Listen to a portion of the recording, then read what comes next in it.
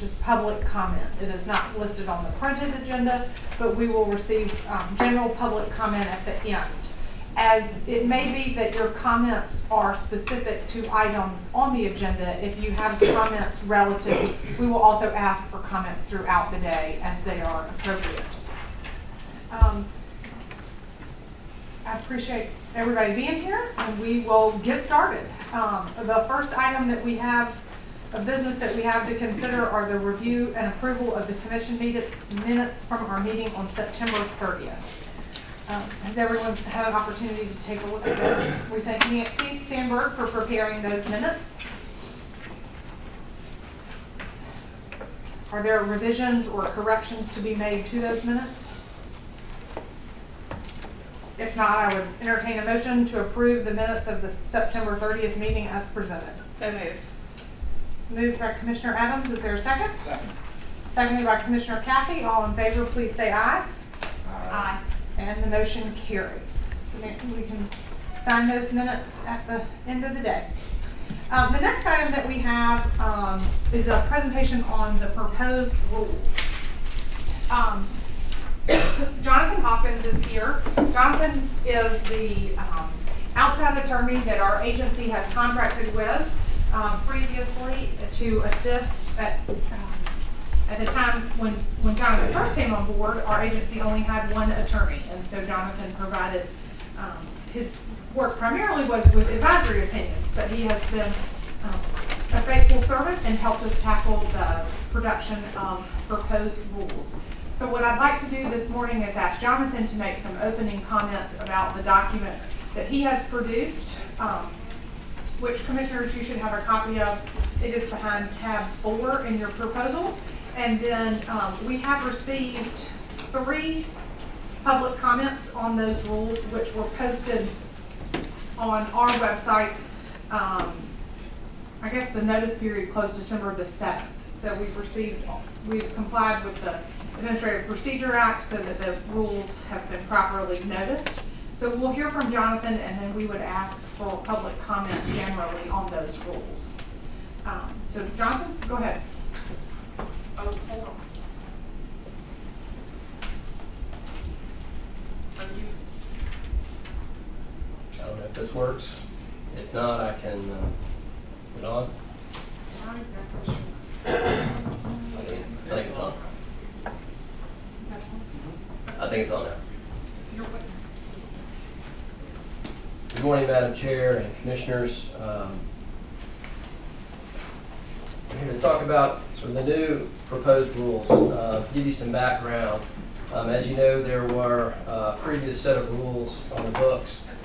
And so my starting point was to take the rules as they were um, and then reorganize them um, and regroup them um, and then revise them as needed. Uh, I did not want to delete or change uh, or take away those rules uh, without letting the public and and letting you have an opportunity to see what was already there. So I, for the most part, left those rules as is, but just in a different order. Um, Also, I've received, the commission has received numerous requests and uh, questions um, of varying natures, um, and as best I could, uh, tried to answer those questions and make new rules and put them in the correct grouping where I felt that they were appropriate.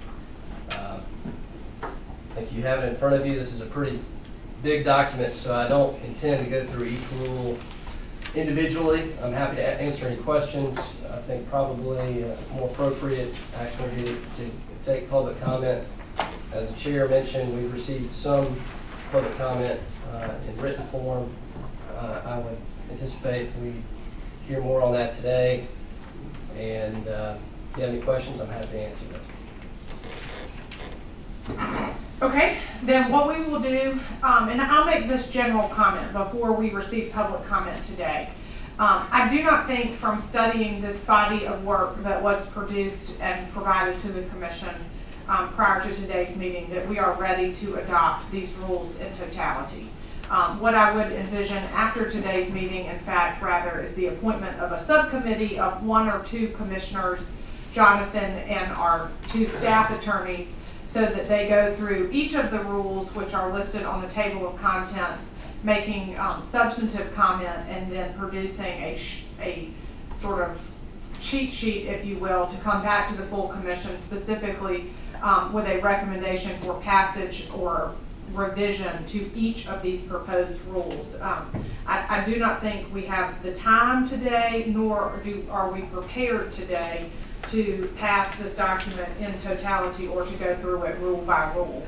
Um, that being said, I think it would be helpful to um, our further review and consideration of these proposed rules to receive public comment at this time. So um, if there is anyone who would like to provide comment on these rules, we would like to hear from you now, but know if sharing your comments that I, that I do not think we will um, consider a vote today on passing these rules in totality or in individually, but rather, if there is a motion to come out of this rule discussion, it would be the appointment of a subcommittee to come back with a specific recommendation going rule by rule.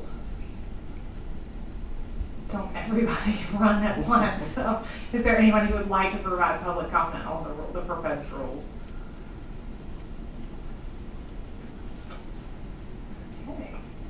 Um, well, with that, um, uh, I guess I would entertain a motion at this time from the commission for the authority of the chair to appoint a subcommittee, um, comprised of Jonathan Hawkins and the two staff attorneys, as well as one or two commissioners, um, to review and consider these rules, to be prepared, um, to produce a sheet instructing passage or amendment at the February meeting of the commission, um, and I'll just survey sort of the commissioners individually to see who has the time and ability to help with that, if- unless somebody wants to volunteer right now. I will volunteer, gonna make motion. I move that uh, the proposal you just presented uh, in the form of a motion, and that the rules be not uh, debated today, but the chair appoint a subcommittee consisting of Mr. Hawkins, our uh, internal attorneys, and a member or two from or all of the committee. Hello? We can't hear you. Still can. Sometimes that can be a benefit. Did that help you? Sorry, he's twenty-one. She's uh, not technically challenged, that was a simple error. Uh, I move that we do not debate the rules today, but that the rule-making decision uh, and the amendment be deferred until February, and during that time, that the chair will appoint a committee consisting of outside counsel, uh, Attorney Hawkins, our internal attorneys, and uh, some members of the uh, committee uh, to report back with changes, alterations, suggestions, uh, perhaps an entire new slate of, uh, of something for us to consider. We'll circulate that as much as we can before the February meeting. That's my motion, Madam Chair. Is there a second? Second. It's been moved by Commissioner uh, Cathey and seconded by Commissioner Durden that we appoint a subcommittee to review the rules and report back at our February meeting. Is there any discussion on that motion? I- I- I fully expected more, some discussion here today, so I hope at February meeting we'll have more discussion, certainly before then. We'll have input from those who are concerned. Uh, I completely agree, and I'm really surprised that, um, and I'll make this statement, we only received, what did we receive, three re- requests for rules? Did we even receive three? We Received one. One, request for a rule from outside of the commission, and we received a letter, one letter, One public comment from Mr. Chalmers. and then two, a letter and an email. So the, which the letter and the email did not necessarily technically take the form of um, comment that is supposed to be provided pursuant to the Administrative Procedures Act. So um, you're right, I'm surprised that we did not receive more comment. Uh, In general, I I- what I would hope we would see from the work of the subcommittee is that our rules, um, rather than reciting or copying from the statute, provide, um, you know, specificity and guidance and administrative procedure that is not otherwise present in the act. And so, um, I think maybe it's with that aim in mind that we will, um, review and consider this between now and February so that we can come back in February. And what I would hope that we could have, for example, is, you know, a recommendation that say, Rule one eighty-nine one point oh three be adopted as presented or changed, so that the, the commissioners who are not on the subcommittee have the benefit of, you know, sort of the thought of the staff attorneys and Mr. Hawkins and the commissioners who have taken the time to review the rules with those folks, so that we make sure we have rules that don't immediately need amending upon their passage. Um, Are there other comments relative to the rules from We'll have lots of comments. We'll have lots of comments about the rules once we enforce one, if we, uh, that's when we'll give people as much notice of what's expected and to protect the the citizens as we can. Commissioner um, Adams or Garrett, your comments on the rules? you'd like It's fine, it's outlined. I would agree. Okay, well, uh, with that, I would um, ask for a vote on the motion to appoint the subcommittee. All those in favor, please say aye. Aye. Opposed, like sign. And with that, we will, um, and I will, just for the sake of the general public, we will, um, I'll survey the commissioners and see who has the time and ability to serve on that subcommittee, and we will post the um, composition of that subcommittee on our website. Um, And if the committee is to meet, you know, of course, that will be subject to the Open Meetings Act, and we will provide appropriate notice so that all who are interested may attend. Uh, Moving on to our agenda, we are moving on to item number five, which is advisory opinion 2013-03. You'll recall that this was um, an item discussed at our September 30th meeting. Um, it- This advisory opinion was submitted by Stefan Passantino of McKenna Long and Aldridge, um, and it deals um, with reporting form or reporting questions. Um, And I think what has come out of this advisory opinion is a proposed new form that uh, hopefully um, answers the questions and makes reporting a little easier. So, um, Mr. Hawkins, if you would, we'd like to hear um, from you, and then um, Mr. Passantino from you as well, and then um, from others who have comment before we consider the, the opinion. Sure, thank you. Uh, As you mentioned, this was uh, an advisory opinion that was mentioned at the last meeting. Um, And, and it was a lengthy request for advisory opinion, uh, and it really arose out of the use of a form, uh, a previous form uh, that was used by various reporting entities, and in this instance, uh, questions related to PAC's use of the form. And, and the old form really didn't address um, a lot of issues that, that are specific to PACs. Uh, So there were many, many questions, very detailed requests, and we felt that uh, probably the easiest way to deal with this was to create a new form. So commission staff and attorneys have worked really hard to put together a new form that uh, we believe answers most of these questions, and that form is attached to the uh, draft advisory opinion. There were a few questions that, that were not answered by the form, uh, that I do answer in the advisory opinion, and I'll just quickly go over the answers to those questions. Um, First, it's my recommendation that the commission find that a PAC registered with the commission as a Georgia non-candidate committee is not required under the act and its associated rules to disclose contributions to PAC, the PAC makes to out-of-state candidates for committees as expenditures made. Two, I would recommend that the commission uh, find that a PAC registered with the commission as a Georgia non-candidate committee is not required under the act and its associated rules to separately disclose as expenditures made, each uh, small administrative expense. In that instance, I'm talking about uh, expenses under $100. Uh, It it could be a very burdensome uh, exercise to disclose small, very small uh, administrative expenses such as paying for checks and- and the like. Uh, But that said, um,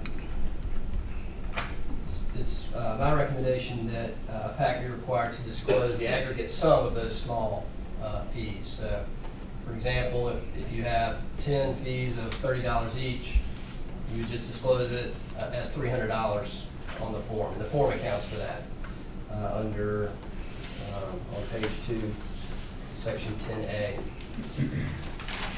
Third, um, faculty the commission as a Georgia non-candidate committee, committee is not required under the act and associated rules to disclose the voiding of contribution checks made to Georgia candidates or committees in previous reporting periods.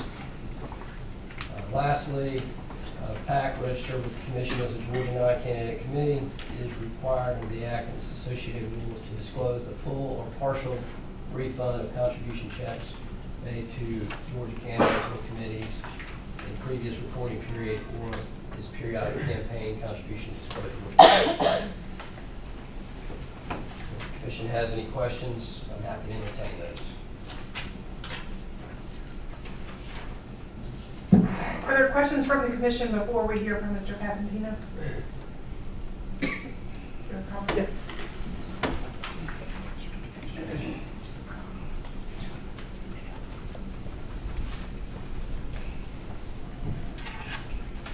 Uh, Good morning, Madam Chair. I appreciate the opportunity, don't want to take up very much time. Um, As, as the person who's submitting the uh, advisory opinion request, we weren't, we didn't really have a dog in the fight. We just identified a number of issues that, on behalf of the regulated community, we were looking for some clarity on, so that at least there was uniformity in how we would about, go about advising our clients. Uh, I, I believe Mr. Hawkins has very diligently uh, gone through that process, and, and we now appear to have some of the clarity that we were looking for. Uh, Clearly, some of the questions, uh, including with regard to the form, uh, are going to be working in conjunction with the new rules that we're going to be undertaking in, in February. So obviously, there's going to be a need to make sure that everything integrates, but this is still an ongoing process, and, and we appreciate that. The, the one point that I, I, I wanted to um, highlight and just make sure that, um, and I, and I guess I'm asking Mr. Hawkins, I, I guess, that make sure that we have clarity on is, one of the issues that we had raised a question about was the notion of if you are a PAC or an outside political committee that is year over year re- reporting your aggregate contributions uh, in, in excess of the $25,000 as required by the statute. There was some lack of clarity as to whether the respondent need to show a carryover balance. So for example, if in my account in year one, uh, I showed dollars in the door and out of the door that left a balance of fifty dollars or whatever it was because more money had gone into this specific account uh, than had been spent. It seemed to us, and it seemed, and it was the first question on our advisory opinion request, that because the statute is written away, that it is a year-by-year uh, reporting obligation without a carryover. It's like you could go year one, have to file a report. Year two, you might not hit the threshold. So by statute, you're not required to file anything. And then in year three again, you cross the threshold. The question that many of our clients had is, do I need, if I'm going to report in year three, do I need to go back and show that $50 holdover from year one? Or if the year that I hit a new threshold, do I basically start with a zero balance? And that was what we had requested and, and, and on behalf of our clients, because there was just, some people did it, some reporters didn't. This provides clarity. My understanding and from our conversation that, that the way that the form is drafted, uh, it now creates clarity. And I would hope that maybe we include this in the rulemaking that we're going to take up in February, just sort of that belt and suspenders clarity that if there's every year I'm filing a disclosure, I just start with a zero balance and I show here's the money that we put in and here's the money that we've spent. It's all transparent, it's all disclosed, but we don't have this issue of all the carryover balances. Now, my understanding is that that's addressed in the form and, and is likely to be addressed in, in the form, But it was one thing that wasn't discussed here that I just wanted to make sure that we're all on the same page with regard to what the commission's viewpoint is on that, on that issue. But otherwise, Mr. Hawkins has been very diligent, uh, has really done a lot of work. I, I apologize for throwing a lot of different issues at you uh, in this advisory opinion request, but they were all issues that came up from our clients. Thank you. Robert or Bethany, do y'all have comments? I know you worked with, about the new form. I know you worked with Jonathan in preparing the form. Um, and I will say too that we ran this form back through, um, the folks in our IT department to make sure that it was, um, workable and manageable electronically and with our system, so that it should be functional if, upon approval. The only comment, sorry, I'm sorry, the, the only comment, Madam Chair, is that on the form to Mr. Passantino's inquiry, it is addressed as far as the carryover, and there's additional proposed rule that will be presented to the commission, which also addresses the carryover and balances for political action committees. Comments from the commission relative to the form, um, or questions for Mr. Hawkins or Mr. Passantino? Mr. Passantino, you, you expressed that you were kind of neutral on whether we should or shouldn't carry that over. Uh, Do you have an opinion? Uh, Oh, if I, if I say that, that- was an error, I, I do have an opinion on that. I'm neutral with respect to all of the issues that Mr. Hawkins, do you have to disclose out of state, not out of state, return checks? I just want to know what the rule is so that we can make sure all of our clients follow it uniformly. That, that I, I don't have an opinion on.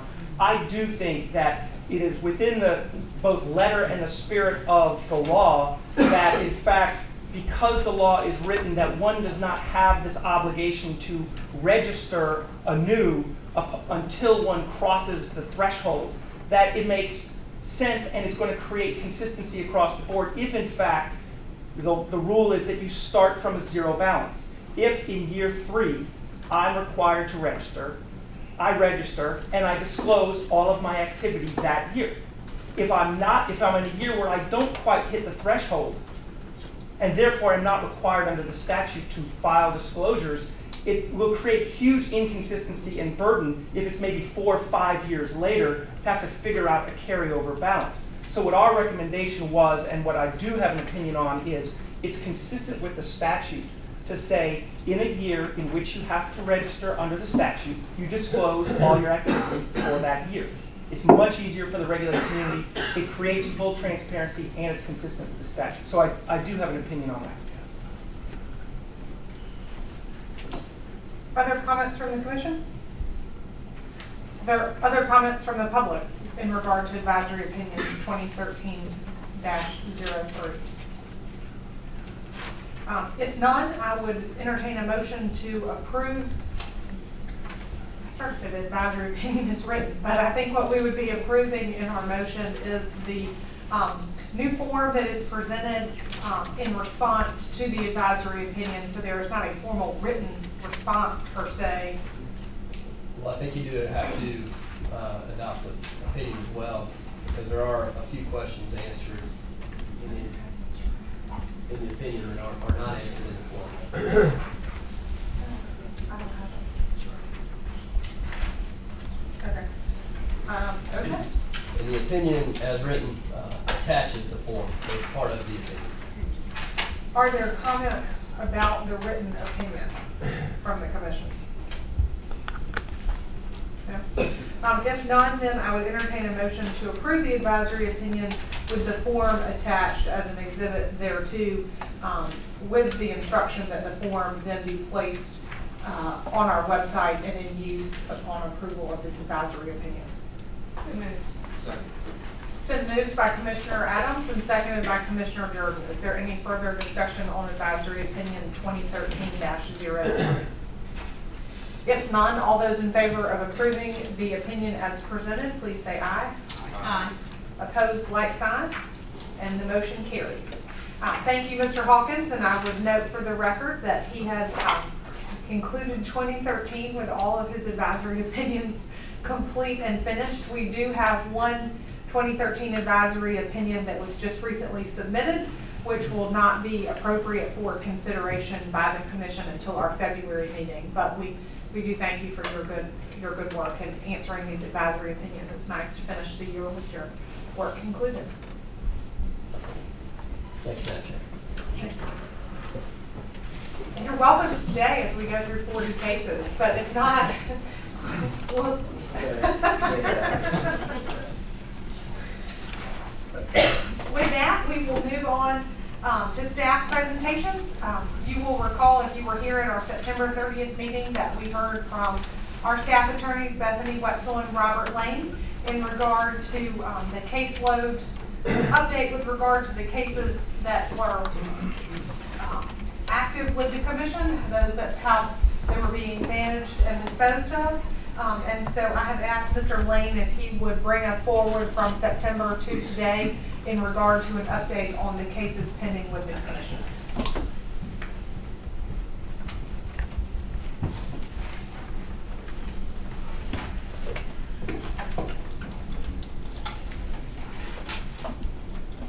Thank you, Madam Chair. Um, At the last meeting, we disclosed to the commission that there were 213 cases that were. Hey, open. Robert, I think I turned that on. Will you make sure that I? We had 213 cases that were open and active with the commission. A number were in-house and a number were at the Attorney General's office, at least according to our system. Um, On September 30th, the last commission meeting, there were 183 cases that were in-house under investigation and 30 cases that we were showing over at the Attorney General's office. Um, Today, it- the numbers are a little off because we stopped on December 1. Um, But on December 1, there were 193 cases, I believe that has jumped to 194 cases. And we have reduced two cases that were the Attorney General's office as we were able to locate further documents showing those cases have been resolved and closed. Um, And I'll be able to provide the commission a more detailed update as to those Attorney General cases. Um, We're working with the Department of Law to track down the remaining 28 cases to see exactly what happened to them over the years, because they are stretching all the way back to 2004. And as we go through new files, we're discovering new documents every day showing that some of them have moved to collection status, some of them have not. Um, So we'll be able to provide you a much more detailed uh, accounting. Um, In fact, one of the most demonstrative ones is that originally our case file for one of the cases was this big, and after last night of trying to go through it and few other boxes, it's now this big. So it's, it's, it's interesting. Um, But as of December 1, we had 221 cases active. We, as of today, I believe it's 222, not including what we disposed of today. Um, From your last meeting until December 1, the commission received 16 complaints from citizens. Eight of those complaints were deemed to be unfounded um, and were dismissed out of hand by commission staff. Another eight were accepted for further investigation by commission staff. So for total, from July 1, 2014 to present, the commission received 35 citizen-initiated complaints. The resolution of cases, it's our hope today that we'll be able to close out 40 cases that will be presented to you after this presentation. At the last commission meeting, you had, um, you only had about, you had nine cases, for a total of 49 cases that will be dis- um, disposed of at the conclusion of today's meeting. Um, As far as, Robert, just to be Sure. clear, these four, the numbers you just presented to us as of December. December 1, yes, sir. Forty of those cases are included in that number. Correct. So Pro- Provided every case that we present today is closed out and not referred for further prosecution, what have you, will be disposed of, at least as far as commission staff is able to handle them. Um, We do have, I believe it is five or six that will be referred to the Attorney General's office, uh, provided the commission finds probable cause for further prosecution, um, under the Administrative Procedures Act. Um, When Ms. Whetzel and I came on board on um, July, can, can I ask a question? yes, sir. You might want to tell us all, when you say some of them are at the Attorney General's office. Yes, sir. By what method do those cases get, which cases get there, by what method? Yes, sir. Those cases were referred by previous commissions for prosecution under the Administrative Procedures Act because the commission found probable cause to believe that the act had been violated. A number of the cases were prosecuted and they were for example, there were a number that I've come across where they have been, a consent order was reached at the administrative hearing stage, and then they were referred back to the commission to enter into a consent order, but yet that consent order has not been located as of yet. There have been some that were forwarded on to the Department of Law's collection arm to try and collect the fees, and we're trying to track those down to see if they were actually collected, were they collected, dismissed, what have you, and then there's some where they just can't be located. What is the response? What's the responsibility of our commission for those cases, to follow those cases that are at the AG's office? It really depends on the, on the code. Once the commission finds that there is probable cause, commission staff basically becomes witnesses for the Department of Law and its prosecution of the Administrative Procedures Act. The act allows a respondent thirty days before it goes to the Administrative Procedures hearing to come into a consent order with the commission, and if the commission adopts it, it comes off of the administrative hearing. If it proceeds through the administrative hearing, once a judgment's done and the person does not pay, my understanding is the commission has to further address that and vote to enforce a collection action through the Department of Law. And then it goes to the Superior Court of that person's county of residence, and then from that step forward. If I could Thank you, I hope I didn't disrupt your presentation. sir. um, if I could speak to this for a second, I, um. Hold on, Kim. Oh, Chris, So, Okay, um, Robert and I corresponded a little bit about this a couple weeks ago, and I actually did, um, an extensive spreadsheet a little prior to Robert and Bethany coming on board with the status of the cases that are on record with our office. Um, there's really only, at the end of the day, one substantive case that is with our office awaiting prosecution. In that case, um, we are waiting on for another case to be sent over, which we believe it will today. Um, the other cases, as Robert outlined, are things that are either have been in our office for years and years, two thousand four, two thousand five. Um, they've been closed, but the, the files, um, you know, that there's issues locating the files because they're so old. Uh, perhaps they weren't closed out on the other end of the Ethics Commission. The other, there's some others, as Robert mentioned, that are in the, um, Finance Division awaiting collection.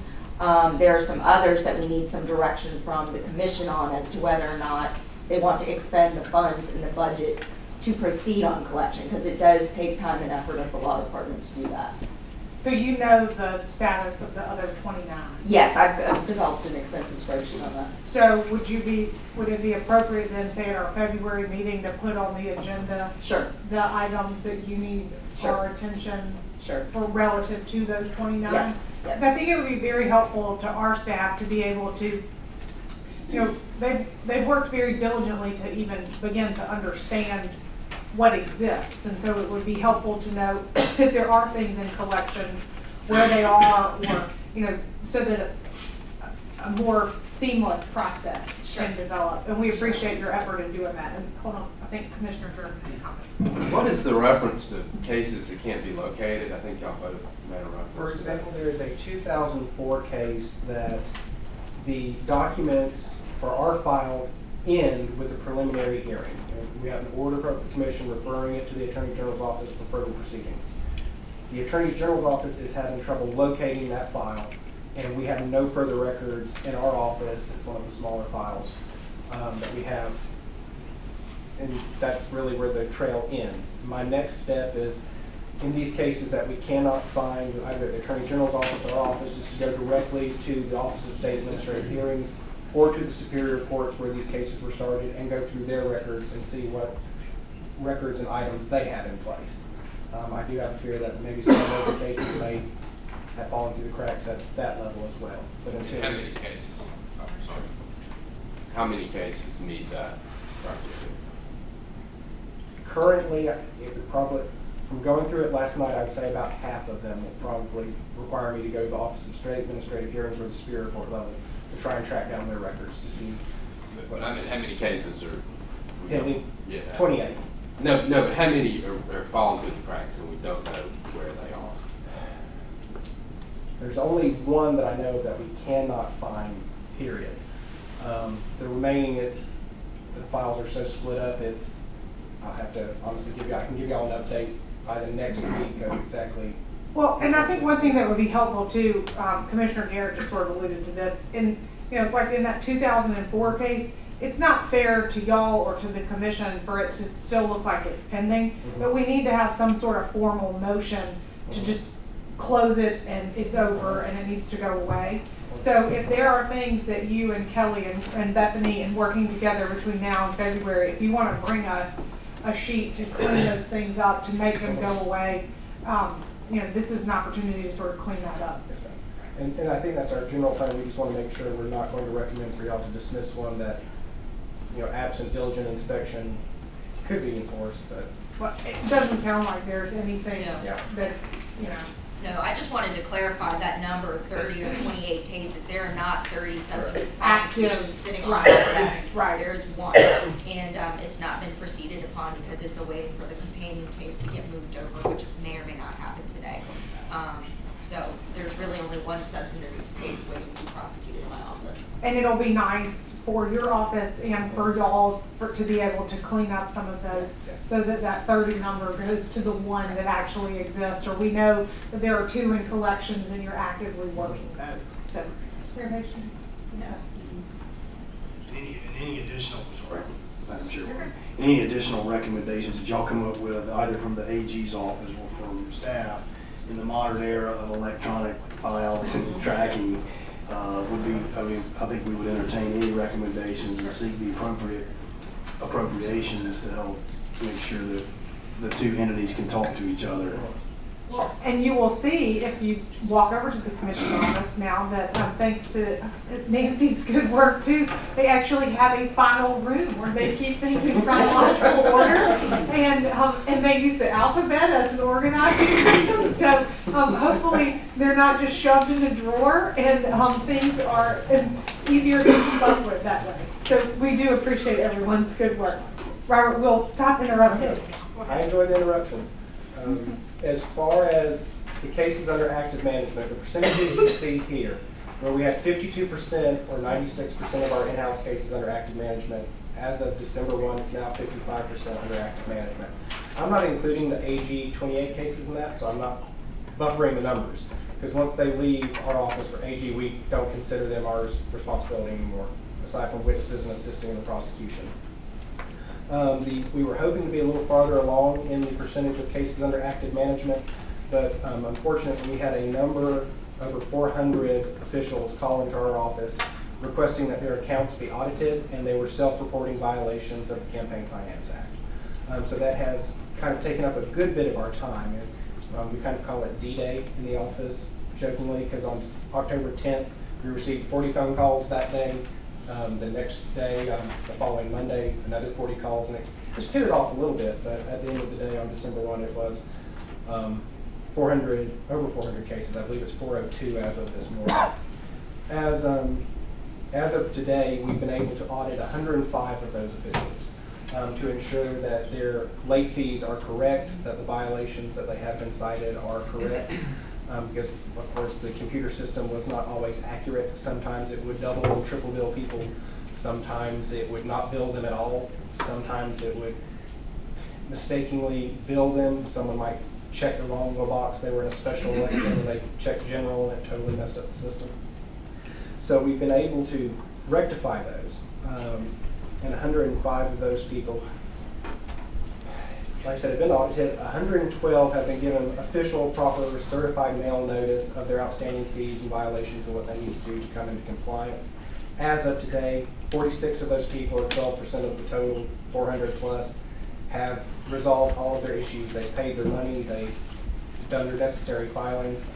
Um, one thing that Ms. Whetzel and I are not doing is with these 400 people, we are not opening probable cause cases to assess additional civil penalties and fines against these people just because we do not have the resources to do that. We, we just don't have the resources for our case count to go from 193 to, you know, almost 600. It just, we would get bogged down and would not be able to function.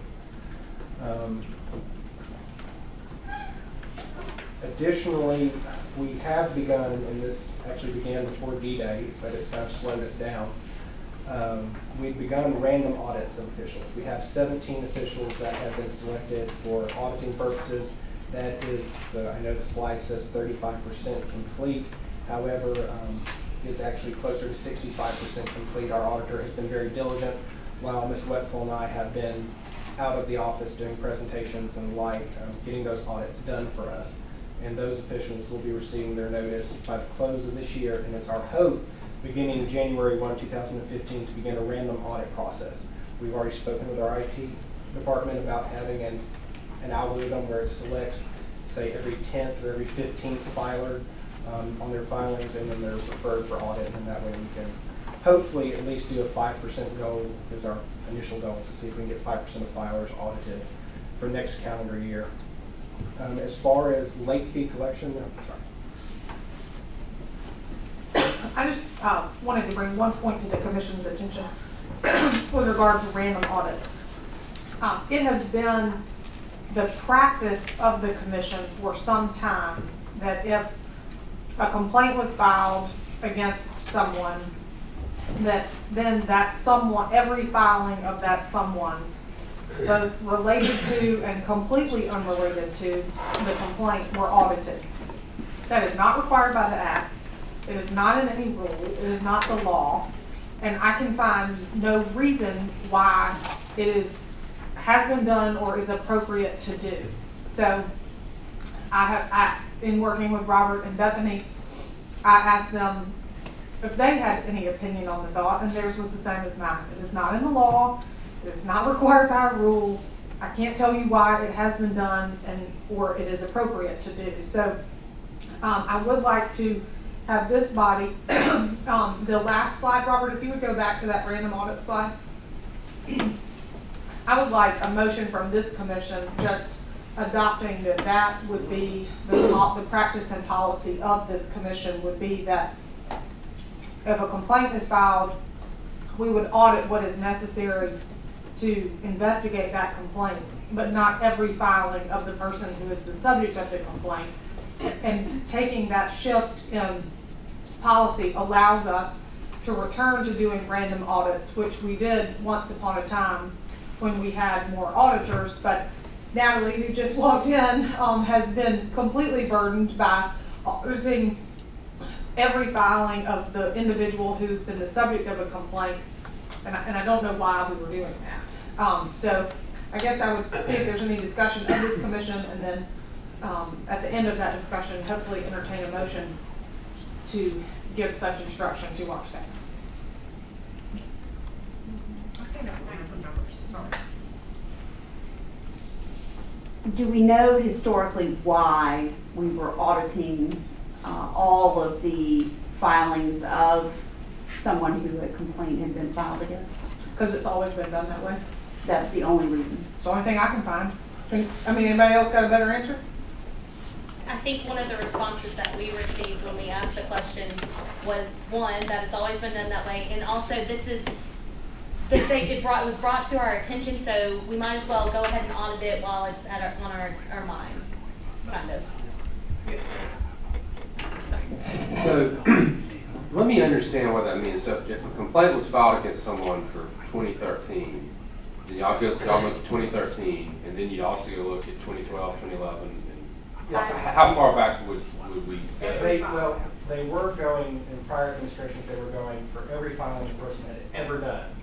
What we said was that's insane, stop it at statute of limitations, if it's a four-year office, that's five years, if it's two-year office, that's three years, no further.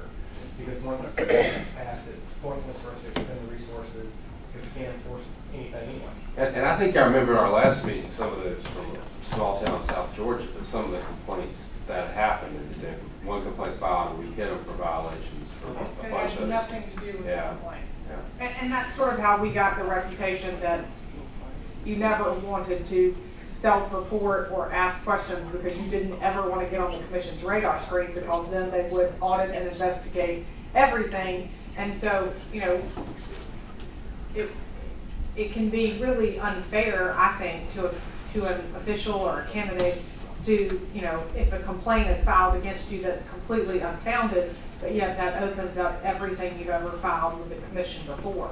I'm not sure, Mr. Garrett, there might be some sort of constitutional. I was, the civil, the civil libertarian in me has all kinds of. If if you're concerned about unwarranted searches and seizures, at any level, the spirit of that is clearly violated here. And uh, on top of that, it's, it- in this world that we live in in ethics, where y'all know that I- my my pedestal is that far too often, the Ethics Commission is used as a political football by conniving, you know, individuals who try to use the commission. This, this is open to all kinds of mischief um, on- on behalf of folks who are trying to clog up the system and, and uh, otherwise, uh, you know, deter us from getting the, the, the other work done at the commission. So I think we're both a practical and, and a, and a legal philosophical standpoint, it's concerning that we're doing this without either direction from the commission and or, and it does free up the resources in the short term. Now, if we ever got, and it gets back to being a truly random audit process, which this would not have been, in my opinion. That's- It's true about assets too. Uh, The assets should be used to, to uh, conduct random audits and not uh, some uh, uh, inaccurate proximate cause to look something. It's not proximate cause. I think it's a matter of utilizing our assets to uh, maximize compliance and to not punish people when they did self-report. And I I think that uh, uh, I would, I would, if it's appropriate time, I would move that the uh, process be stayed and and eliminated, that we do total audits of anybody with complaint, uh, allowing us to then use our resources and assets for true random audits, because whatever that is, that's not random audit. I do apologize, Commissioners, um, just to make sure I understand, for the random audit, you will want us to audit fully to the statute of limitations, but for the complaints, it's, got it. If, if that's what's been happening on the random audits. we've actually not had a random audit Okay. at all. Just so it's clear to the public and, and I think for the minutes, it, it, um, it sounds to me as if the prior practice had been when a complaint came in to go beyond the four corners of the complaint and to review all the way back, even though that is not what is required by statute or what is required by the rules. And I agree with Commissioner Cathey that that is not appropriate, um, that we need to stay within the four corners of the complaint and stay within the statutory scheme and the rule, the guidelines and the rules. Um, so I will second that motion. And in addition, I do think that when we do move for these random audits, that those random audits are done in compliance with the statutory scheme and in accordance with the rules, um, so that people do, do feel like they should self-report when they need to self-report and don't feel like they will be being penalized for self-reporting.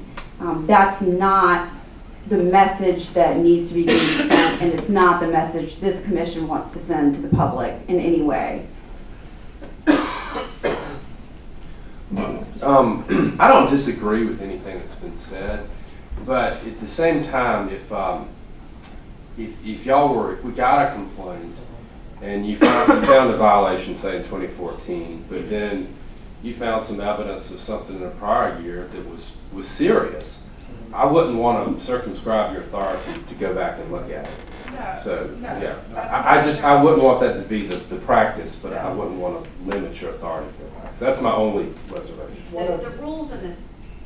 The rules in the statute would allow them to, to be able to investigate that if during their review of a complaint and they're reviewing documents for that complaint, the, the rules do indicate, and so the statutory scheme that they can then investigate further an additional, um, any additional violations that were shown. So I- it wouldn't be, limit- I don't- I don't think, You know, I agree, I agree. I Yeah. just didn't want us to adopt a policy that's right, I, I agree.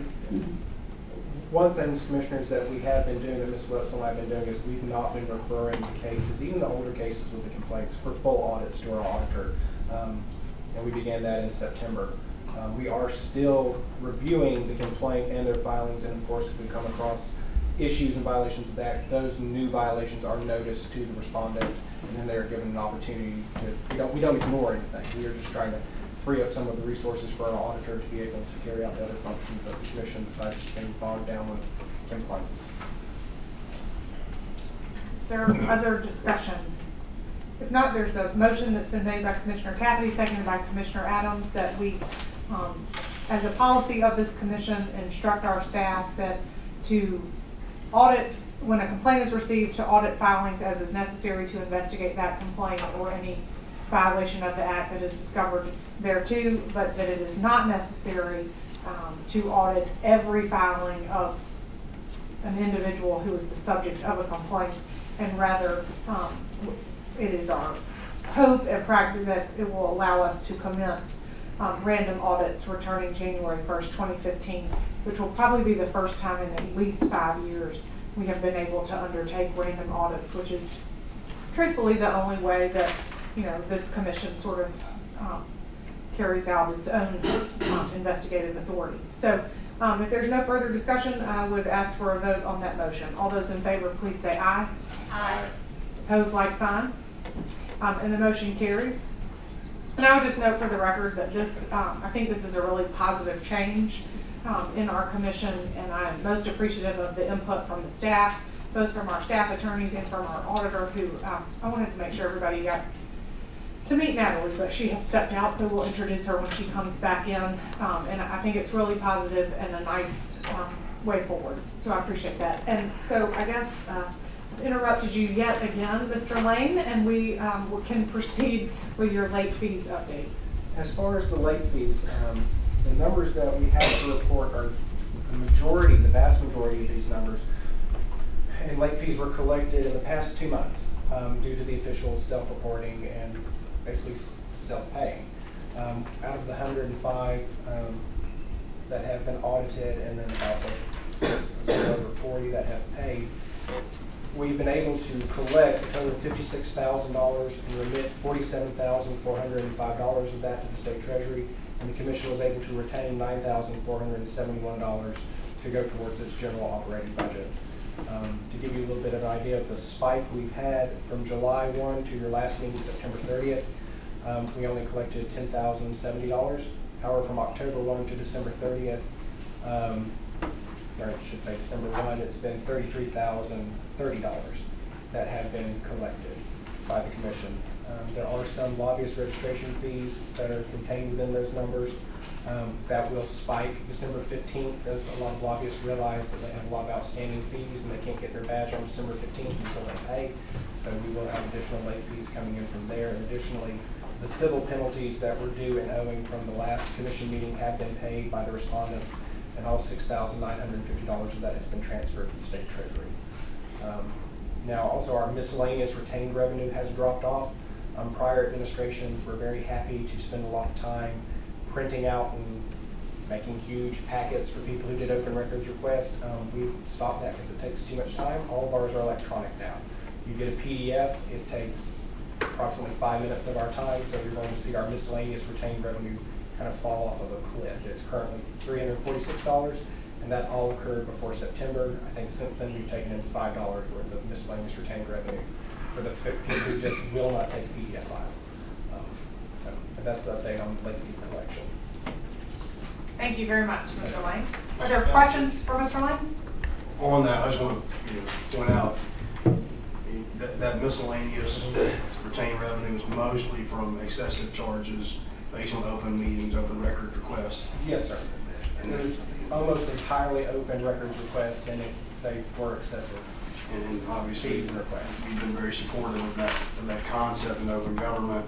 Uh, Are most of the filers for the open records uh, pleased with the fact that it's all being done electronically now? Or have you got any feedback from them? I think they're very positive? pleased, I think they're very pleased they don't have to pay.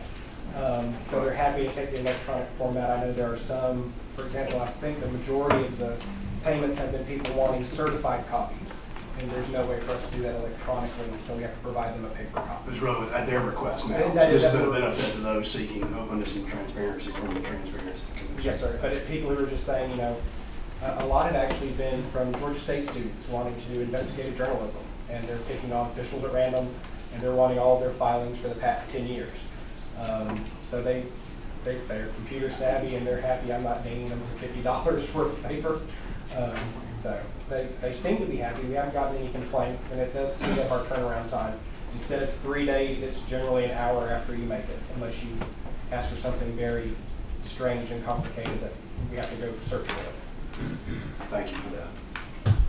I just want to applaud you uh, and the other folks at the commission for doing that. We got a, a thumbs up from some of our folks in the media over here for that. So, um, so I think that's a, a step in the right direction on making sure they get it electronically and it's quick and very obvious that we're not trying to just um, ding them for fees for copies. So, wonderful job.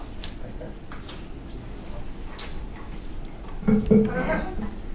I, I just, she stepped back in. Natalie Harper is our auditor. I just wanted to make sure that, Natalie, we were talking about your good work while you had stepped out. So I just wanted to make sure that everybody had the opportunity to meet Natalie. Um, and while we switch over um, for Ms. Whetzel's presentation, also here with um, Natalie today is our new office administrator who will start um, on Monday, Tuesday. Um, this is Erwin Yap. If you'll stand up, he um, will serve as our office administrator, and Tuesday will be his first day. So we give a special welcome both to Natalie and to Erwin who are joining us this morning. Okay.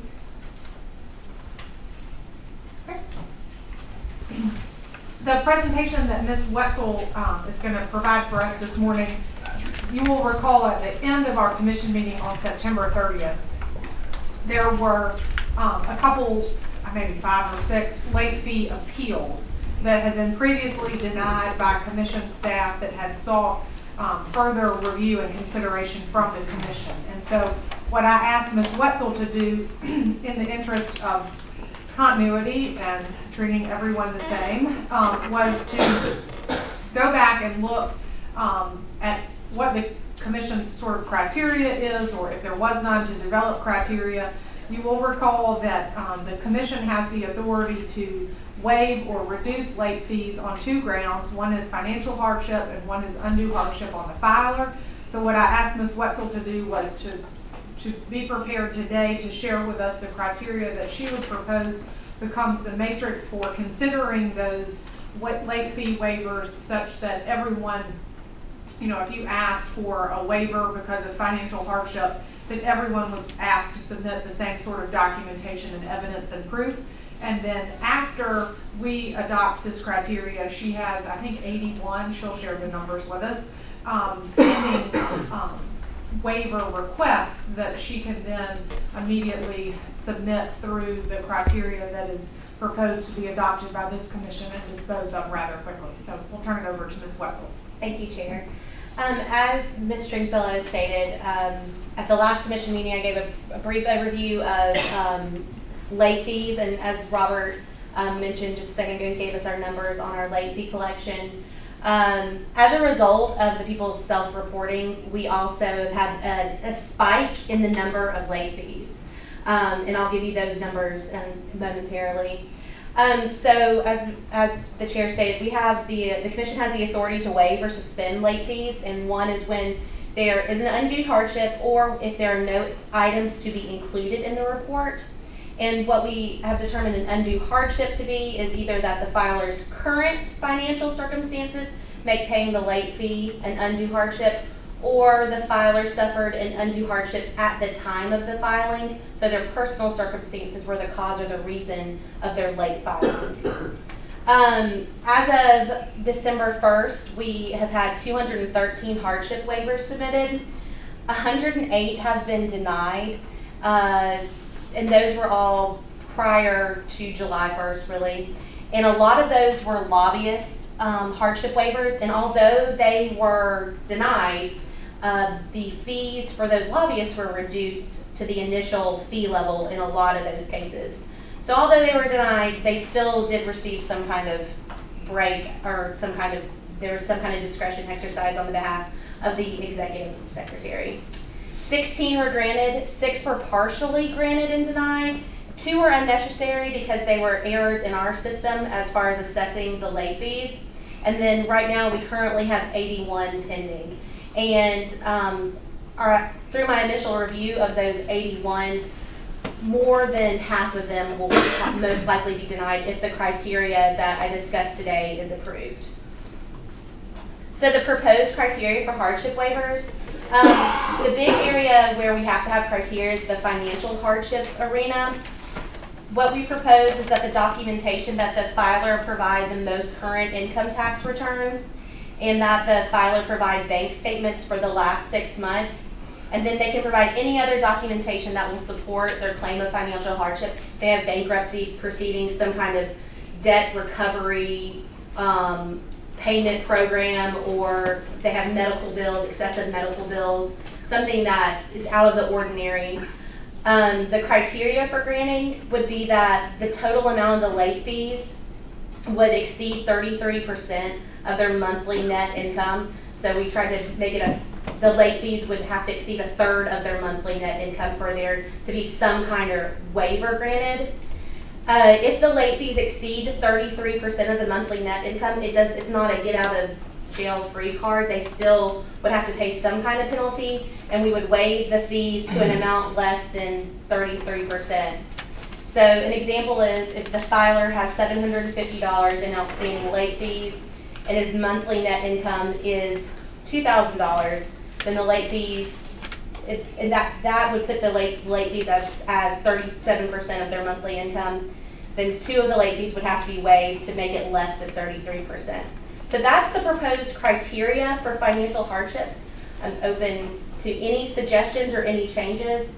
Um, that's just a starting point for, um, where we can begin in a way to try to be fair to everyone who presents a financial hardship. How did you come up with the thirty-three percent? Robert and I discussed it and we just, we came up with thirty-three percent. Okay. So that, if you have a suggestion for a different percentage than that, we just thought a third of someone's income for the month. Okay. And, uh, what document are you gonna, are there certain documents that you will ask folks to produce to substantiate those? Correct, their tax, tax returns, the most current the tax return, and then also their bank statements for the last six months. Because sometimes if someone's monthly net income, they might be sitting on a lot of cash in their, in their bank account. It doesn't, what you make during the month doesn't necessarily indicate your, um, financial status a lot of times. And we do require them to sign an affidavit, correct? When they submit the hardship waiver, they do, they do sign an affidavit. But Right. Currently, there's no documentation requested. So if someone, in the past, if someone were to say, I have a fixed income, that would be taken at, although we don't know what their fixed income is, because some people, who are- everyone's on a fixed income, kind of. Right. Um, uh, so you take them at their word, and then a lot of times that would be, the waiver would be granted. So then, folks would know if you were requesting a waiver based on financial hardship, you need to be prepared to submit your most recent income tax return as well as six months bank statements. Correct. So, and we may even perhaps revise the form to indicate that if you're gonna submit this on a financial basis, just go ahead and attach it there. Correct. Super. Other comments from the commission? Okay, so that's the cri, that's the proposed criteria for granting hardship waivers when they're claiming a financial hardship. With, um, undue hardships. One oh, quick question. Okay. Do you, do y'all wanna, mo, you want a motion on hardship, on financial, and then a separate motion on undue hardship? I think we should separate them out. Okay, so, um, I would then entertain a motion from the commission to accept the proposed criteria with regard to granting, um, late fee waiver requests, um, for financial hardship as presented. Um, and it, before we can consider that, well, is there such a motion? I'll, I'll move. Okay, motion by Commissioner Adams, is there a second? Second. Second by Commissioner Cathey. Um, before we consider additional discussion on that regard, we hear from Mr. Chalmers and others if there is comment to be made. Madam Chair, just a very quick observation on that. If you are going to adopt that rule, then the affidavit form needs to be revised. Because the affidavit form currently says it was an undue hardship, as I believe. If you are now going to define that in very strict monetary terms, you need to let filers know as a matter of due process what they are swearing to. So I would suggest at a minimum, that needs to be done. Right, I, I mentioned that we would revise the form. We can definitely, most definitely. And then we've also revised the guidelines that are provided, the instructions to the form that are provided on the website and at our office the instruction cover sheet too. And, and one reason that I asked um, Ms. Whetzel to take a look at this criteria was it was taking folks a really long time to get a response because they would write in with this waiver and then somebody had to look at it and then they had to ask for documentation and then it had to be submitted. So it was, you know, months would drag on while this was sort of pending. So hopefully if it's established at the beginning, when it's commenced and on the form and part of the affidavit, it'll move a little faster. Um, Is there further discussion on the motion that is on the table? I would love to just have a, I- I'd love just to make sure we have a quarterly report. Okay. uh, As we see whether or not this matrix continues to work. Do we have continued complaints that this matrix is for those people who we identify as having true financial hardships? I mean, at the end of the day, you know, lobbying and political speech are protected under the Constitution at the end of the day. We don't need to be burdening some person who's trying to, you know, seek the redress of their government actions, right, and unduly. And uh, I want to make sure we don't trip up into that. Okay, and also the, the appeal process would remain the same. So if someone was not pleased with the decision that we made, um, the commission staff made, they would also have the opportunity to appeal it to the commission. And, um, this only, this, these fees only apply when, with, if they late file their CCDR, their personal financial disclosure statement, or if they're a registered lobbyist. So it's those disclosure reports.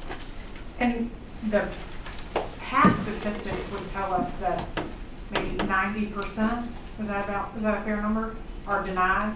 Correct, yes. And I think that what this will do, if anything, is provide some criteria that allow us to grant more of those, not fewer. Um, and, and my hope is that it becomes far less arbitrary and subjective.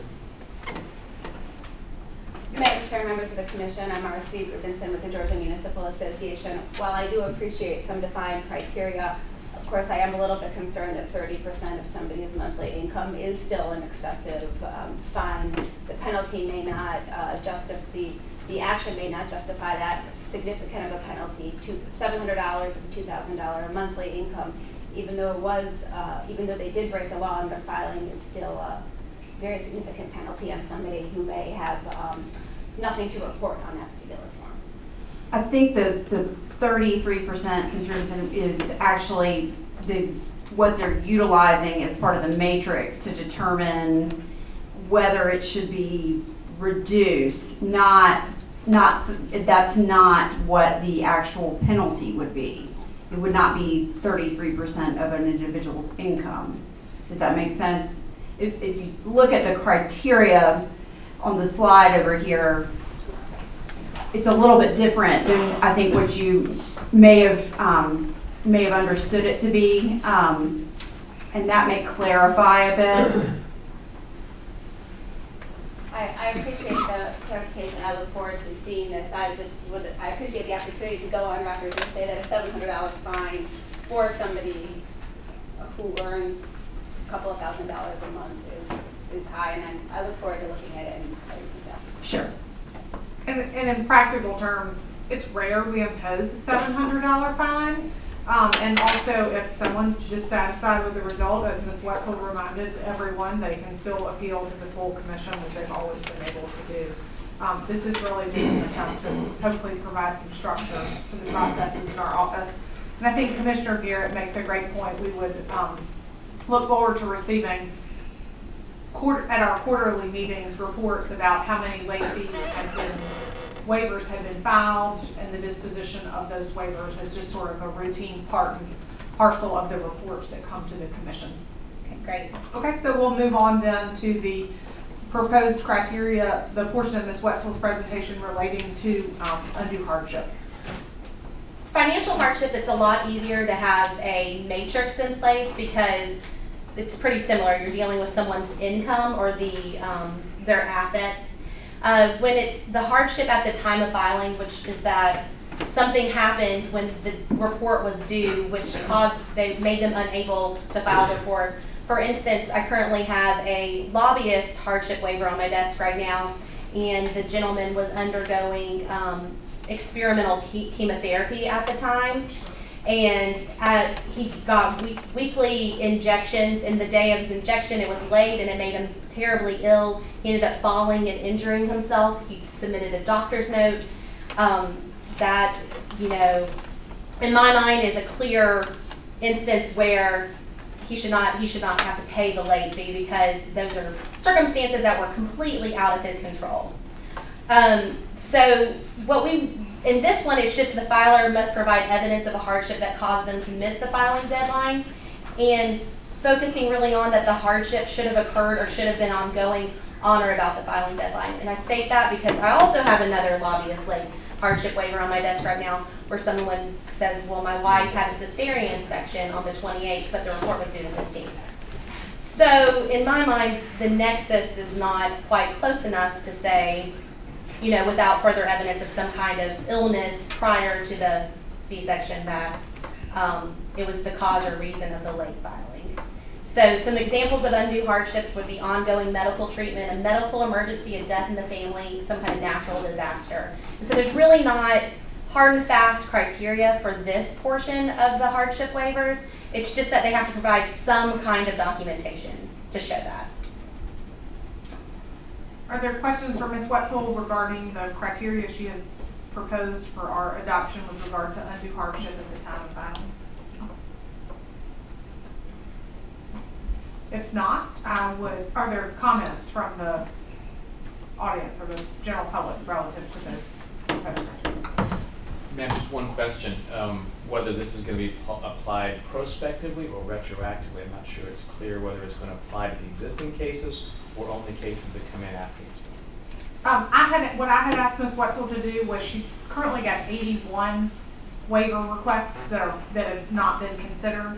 And so I had asked her to hold all of those. Some, I think nine of those eighty-one were actually previously denied and had appealed, written the chair asking for an appeal. And so what I had asked her to do was take that eighty-one in totality and run them back through this criteria.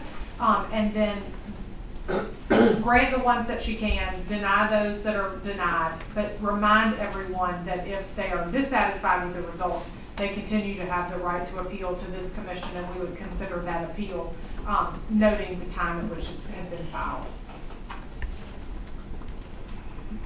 Other comments from the commission?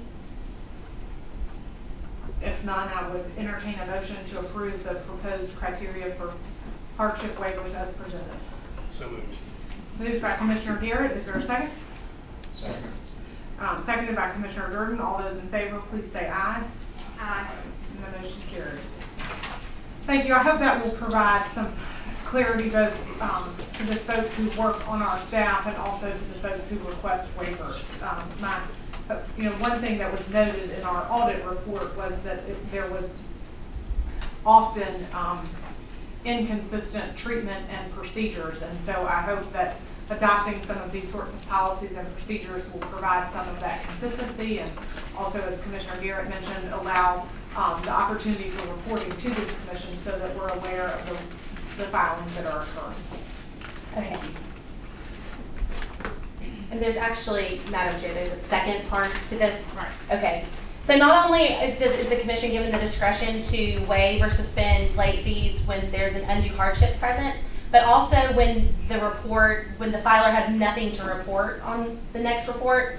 This would only apply to, um, campaign contribution disclosure reports and also lobbyist disclosures as well. Um, what we propose is that if a filer is gonna request that the fee be waived, or the commission waives the fee because it's a zero report, that the filer must request in writing that the fees be waived because the filer had nothing to report. And we will only consider these if they've actually filed the report, because what we've seen, because otherwise how would we know that it truly is a zero report if they haven't filed it? And what we propose is that this would be applied for um, campaign contribution disclosure reports due after April twentieth, twenty twelve. And in that, a maximum of three late fees would be, zero reports would be waived, because although someone might not have something to report, they still have a duty to report, to make that report to show the public. And we think three late fees, it's half of an election cycle, half reports for the election cycle, but that would be a good cutoff point. That's what Robert and I have discussed. Um, and if there's any other suggestions as if we should do, allow more. The reason why we said that it would be after April twentieth, twenty twelve is because the commission, um, made a motion on April twentieth, twenty twelve to, uh, reduce all two thousand eleven late fees to, to require that the filer only pay one late fee for all late reports, if they were zero reports.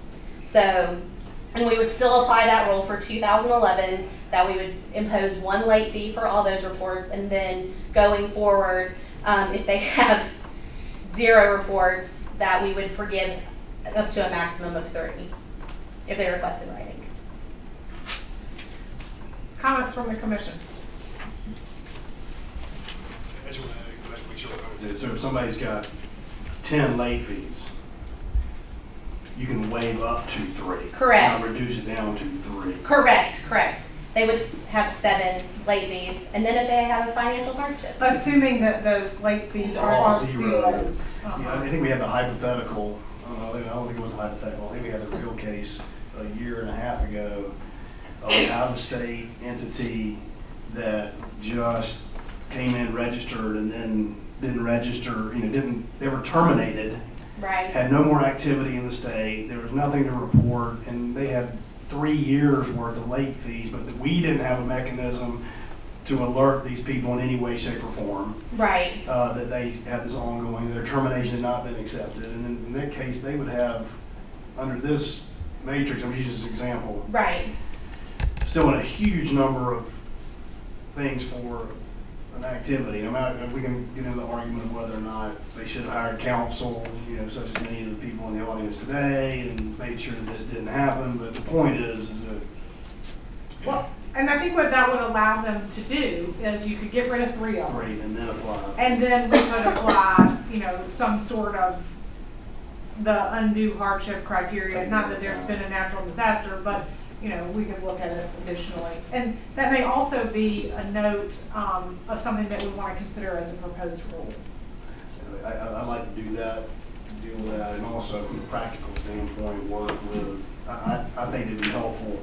I- know we've done a great job, of- a tremendous job in the last few months of upgrading our information technology systems, but, you know, other additional notices and things like that, just so we don't have. And, uh, yesterday, um, Robert and Bethany and I attended the biennial legislative training session, and there were a couple of comments after that session relative to, um, folks asking about, would it be possible for our, our IT system to send an email to those people who had a filing deadline who missed it?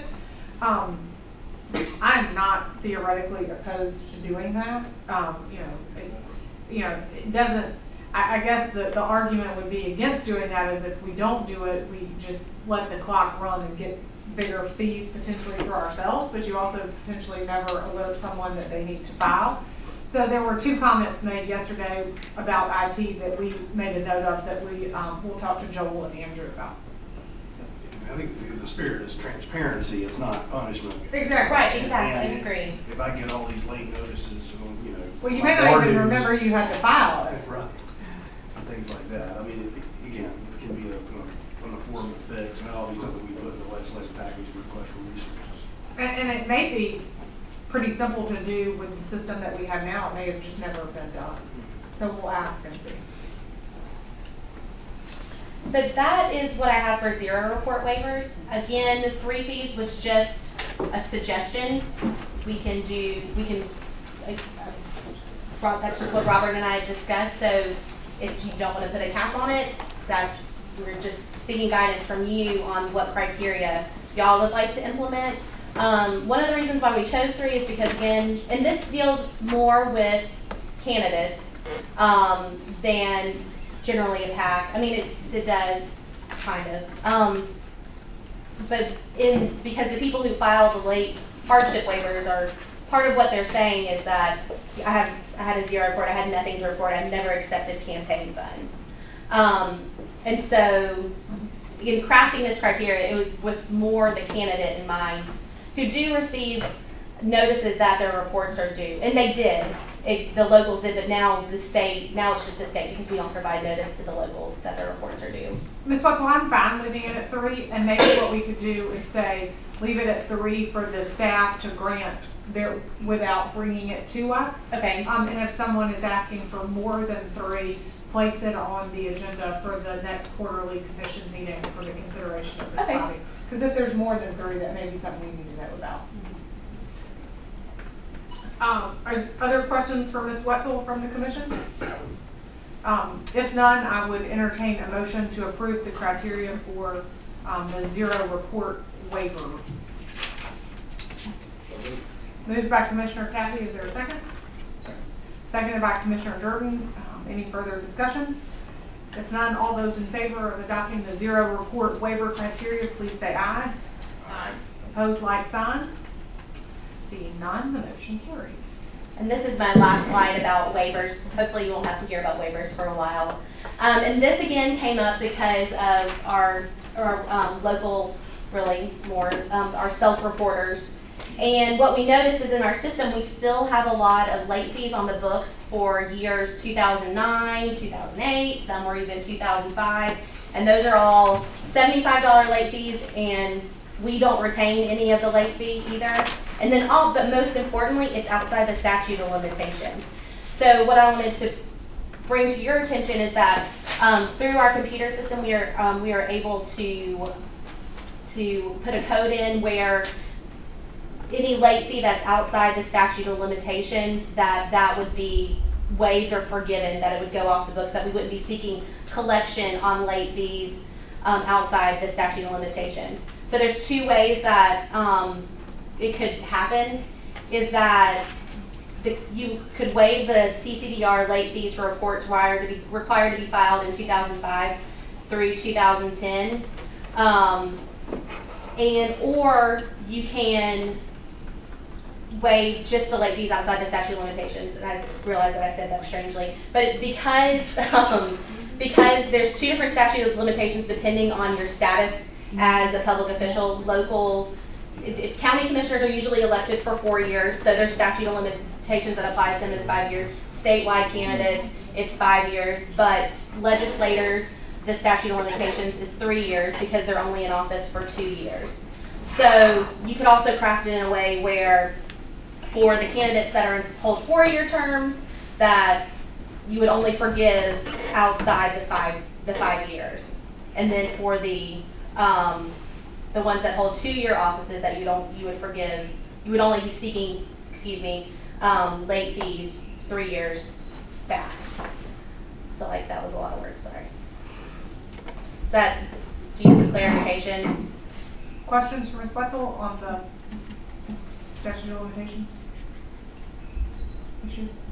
Well, it seems like we wouldn't be waiving something that's uncollectible, that's barred by. True, I mean- It's time barred, that's not a waiver, they're time barred. I think we just ought to have a recognition that certain Okay. uh, fees that are on the books are time barred, and they should be purged from the system and not shown as uh, late fees are not collected. That's, Rather than us waiving anything. We've already waived it by an action. okay. Yeah, I have to agree with Commissioner Cathey on that. I think that's the appropriate action is to just follow the statute on that. We waived it by inaction.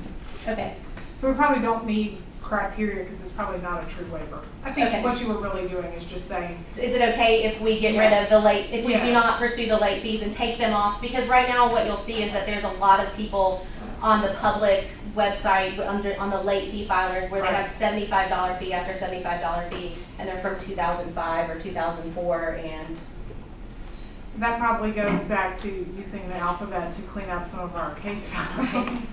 So, um, what, yeah, get rid of them. If they're outside the statute of limitations, I don't think you need waiver criteria. You can just Okay. make them go away. perfect, and that's all I have. Super. I'm just saying, this, in the two hundred and thirty some odd cases that are out there, are these late, are a lot of those these? No, they're not, and I- we- I thought, I wanna make sure I clarify. And Robert and I only pursue what is within the statute of limitations. And uh, also with the audits, we don't go outside the statute of limitations at all, because that's not, I thought that was the case, I just wanted to clarify. Right. Thank you, Ms. Whetzel. Um, I mentioned earlier that we had attended the biennial legislative training session yesterday, Ms. Whetzel and Mr. Lane did a great job, and they continue to, um, do a super job. We did, recently, we completed their performance evaluations, and they were, i you have to set little goals, and so we put seventy-five percent of cases under active management. They were quick to tell me that they thought they could exceed that, so, um, we appreciate their good work and their continued efforts on our behalf. Um, the only other item that we have before lunch is this order to deny the renewal for registration of lobbyists. Um, for some of the folks who are new, and in case we all forget, um, it has typically been the practice of this commission to pass um, a motion that if you are a lobbyist and you have outstanding late fees, that you cannot renew your lobbyist registration when the renewal period opens on Monday, December the fifteenth. Um, so I think there is no reason not to continue that practice. Um, as Mr. Lane alluded to, that's oftentimes how we, um, fill our coffers. Just do that. Um, that is one way that we get fees paid. So, um, if there is discussion on the proposed motion to, um, deny the renewal of registration for folks who have outstanding fees, I would entertain it at this time.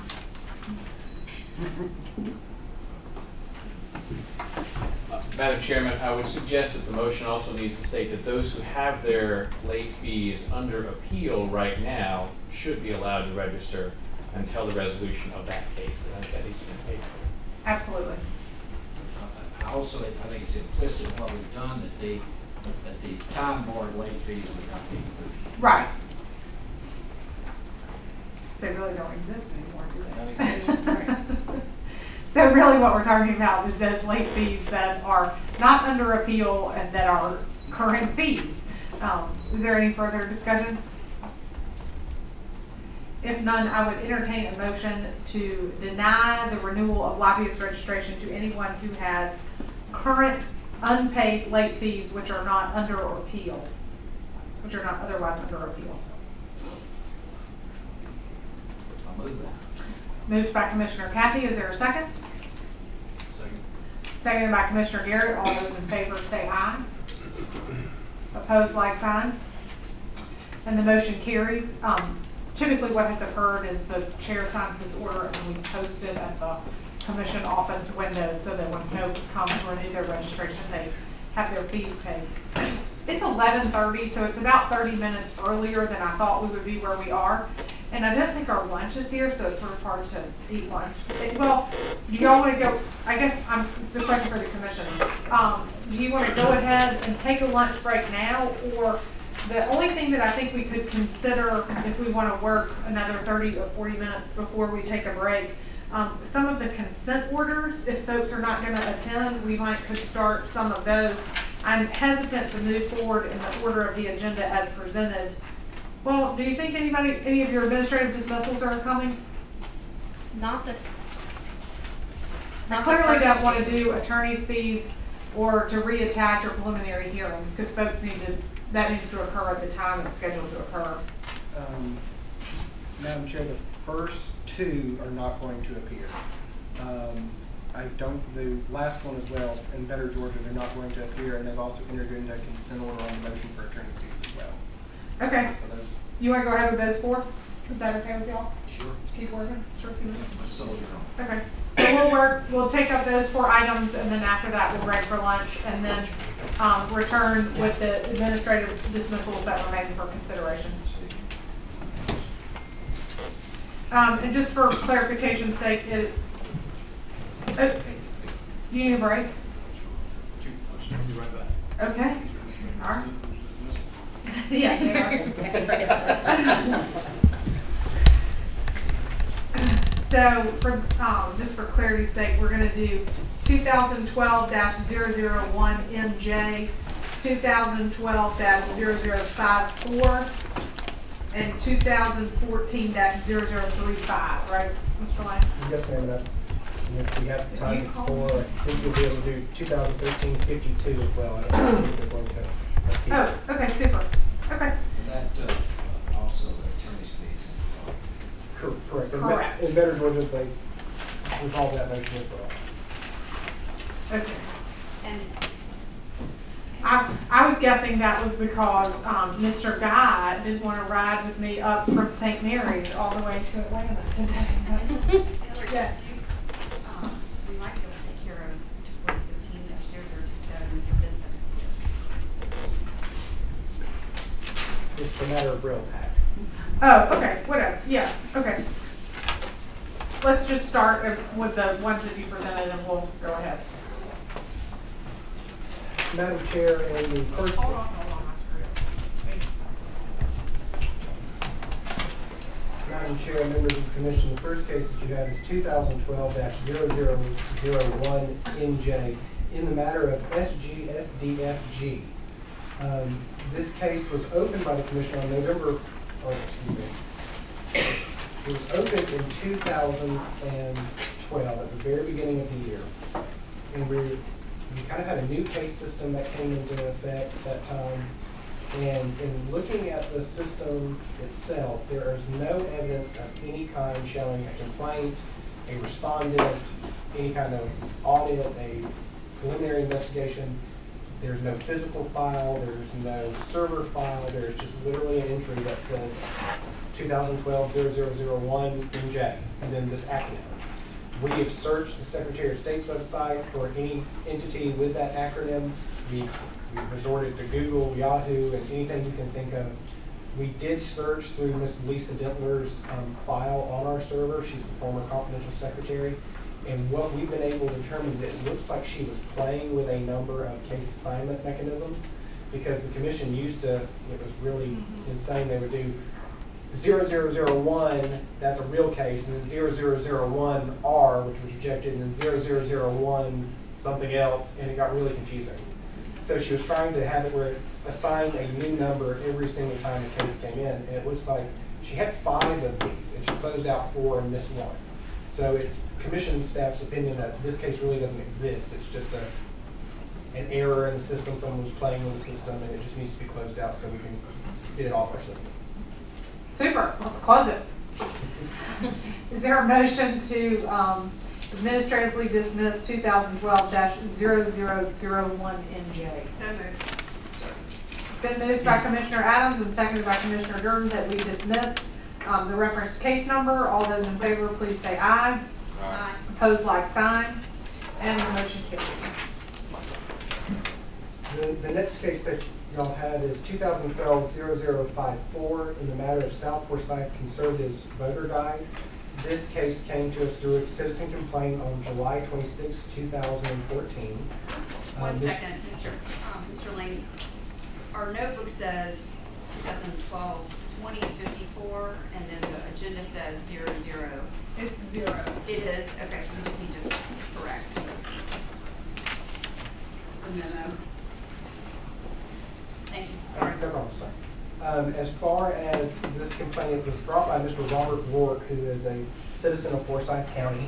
He received a voter's guide, and it's basically a, a, a mailer which says, please vote for these people, South Forsyth Conservatives Voter Guide. There's no return address, there's no listing of who the grouping is. We were able to track it down to a mailing address of two sixty Peachtree Street Northwest, Suite two two zero, Atlanta, Georgia, three oh three oh three. And that is a Regus office location. It has a remailing service. Um, we were able to speak with the leasing agents of the building itself. And Regus is just basically, it's, you can rent individual offices. So basically Regus rents the floor from the landlord who owns the building, and then they sublease to everyone else. In speaking with leasing agents for Regus, there was never any organization that engaged in political activity that leased an office during this period of time with them. There was no organization by the name of Conservative Voters, you know, voter guide. They had no pack there. In fact, they um, didn't even have a remailing service um, for any organization that would have come to this address. So it's basically kind of a phantom address that someone just stamped on this voter's guide. Um, we've reached out to Mr. Rourke to see if he has any other mailings. Did he get any further mailings? Any other information that he could provide to us? And his response was, I'm afraid the mailing's the only thing we've got. I'm afraid the commission staff's kind of at a dead end, but this is definitely a violation of the act. but we have no real, way of tracking down who was responsible for the mailing. There's no actor. Yeah, that we can find. Um, and it's, in, in speaking with the leasing agent, I really think they just got on the internet, found the Regus location, stuck that on as their return mail address because they received mail for this South Conservative Voters Guide from people very angry at them for sending out the mailer. And they just marked everything returned to sender and we have no one here that we can send it on to. So. Um, I have a question about this. I mean, you, I'm not familiar with how this stuff works with the U.S. Postal Service, but it looks like they got some kind of special, special postage rate here. I mean, would an avenue be talking to the U.S. Postal Service about this? We can Or definitely. some kind of mail firm? I mean. Yeah, we can definitely track it down. I'd be willing to bet that special postal code is like a Pitney Bowes. And I'm not sure how responsive they will be to it, but we can definitely try. I mean, the only concern I have about dismissing this is that, I mean, think this just invites other people that want to, you know, engage in political games to say, I'll just put an address and send this out. Um, so, but, I mean, if we're truly at a dead end, then I agree we have no choice. But, but if there is some other avenue, or if the AG's office, I mean, if we could refer to them and they had some kind of, I mean. I- Well, we would need, I mean, we do searches on people, but we would need a name. definitive name, yeah, we can't do, you know. There's never been, Robert and I talked about this, and there's never been, um, this, this mailer has never been identified with any individual or group that actually exists. Yeah. So it's not only that you, I mean, you could, you wouldn't even know who to ask the postal service to search for. I mean, if there were any allegation of where this came from, I think you're right, it would, Robert and Kelly working together might have some avenue, but the complainant, no one has ever been able to say or even allege who prepared this. And in looking at the mailer, if I remember correctly, it does not have, because one avenue that we can do is like with our office, we have a machine and when we stick it in there, it gives a special like marking code. And it gives like, you know, this is the serial number for your account or not. This original does not even have one of those markings I could call Pitney Bowes and say, here's a subpoena, tell me which account number, or who owns account number six six five nine two five three. Um, Well, and there's not been anything subsequent to this mailer that's come out from the South Forsyth Conservative Voter Guide either. Mr. Rourke only received the one mailing. Yeah, and they've not been, there's not been any other activity that anyone has complained about relative to this group. And, and my understanding is that his entire neighborhood has kind of got it, it was kind of like canvas, and no one's made any further complaints or mentioned proceeding further mailing, so. They didn't, yeah, okay. Other questions for Mr. Lane relative to the dismissal of 2012-0054?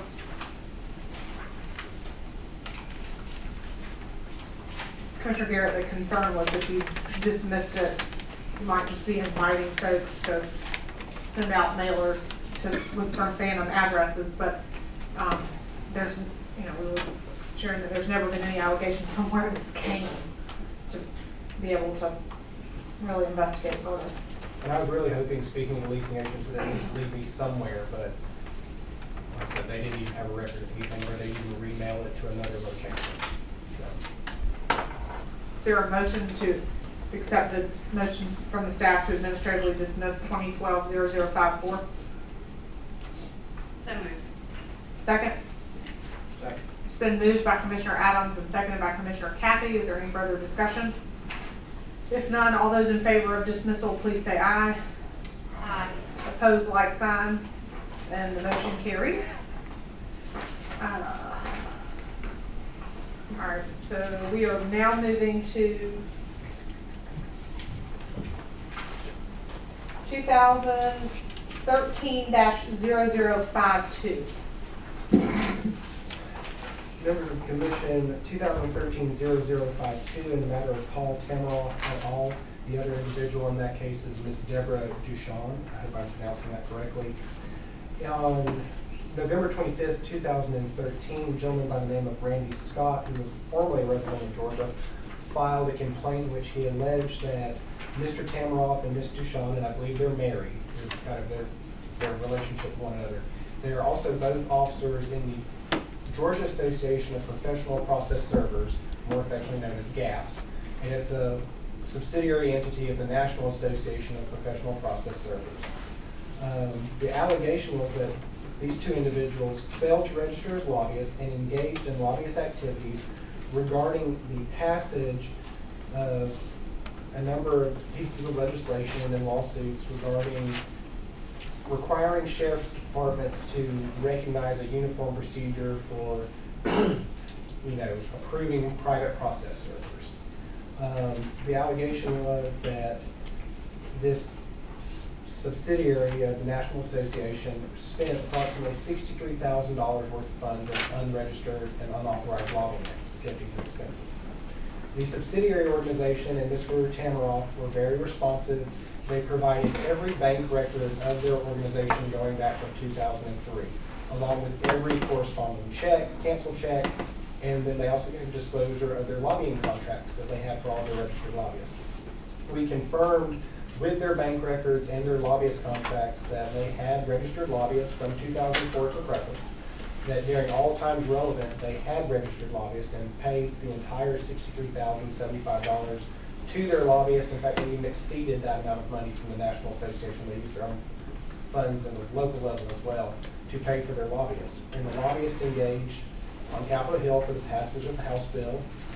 Um, and we could not discern any unauthorized or unregistered lobbying activities. The only thing that came close was Mr. Tamaroff um, appeared on Capitol Hill and gave testimony um, before one of the committees regarding the House bill that he was invited, which is one of the exceptions to the act. He does not have to register as a lobbyist when he's invited. Um, For those reasons, we did not find a violation of the act had occurred.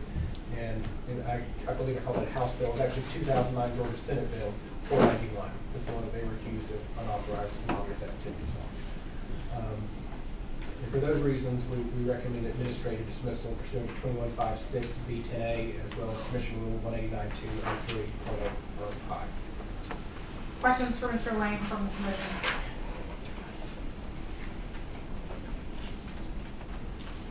Uh, if none, I would entertain a motion to accept the recommendation for administrative dismissal of case two thousand thirteen 52 Moved by Commissioner Durden, is there a second? Second. Seconded by Commissioner Cathey. Um, seeing no discussion, all those in favor of administrative dismissal, please say aye. Aye. Opposed, like sign. And the motion for dismissal carries. Alright. We are now moving on to two thousand fourteen 35 which is the last matter, um, recommended for administrative dismissal that is in our packet of today. You'll have, And we will also consider, um, the motion for attorney's fees, uh, in this same, uh, two thousand fourteen 35 It's page eighty-six. Oh, thanks. You know, for a non-litigator, I forget about the, how helpful Bates stamps can be. Thank you.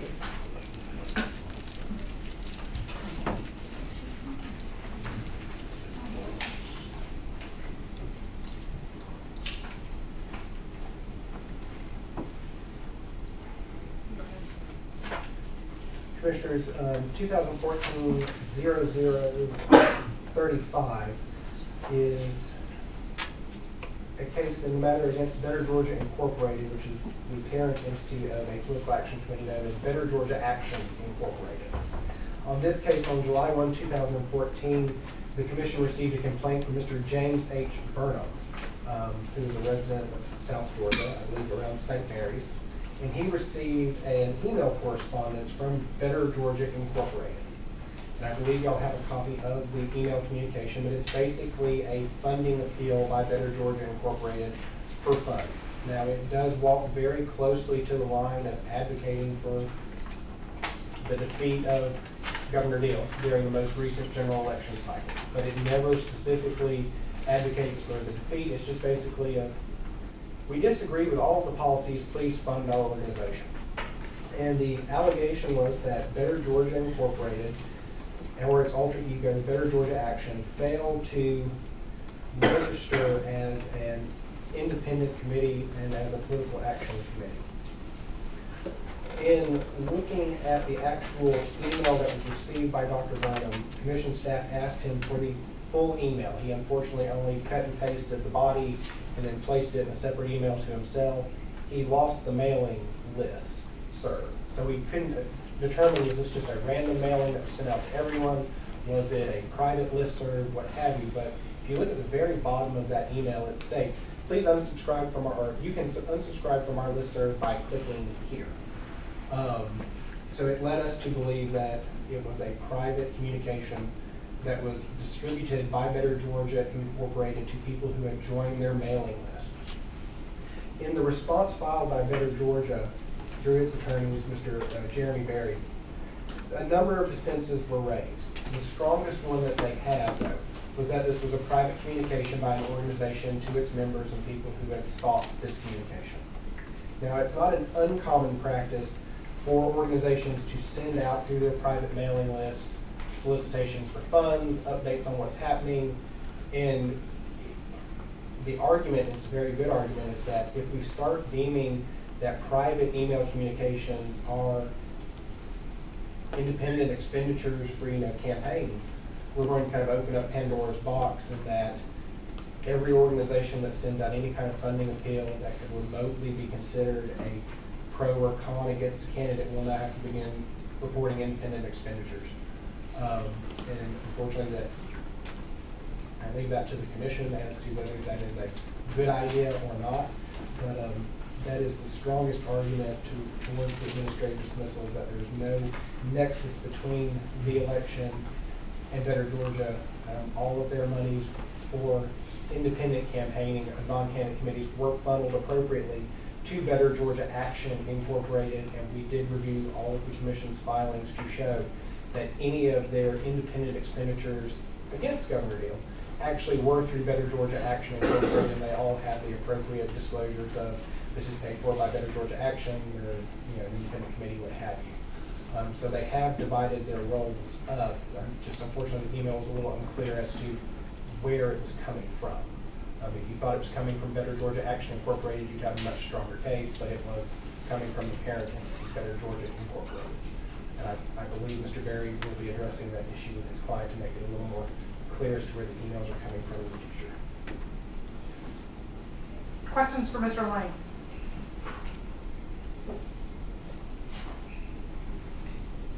No? There are no questions um, for Mr. Lane. I would entertain a motion that we um, adopt the recommendation of administrative dismissal of case Two Thousand Fourteen Dash Mary Paige, this is the same um, typo on the form.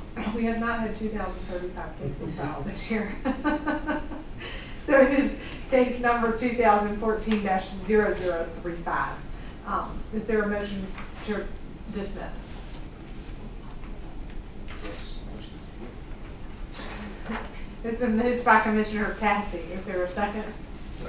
Second. Seconded by Commissioner Durden that we adopt the recommendation for an administratively dismissed case number 2014-0035. Hearing no discussion, um, all those in favor of dismissal, please say aye. Aye. Opposed, like sign. And the motion carries.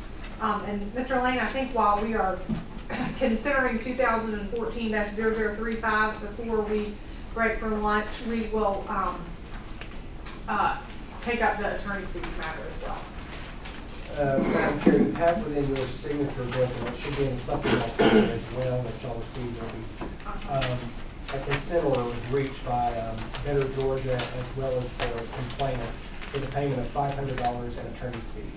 The consent order tracks the, the, the reasoning and the justification of the administrative dismissal order. Um, the only difference contained within that consent order is the payment by the complainant to Better Georgia Incorporated five hundred dollars for the attorney's fees on behalf of Mr. Berry's time. And that was, they signed it and agreed to it. So the proposed consent order then has Mr. Berry paying $500 in attorney's fees? No, it has the complainant, that being the gentleman from South Georgia. Oh, I'm sorry, Dr. Burnham. Correct. Paid for Burnham. Mr. Berry's time. I got the Correct. backwards. Sorry. Sorry. Yeah, yeah, yeah. Okay. So, um, this would be, uh, we would be granting a motion for attorney's fees to be paid by the complainant, Dr. Burnham, in the amount of five hundred dollars to the respondent, um, Better Georgia Better Georgia Incorporated. Incorporated, um, to reimburse them or to offset the time, expense they incurred with Mr. Berry's time in representing them in this complaint. That is correct, and in speaking with um, Mr. Burnham's attorney, my understanding is the check is ready to be transmitted, all they're waiting for is the commission's signed order. and they're Okay. send it. So this is consented to, uh, By all parties. all parties. Questions of Mr. Lane or discussion relative to the proposed consent order bringing five hundred dollars in attorney's fees from the complainant to the respondent? Um, just out of curiosity, it's been a long time since attorney's fees were awarded, hasn't it? I don't know if y'all have ever awarded. I don't recall doing it in five years. This was a mutually agreed It was. by both parties. And I spoke with both attorneys, I did not just take Mr. Berry's word for it, I, I verified that he did have permission, signed with express permission. I like Mr. Berry's hourly rate. Yeah. I used to all that, he said he did not reduce it, he just, he, he took pity on the general, the complaint. Oh, okay, I I figured he didn't stipulate that. Yeah. Uh, Any further discussion or questions regarding the proposed consent order? If none, I would entertain a motion to adopt the proposed consent order as presented. Moved by Commissioner Durden, is there a second? Seconded by Commissioner Cathey, hearing no discussion on the motion. All those in favor, please say aye. aye. Opposed, like sign. And the motion passes. Um, at this point, I think we're gonna break for lunch, but, um, I would entertain a motion from one of the commissioners. We are, um, gonna eat our lunch in here and have a closed session discussion, the reason for our closed session being personnel. So I would entertain a motion from the commission to enter closed session for the discussion of personnel. Um, it is eleven fifty-seven for the minutes. Um, I think we can probably be done with what we need to in forty minutes. So why don't we plan to resume the meeting at twelve forty-five?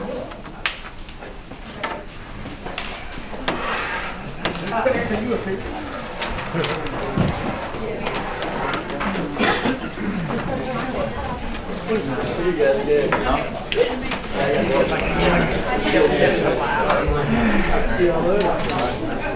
Yes, Hi. Mozambique? Yeah, I'm gonna get some stuff.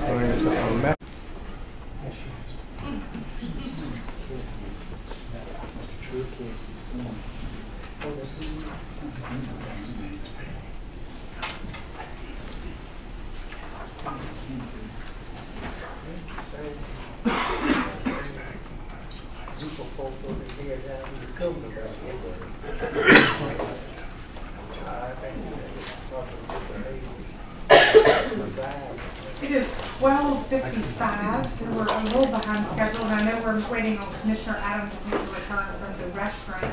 Um, here she comes. But we will, um, for the purpose of the minutes, it is twelve fifty-five, and we will reconvene, and I will entertain a motion at this point to, um, come out of executive session. Is there a second? Been moved and seconded that we exit closed session, returning to open session. All those in favor, please say aye. Aye. Opposed, like sign. And we will return to open session. Um, Is there a motion to come from closed session? Uh, Madam Chairman, I have a motion. Uh, I move that we open applications for a new executive director slash executive secretary to be open, uh, application process to be open December fifteenth, to conclude by January fifteenth, and, uh, the position be filled as soon as practical after the applications are received and analyzed. It's been moved that we begin the process of hiring an executive secretary. Is there a second for that motion? Second. It's been moved by Commissioner Cathey and seconded by Commissioner Durden. Is there any discussion on said motion? If none, all those in favor, please say aye. Aye. Opposed, same sign. And the motion carries, um, and I will work with Ms. Purgle and the folks in the state accounting office to make sure that that notice is correctly posted, um, and the state procedures followed so that it can commence um, as close to Monday as possible.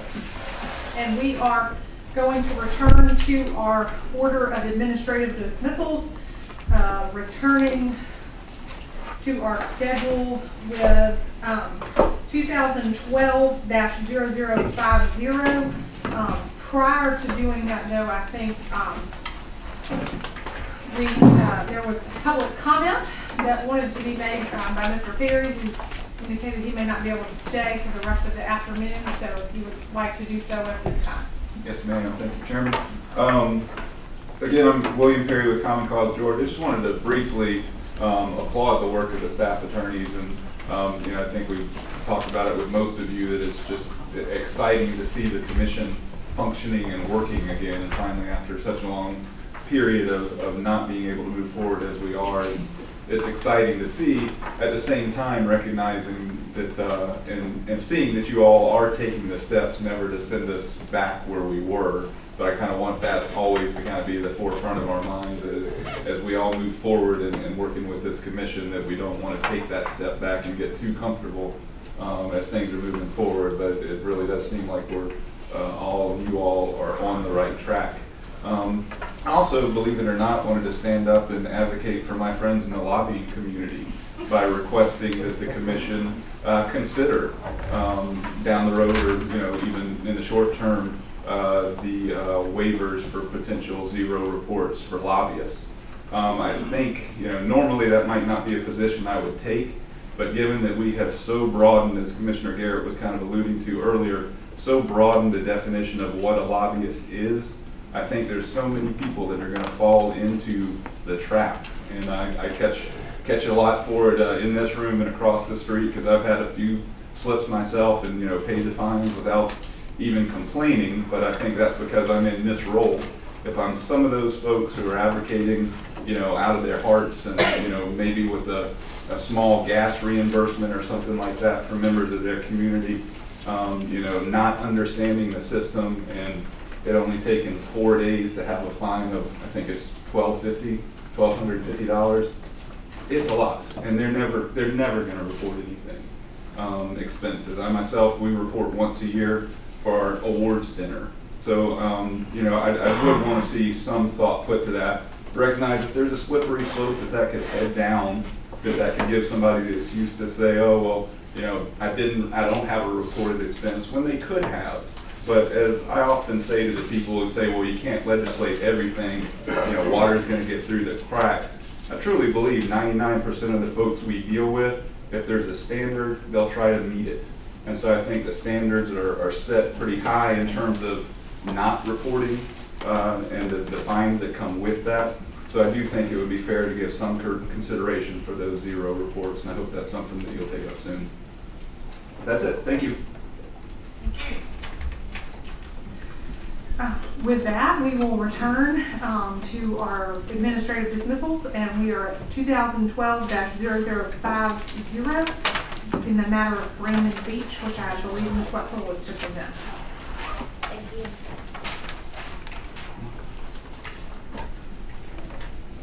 Is the microphone on? Yes, now it is. Thank you. Um, this is in the matter of Brandon Beach, case number 2012-0050. I'm presenting it for administrative dismissal. On July, and it's also found at page 46 in your binders. State stamp 46. Um, this uh, case was filed with the commission on July 23rd, 2012 by Jeff Whitmire against Senator Brandon Beach. Uh, there were two allegations in the complaint. The first is that Senator Beach failed to report expenditures made to Facebook on respondent's June 30th, 2012 campaign contribution disclosure reports. And the second allegation was that he failed to report an expenditure made for a maga- magazine advertising in my Woodstock on his June 30th, 2012 CCDR. Respondent responded to the allegations on August 10th, and he provided documents and explanations for why the expenditures were not disclosed on his June 30th, 2012 CCDR. In regard to the allegation that he failed to disclose the advertising in my Woodstock on his June 30th, 2012 CCDR, he responded that he paid for the advertising on July 1st, 2012, which is outside the reporting period for the June thirtieth. He also provided, um, an, an invoice showing that he paid for the advertisement on July first, and that can be found on page fifty-five of your packet. You can see where the invoice is dated July first. Um, in response to the second allegation that he failed to include Facebook advertising expenses, he responded that he, um, he hired a political consulting group, Washington Political Group, to handle all, and manage all of his social media content and his social media presence. And he, in his, um, June thirtieth CCDR, he included that expenditure made to Washington Political Group on his June thirtieth, um, CCDR, which can be found on page, let's see,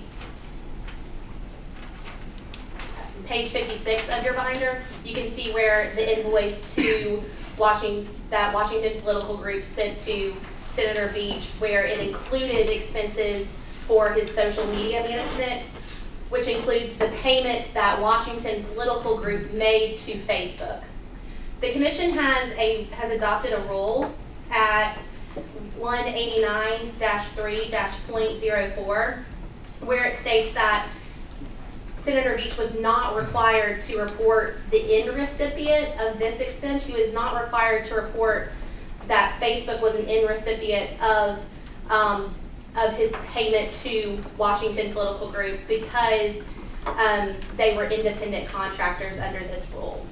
And for those reasons, um, because he included the expenditure to my Woodstock in the correct reporting period in his September thirtieth CCDR, he was not required to include it on his June thirtieth as alleged, and because he correctly reported the expenditure to Washington Political Group on his June thirtieth CCDR, that included the expenses that Washington Political Group paid to Facebook, um, I'm recommending this case for dismissal, because there's no reasonable basis to, um, that there was a violation of the act.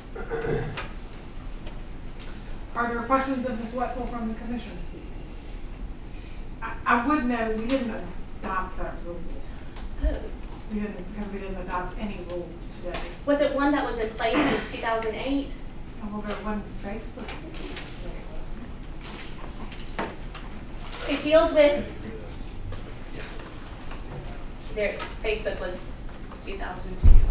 Oh, I say, I'm not. As one of the first college campuses on Facebook. It was 2002. Well, I wasn't in college. Thanks for pointing that out. Well, the, the rule doesn't necessarily, it's not specific to, um, to social media. It's just when a payment is made by a consulting group on behalf of the candidate, when it's included in the expenses, that the candidate is not required to report the, in that in recipient. And I don't think we have to have that rule in order to administratively dismiss. What rule are we talking about? It's one eighty-nine dash three dash oh four, and it's at two A. I think that's. That's right. Okay, are there other questions for Ms. Whetzel, comments? Um, If there are none, I would entertain a motion from the commission to adopt the recommendation of council to administratively dismiss case number two thousand twelve 50 Is there a second? Second. It's been moved and seconded that we administratively dismiss, um, case number two thousand twelve 50 Um, is there any further discussion? If none, uh, all those in favor of dismissal, please say aye. Aye. Opposed, like sign. And the motion to administratively dismiss two thousand twelve 50 carries. And then we will proceed with our last administrative dismissal of the day, which is two thousand thirteen 27 Members of the commission, 2013-0027 is in the matter of Real PAC Incorporated. Uh, Mr. Benjamin Vincent of McKenna Aldridge is here on behalf of Real PAC. Um, Mr. George Anderson filed on October 2nd, 2013, a complaint which alleged a number of alleged violations of numerous acts and articles, among them the Georgia Campaign Finance Act. Um, The main thrust of Mr. Anderson's argument, at least as we were able to discern, was that Respondent Real PAC Incorporated um, is a political organization. It's domestically chartered as a nonprofit corporation in the state of Georgia, and it is a registered 501c4 entity. Mr. Anderson alleged that Respondent Real PAC failed to register as a non-candidate committee with this commission. He further alleged that Respondent Real PAC failed to file a disclosure report with the Federal Election Commission as well as with this commission.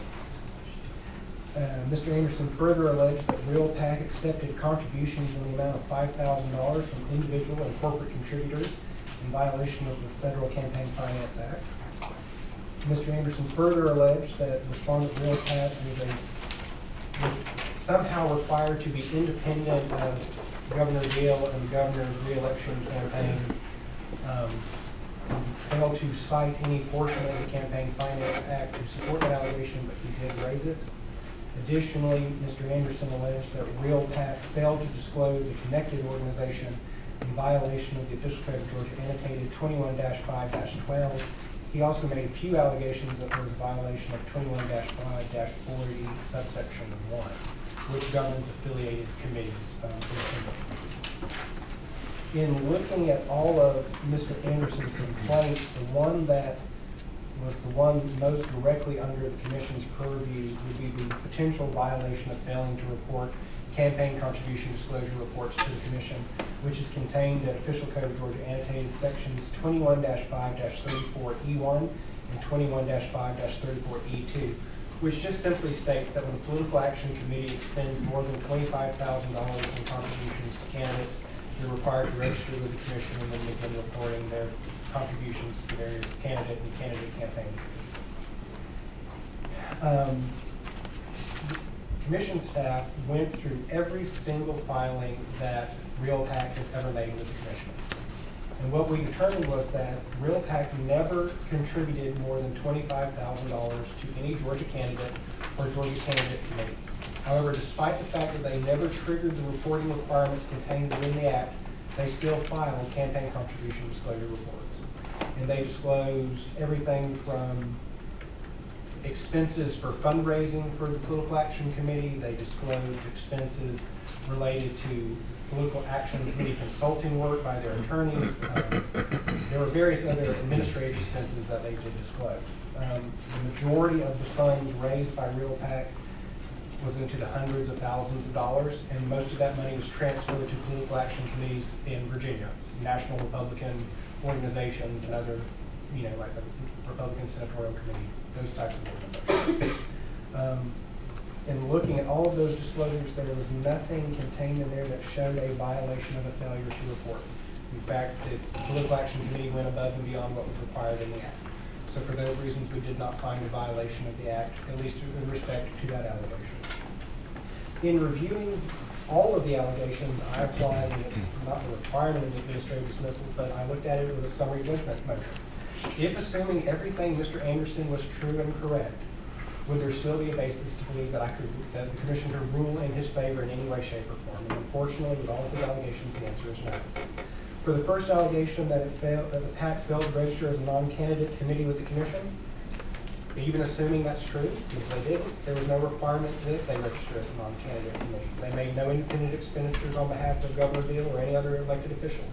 The money was transferred to other political organizations. There was no violation of that.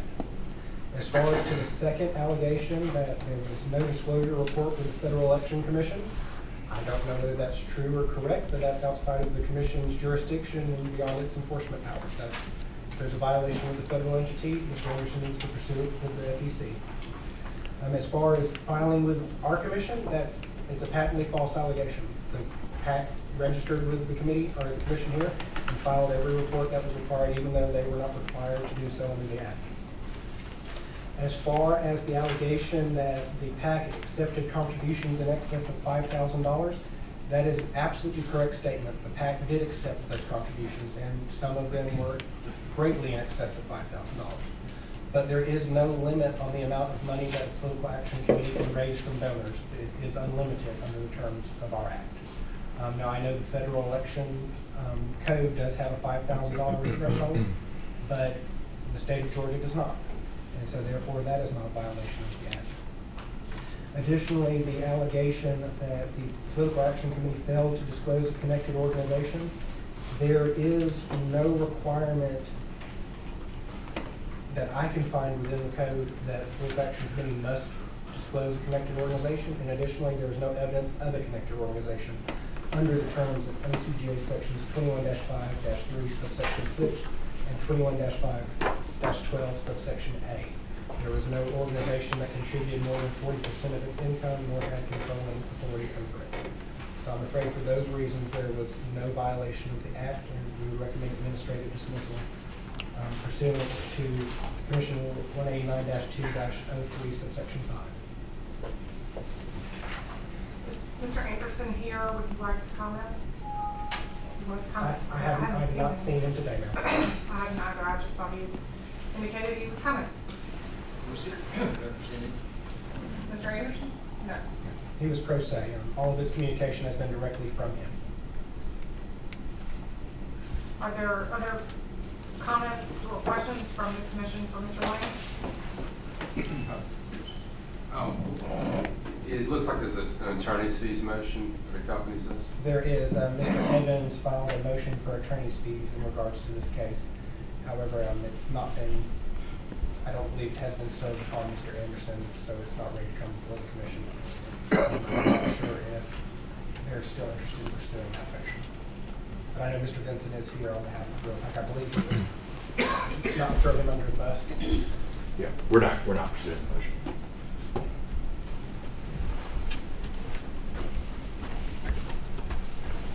Other questions or comments from the commission? I'd like to ask, do you, do you believe this to be a frivolous complaint based on your analysis? Yes, sir, I do believe there's a frivolous complaint in full disclosure to the commission. I know that there are news articles circulating already stating that the commission has failed to investigate the political action committee for violations of the Campaign Finance Act. Um, Some individuals were kind enough to email those to me last night so I could review them. Um, I can tell you that's patently false. I have reviewed every single thing that the political action committee has disclosed and have run it through the act backwards and forwards to try, not to try and find a violation, but to identify a violation. And there was no violation of any kind. Unfortunately, this is another example of Mr. Anderson's complaint style where he basically just throws everything against the wall and hopes something sticks, whether it be state violations, federal violations, he just, it is, it is a frivolous complaint. Other questions, comments? I mean, I just say it's a matter of policy. I mean, I have a problem with people making these frivolous complaints. I think it's been a, a problem with this commission in the past. Um, so, I, you know, I question if we should award some nominal attorney's fees, um, just because, uh, you know, he's not here. He's required to be here. Um, the complaint is frivolous. So, just as for deterrent effect, you know, I would suggest we consider some nominal attorney's fees. About counsel for the, counsel, do you have any?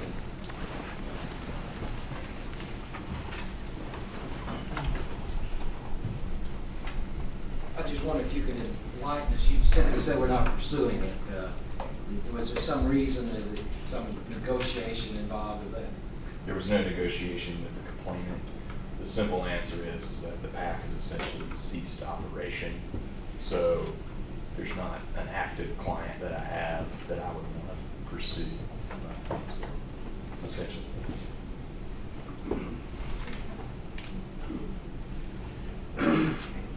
I, I would just say, um, to Mr., to Commissioner Jordan's point, I think this is one additional motivation, as Commissioner Garrett has noted in the past, that has moved us to the adoption of the policy that we did earlier this morning, that when you get frivolous complaints filed, it's not fair to then go audit everything someone has done when there's a frivolous filer who doesn't even appear to defend their own work. Um, so I I think that was another reason for our policy adoption this morning. Um, are there further questions? Madam Chair, when I, you know, for, for the, I guess, eighteen to twenty-four months that I've been on the commission, you know, I call it the crying wolf syndrome in ethics complaints, where when we cry wolf about things that take up an inordinate amount of time of the commission, it not only denigrates whatever little bit of credibility the commission has.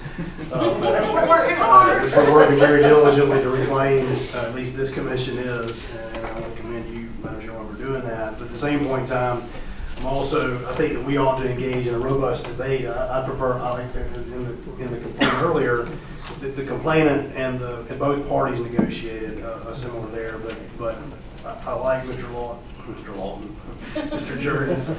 I mean, I think we ought to enter into it as, as, as a, as a, as a commission, that dialogue, because there's that very fine line between deterring the, the, the little boy who cried wolf and deterring legitimate, you know, complaints, because we do need to be that thing, and I think that we need to, know, I do think we to engage that dialogue, we must do, we talk about the rules and those kind of things, and provide some guidance on when and how we're gonna do that, because I don't want to, it's really easy when you have a specific, uh, you know, scenario where somebody just repetitively over and over again is, is in violation of what we might describe as the frivolous standard, as opposed to, I don't want to have a chilling effect on those individuals who, who out there, who, who don't have necessarily the resources, uh, and, and, but might have a legitimate complaint out there. That's the balancing act I want us to kind of, you know, deal with. And this may not be the case to do it because of some unique facts and parties here, but I do think we ought to engage in that dialogue, and maybe along, along the lines of the rules discussion that we're gonna have. If, if we were to award attorney's fees here, I mean, I'm sure they could go towards your attorney's fees, is that correct? I would think that they could.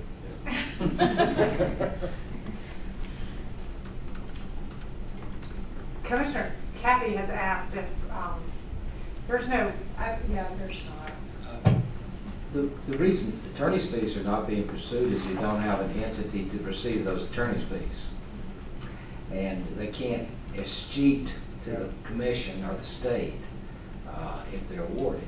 Um, But Robert, I want to ask you, tell me again about the emails already circulating that this complaint hasn't been Yes, sir. There, there was a news article I know that appeared, um, and it stated that the commission had not, and of course I'm summarizing it, but the commission had failed to properly consider the, the allegations against the PAC, and it listed reasons why the commission should do further investigation against the PAC, and it pretty much followed the same logic Mr. Anderson used of, it was a PAC controlled by the governor, well, that may or may not be true, but either way, it's not a violation of the act, or it raised too much money. Well, once again, even if it's true, it's not a violation of the act. You said this was a newspaper article, not a letter? No, I do not believe it was a newspaper article. I believe it was posted to a news site, um, not a physical, it's not the Atlanta Journal Constitution. There are other papers. Yes, Aaron's not aware of It's a, it's a, it's a shock that other people. Uh, well, I think you understand what's bothering everybody on this issue. It- You, a lot of time was, was put into this. Yes, sir. Um, I, I could actually pull up my timeline. If my memory serves me correctly, it was the better part of twenty hours of going through all the filings and checking the map and making sure there was never an event that triggered a reporting requirement of any kind. Um, and then tracking down the respective entities that received the contribution to make sure they were valid. Running five oh one C fours, which you can transfer money to, and it's not a shell game, it's not going in someone else's pocket. They dotted their i's and crossed their t's. Um,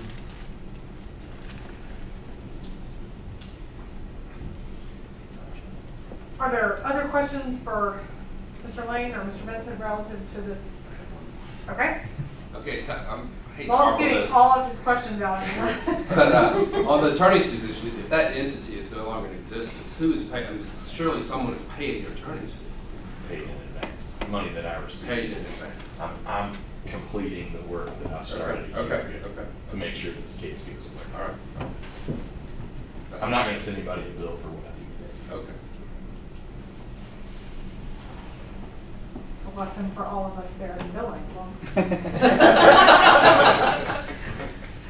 Uh, If there is no further discussion or questions from the commission, I would entertain a motion um, to adopt the recommendation of staff to administratively dissolve case number 2013-0027.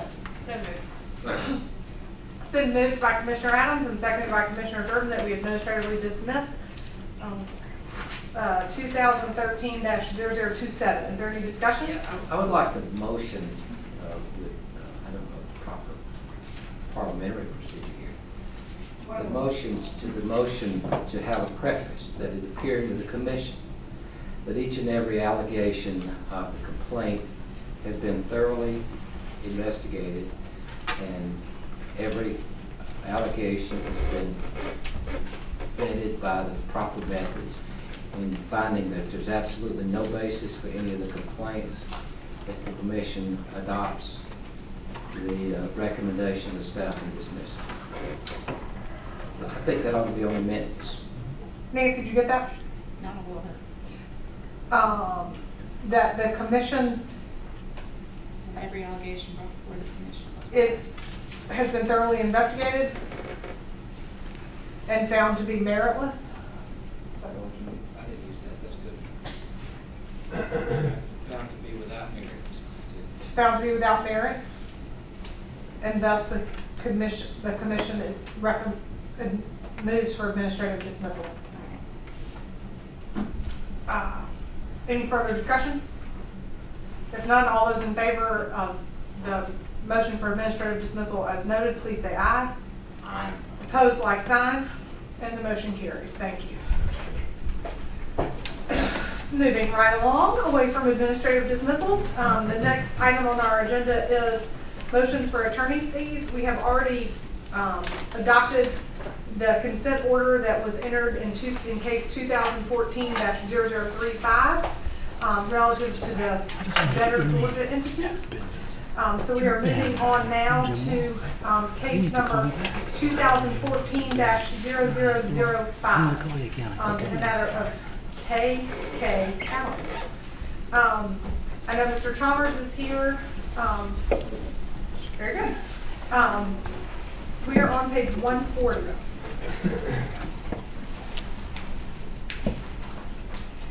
And you're here for the respondent?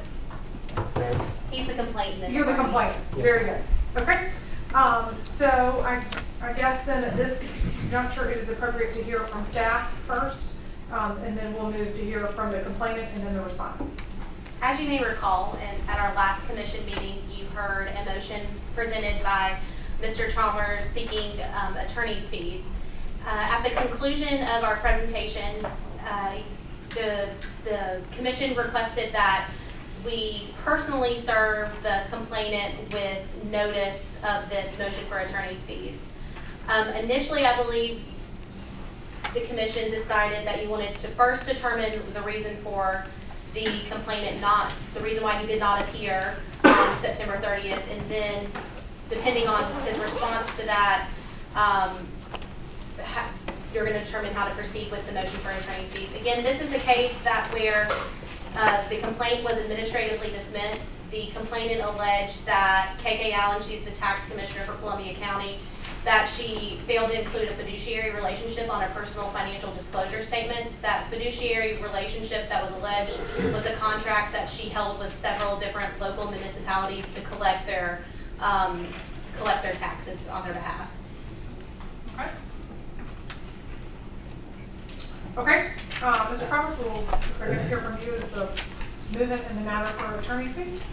Thank you, Madam Chair. Um, We spent some time on this last time, so I will not repeat everything I said, but a couple key things to remember.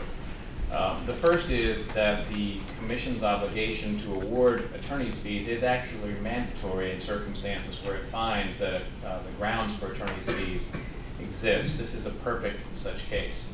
There are three grounds for awarding attorney's fees under the code. One is if a complaint is factually frivolous.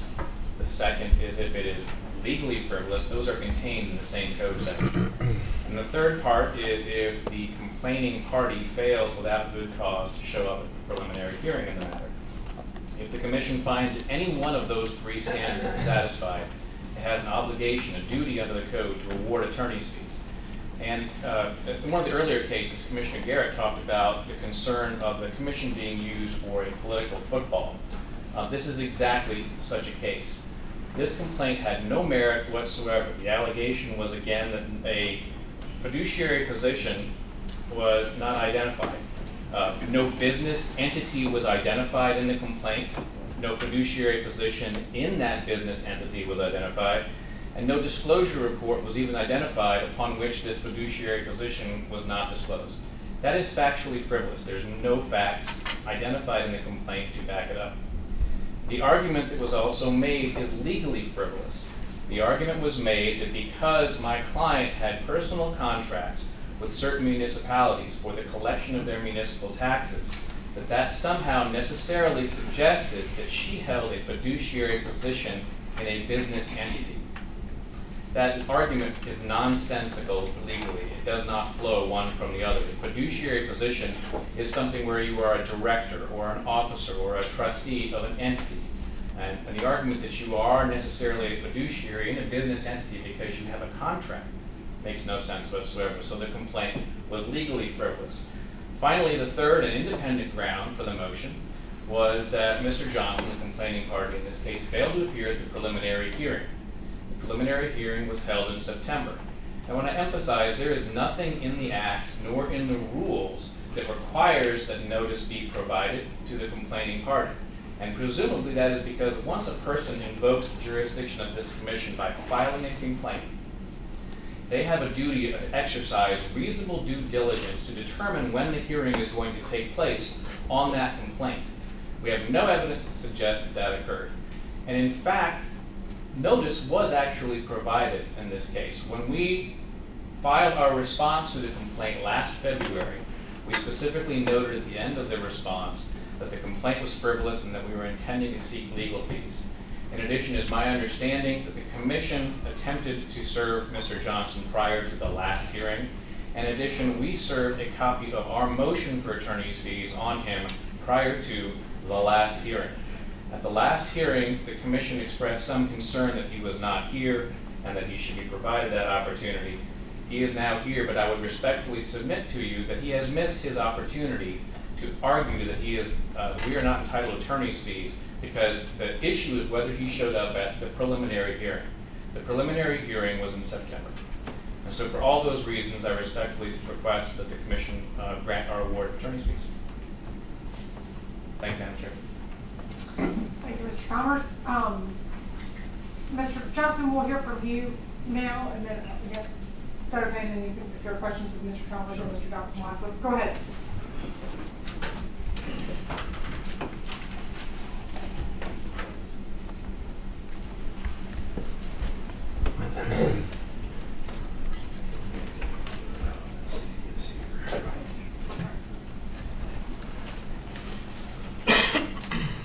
My name is Dwight Darrell Johnson Jr. What Douglas Chalmer- Chalmers has, uh, has just uh, alleged, I would say severally for the most part is incorrect. But I want to do one thing before I go into that, and I don't want to take much of your time, but the letter that I received uh, by hand at 10 o'clock in the evening at my home asked for a reason why I did not show in September. Um, I do have a few packets here. I made four. I, the last meeting, I, and I, to, to sway a little bit, I don't like to go before any board without studying. And I guess the past month I've been able to watch some videos and look at the backgrounds and I feel really comfortable. I, I, I felt a little concerned with the relationship that Mr. Chalmers has with this commission, uh, whether how close or how loose it may be. But I will tell you, from military background to tax exempt non-profit background to having the Constitution brought up, and that's what I do. I teach American government at Georgia Regents University. Uh, I started doing that when the tax commissioner terminated me for wrongful reason. Um, but I will tell you how much importance this is to me. I have a exam for the final from seven AM to nine AM this morning that I had to reschedule. I have one this afternoon that I have to reschedule, and several of those people are graduating on the thirteenth, next Saturday. Grades are due tomorrow night. I put this before that because I know how important it is. I've been in your role, not at your position, because I'm in no way a legal uh, expert or an attorney, but I have been on boards before. And I'll tell you more importantly, I've had students before that didn't do the homework, didn't do the test, but they want me to give it to them again. So I can totally understand where you're coming from. Um, if you would allow me to just show you what I have, because I know who you are, and the only way that you can know who I am is for me to tell you, if that's a possibility. Sure, that's fine. Pass it out for you.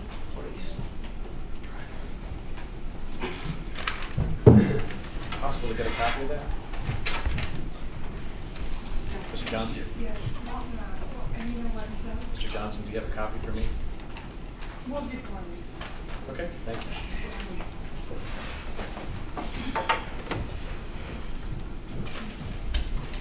If you'll look at this, by no means excuses my absence, but I will tell you that I did not receive anything in the mail uh, certified regarding a, a meeting on the 30th of September. And I would like to interrupt, we did receive the certified notice back unclaimed.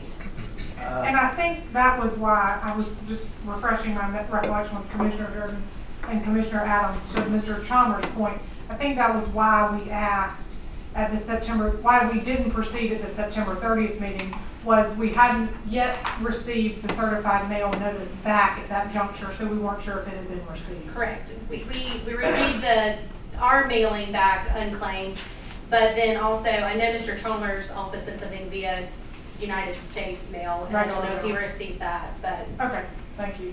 Well, just, I, I don't want to take a lot of time on items one and two, but if you look at items one and two, one A through E, uh, notice of the delivery, uh, the meeting that was, that was uh, brought to my home for the, for the uh, letter dated 11/10/2014. Uh, I did go to the post office. I talked to the, the postmaster at the Evans Post Office, post office that I, I live nearest to. Uh, and she said if it wasn't really anything of value on certifies, that they normally send these things out three times, make three attempts, and then they return them. I did download the, uh, the tracking from the receipts that I received from you all in the mail. That is in the packet. It's uh, 1B is what it's labeled. And it's handwritten 1B at the top right-hand corner. Uh, On the 11th, I received a letter of the commission notifying Kay Allen of my complaint. On February 26th, commission notification of response received by our respondent. Uh, The last sentence uh, said that Mr. Chalmers uh, request attorney's fees. And then in September, on September 3rd, 2014, I received a letter, letter, uh, and I believe it was from Holly LaBerge, LaBerge, uh, administrative dismissal of my complaint.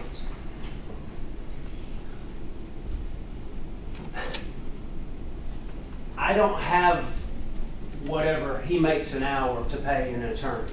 Um, and I'm representing myself. At the same time, I'm also,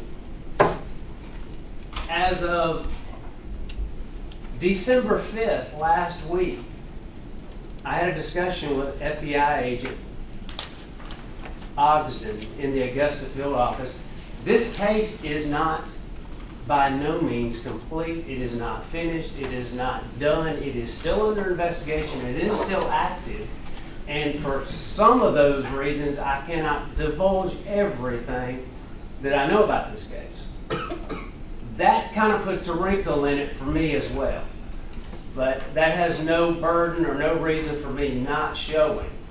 Uh, but if you look at number two, the historical evidence, I can only, I can only tell you what I have done. Um, I mentioned the, uh, my exams I have today, and I've got several students that are graduating next Saturday, depending on what I grade them on, on their course. Uh, I do have a letter in there from uh, Kay Allen, my ex-superior, on, uh, dated 8/31/2011, which, which lends to, I guess, what type of political so- socialization that I have had over the years.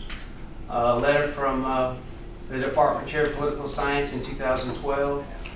Uh, A friend of mine who's a captain on the Richmond County Sheriff's Office. Uh, Also, course evaluations from students. This is where the administration determines whether I'm doing a good job at teaching public budgeting, public administration, political science, uh, as well as my, uh, I am in the doctorate program at Valdosta State, uh, and endeavoring to get my, uh, the doctorate to, uh, to teach and gain tenure at Georgia Regents University. Uh, and also a letter back from 2004. And if you would just look at that, it's on 7, 1 7. It basically is directing our HR department or Columbia County's HR department from Kay Allen, my ex-boss, to not penalize me for not taking time off. That's all I have. Is that evidence that why I didn't show or good reason? I, I can't say. I can only tell you And my Mr. track Johnson. I, I think the question at hand that the commission would appreciate hearing from you from is the standard that we're told to consider in awarding attorney's fees is if the complaint, the underlying complaint is found to be frivolous, legally or factually. Yes, and that's definitely, totally against what he just said. And I can factually prove that in these documents. If you'll allow me, like you allowed him twice now, to explain. Yes, sir, and, and I think that's what we want to hear from you on. All right, well, if you would go then to number, items three on page two, at the top of page two. Items three and four address my thought process in filing the complaint to the commission. Of course, I'm not an attorney or legal, uh, legal expert in, in any, any means.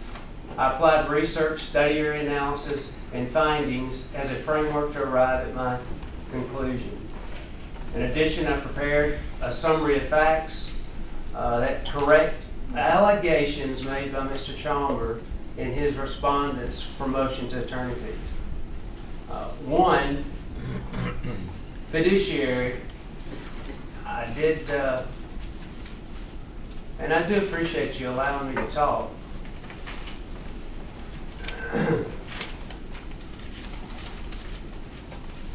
I pulled this off your site and then I thought, I'm not anything special, but I do know a little bit more probably than the average citizen as far as fiduciary positions. And your definition on the website is a fiduciary position is a position imposing a duty to act primarily for the benefit of a business entity as an officer, director, manager, partner, guardian, or other designation of general responsibility. In fact, she was. Now, I don't have a legal background, but I have a common sense background. She was collecting commissions, but in fact, she was collecting them contrary to law. Mr. Chalmers will tell you that if you look at 3B, uh, OCGA 48-5-359.1. It invokes any remedy permitted for the collection of municipal taxes. Invokes remedy. In looking at what fiduciary means, imposes duty, invokes remedy, acts on behalf as a designation, a responsibility. In addition to that, in a conversation I had with Kay Allen regarding her role as ex officio sheriff of Columbia County, Georgia, she told me she was in a fiduciary role and explained the fiduciary role she was in. she had a conversation with uh, our chairman, Ron Cross, who they do not get along together politically, and uh, she said he was jealous of that designation, and, uh, and she had the fiduciary position of that role. Mr. Johnson? Yes. I, I have a question for you. Um, Is there anything that you allege that Ms. Allen did that was a violation of the act which we have to help enforce? Yes. Okay, and can you specifically point us to Yes. where those facts are in the packet Yep. that you brought, or tell us? Yep. But before you go there, can I, on the same subject, Ron, so when, when you were talking about what she said about being a fiduciary, you were talking about in her role as the tax commissioner. There was no business entity, she was a fiduciary. Right, and I will tell you from a, a specific standpoint of my complaint. The complaint mentioned the commissions with City of Harlem and Grovetown, and it also included a copy of her disclosure from 2011. If, I pulled it right off the internet from your website, uh, which is in the packet as well. Uh, and I will tell you my thought process, and this is me, I, I have a master's degree, I do not have a doctorate. A master's degree in public administration, albeit it was from Augusta State University, but you would think from looking at this campaign disclosure form,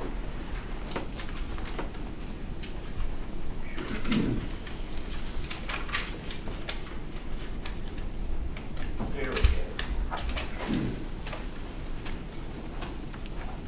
My basis for this, the closest thing that I could find on this form was section two.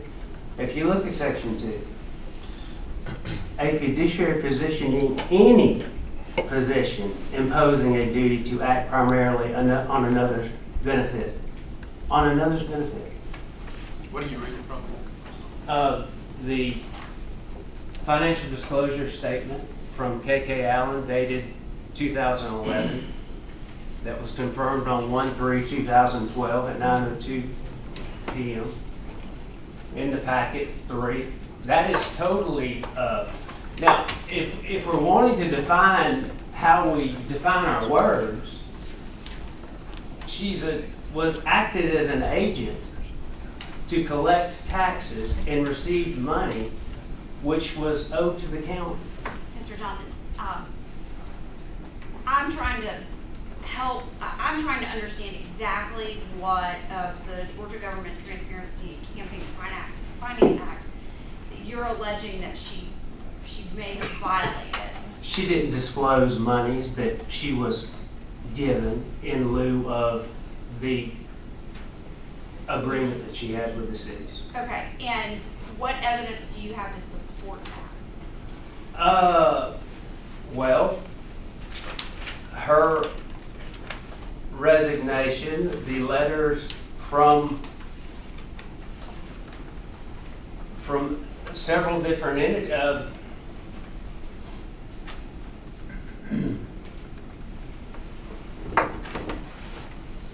Give me one second here. Sure.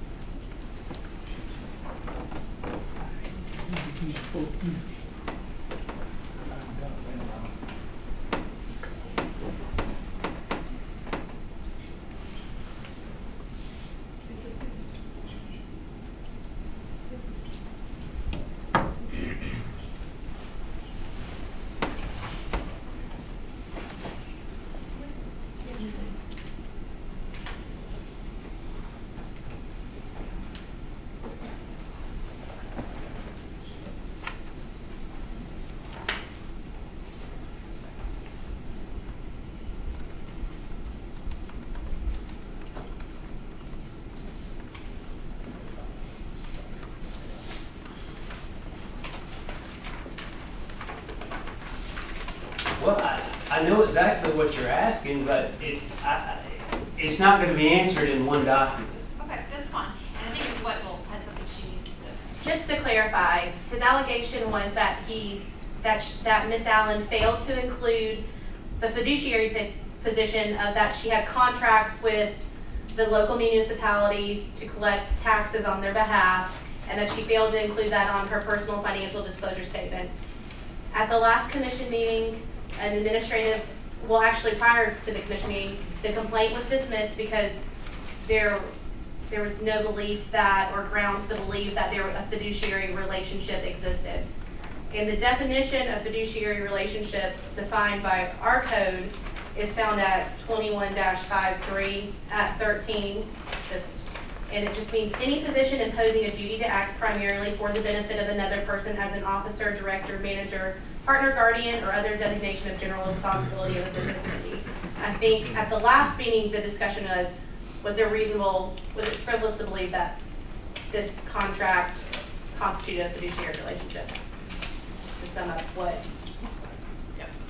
I, I will tell you that if, if this was something that I was gonna do frivolously, I would have done a lot of different things because I was a, and it doesn't involve this case, so I know you probably don't wanna hear this, but if you look at the facts that surround the case, this is minute in nature. Uh, but it's not to me because it's important that you all know, I didn't fi- nine out of ten people that read this and aren't attorneys are going to look at it as if you're acting on behalf of someone and the fiduciary role is stating that on the information in the statute, I don't know how else to, to tell you. Uh, Okay, in the interest of time here, I think what our question, the question before us at this juncture is not the underlying substance of the complaint, but whether or not it was frivolous for Mr. Johnson to believe um, that the relationship that Ms. Allen occupied with other counties to collect their revenue was in fact a fiduciary position. If you want to be that narrow, that's fine, but I will tell you, I have been beat up by this guy. I, I think that's the only question before us at this juncture, correct? Well, it wasn't narrowed to him, where Well- he's accused me of. But our question, Mr. Johnson, at this juncture in deciding whether or not to award tor- attorney's fees is to look at your conduct in filing the action and say, was your definition or understanding of fiduciary position a frivolous thought or understanding when you filed the complaint? No, ma'am. Right, so, and if we said, no, it was not frivolous, then we don't award attorney's fees. If we found your understanding to be frivolous, then it would be appropriate to award attorney's fees. Mr. Chalmers, is that the question that you believe is before the commission today? No, ma'am, his understanding is irrelevant. The question is whether it is, uh, and I, may I take the podium? Sure. The question is not what did Mr. Johnson understand about the law? Because in that circumstance, anybody can willfully ignore the law and waste the commission's time, as Mr. Johnson has just done. What the standard is, whether or not the complaint is frivolous, legally or factually.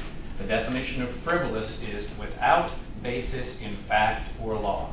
In this complaint, Mr. Johnson has identified no business entity. He's identified no fiduciary position. He hasn't identified any disclosure report. If you look at the materials that Mr. Johnson just provided, that is by definition a George Anderson special. It references allegations of the oath of the tax commissioner. It, it also explains very clearly why we're here. Mr. Johnson has submitted to this commission an allegation that my client embarrassed him and engaged in abusive conduct by sending him to a Kroger. What does that have to do with the commission or the jurisdiction of the commission? It's a It's- violation of law. I'll, I'll, I'll let my, let me finish, please, and I'll let you finish. It is not a violation of law under the jurisdiction of the Georgia Government Transparency and Campaign Finance Commission. And that is the only question we've got here. So I respectfully suggest to you, when you were asked, well, excuse me, when Mr. Johnson was asked, what is the allegation that you are uh, alleging here? He said that my client, excuse me, not that my client, he said that Miss Allen, my client, not his client, failed to disclose the payment of commissions for her collection of taxes. That is not something under the jurisdiction of this commission. It's utterly and totally irrelevant. That is the definition of a frivolous complaint. Mr. Johnson? I guess you could, I guess you'd have to determine what my thought process was in, in bringing this complaint to this board. But I will tell you, since he brought up the Kroger incident, I was going to make that my complaint because I was ordered to work at Kroger for eight hours, making thirty-seven dollars an hour on government time. But the FBI told me I could not do that. Mr. Johnson, I, I hope you understand. Um, The chairperson here is a, I would call a specialist. Oh, yes, yeah. I, I think that's her, that's her, her, her main focus of practice is fiduciary law. Uh, We, we have a narrow job here. You have a glossary of complaints against this person. Well, And, and some of them uh, are better addressed in another forum. Uh, We, by the nature of what we have to do, is to operate with precision for the benefit of the voters of the state of Georgia. yes, We, we're deeply uh, appreciative that you're making complaints against a person who you think wronged you. yes, sir. But whether or not that person committed a violation of the state uh, election code is different. Yes, It's combined, our, our role is limited. So uh, what we want you to do, although these other things are relevant to you, to your relationship with this person, and may be the precipitating factors, we have to focus on one small thing. And it is not uh, your understanding of the law. We've got to look at this through the eyes of the voter, the voters, the people we're answering to, and the recipients of these kind of complaints. Yes, sir. Um, If she's under investigation with authorities, that's, we won't intervene in that. Yes, sir. They won't intervene in our role here.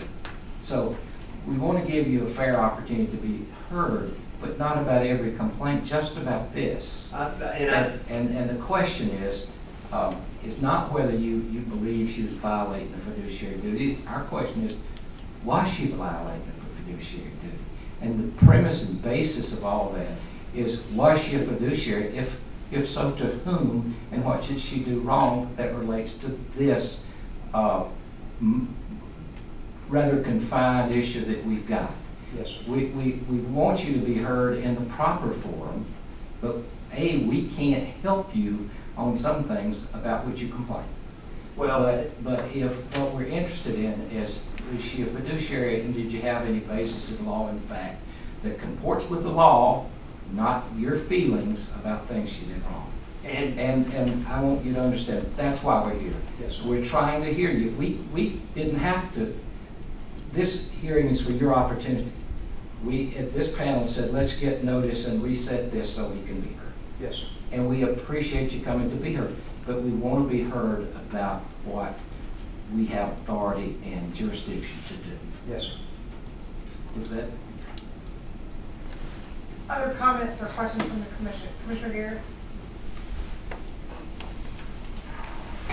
I think for the benefit of our uh, broader dialogue, it might be uh, constructive to ask whether or not our attorneys uh, could point to where in the statute we define the word frivolous, whether the state of Georgia defines the word frivolous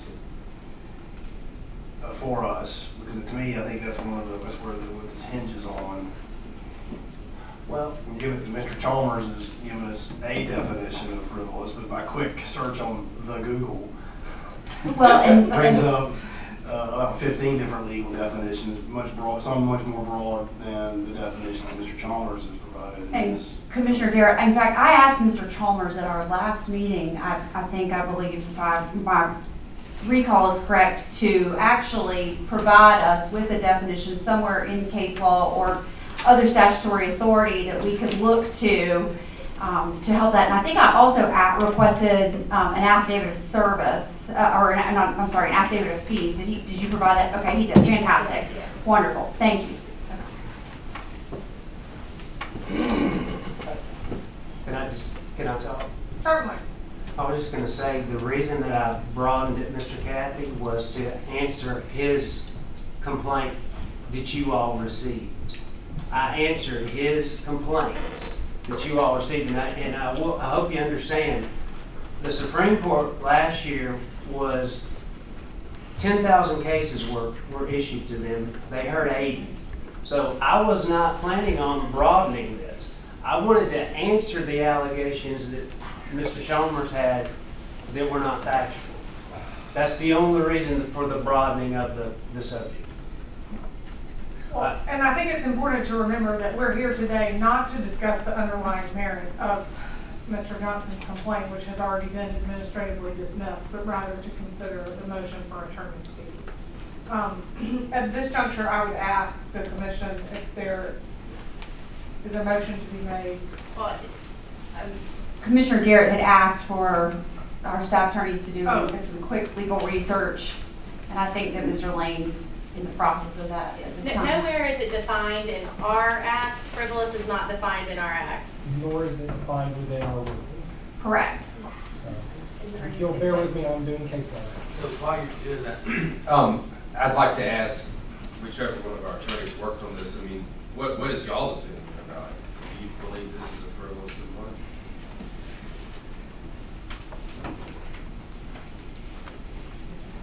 Do I think that he maybe had a good faith basis? I don't think the reason for him filing the complaint was because he truly thought that there was a violation of the act. I think that he was motivated by what he perceived as mistreatment. I don't think he was, was filing a complaint to, um, bring some kind of compliance issue to light or some kind of violation to light. I think it was motivated by personal animosity towards Ms. Allen.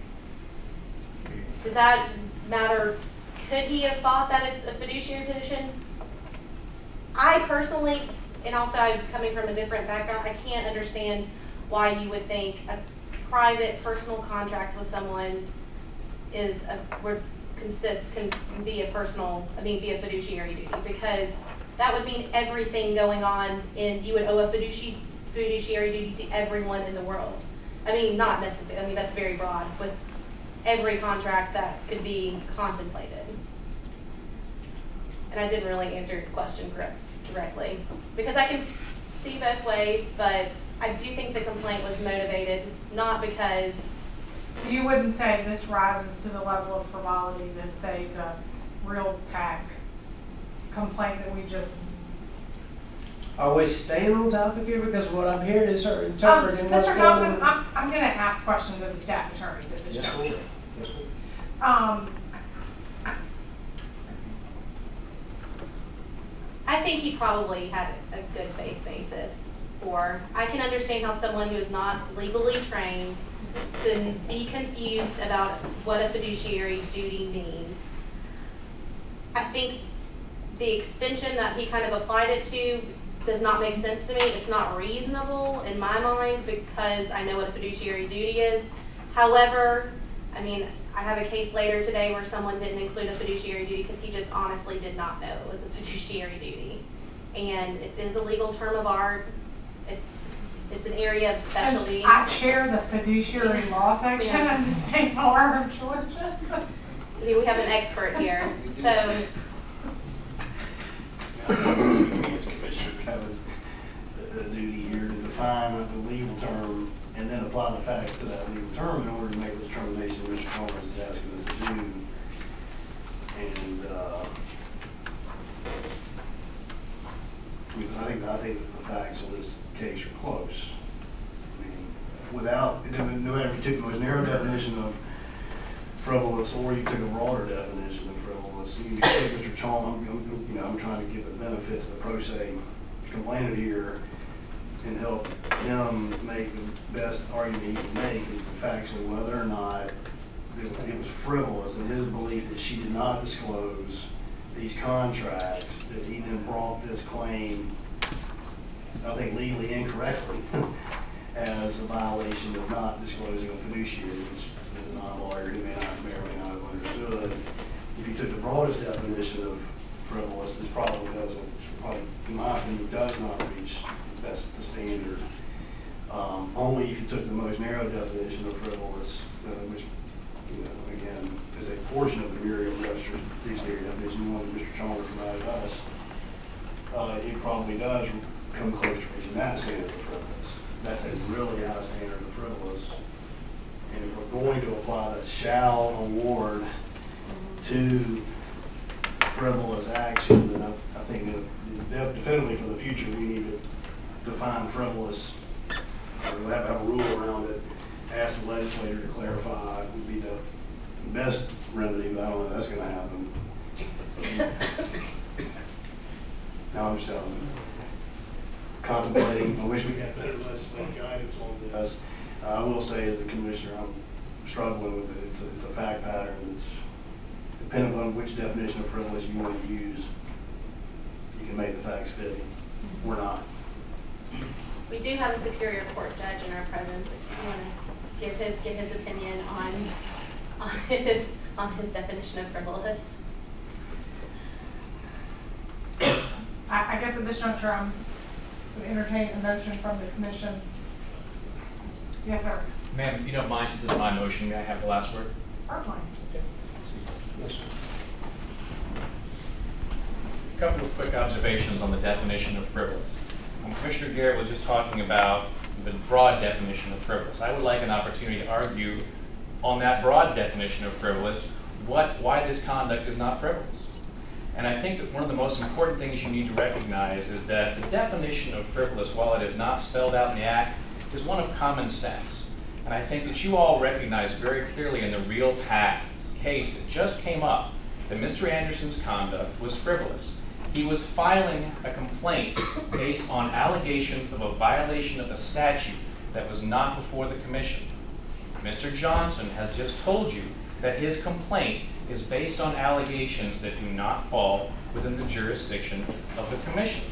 That is exactly the same thing. We're talking about a parallel. By any definition, that is frivolous. The code section also specifically does not refer to the, to the complaining party's state of mind. It is irrelevant what he intended or whether he acted in good faith, whether he was exercising a personal vendetta, or whether he was having a bad day. The question is whether or not the allegations in the complaint have a basis in law or fact. In this case, there is no legal or factual basis. The legal allegation that you just heard from the complaining party was that our client failed to disclose the collection of commissions for collecting taxes. That has no legal basis under the Act. That is frivolous legally. Factually, he has identified no business entity. He has identified no fiduciary position. Regardless of his motivations, that is a frivolous allegation. To the extent that he is contending that my client failed to disclose her position as commissioner, tax commissioner of Columbia County, that is in fact on every report. And that is not, failing to disclose that would also not be a violation of the Act. And I also think that we should not overlook the fact that Mr. Johnson has not provided good cause for not showing up at the preliminary hearing. As I mentioned before, once a complaining party exercises this commission's jurisdiction by filing a complaint, they should exercise some basic due diligence to find out how their complaint is proceeding, when it is going to be heard, and make sure that they show up. He made no effort, no attempt to whatsoever to do that. And I would respectfully submit that in, in his conduct in this case and his allegations in this case have wasted my client's time, they have wasted your time, they have wasted Miss Whetzel's time, and they have wasted the time of everybody in this room. How many man hours have we just spent talking about allegations that have nothing to do with the, with the commission? If this is not frivolous, then nothing is. So I respectfully request that the motion be granted.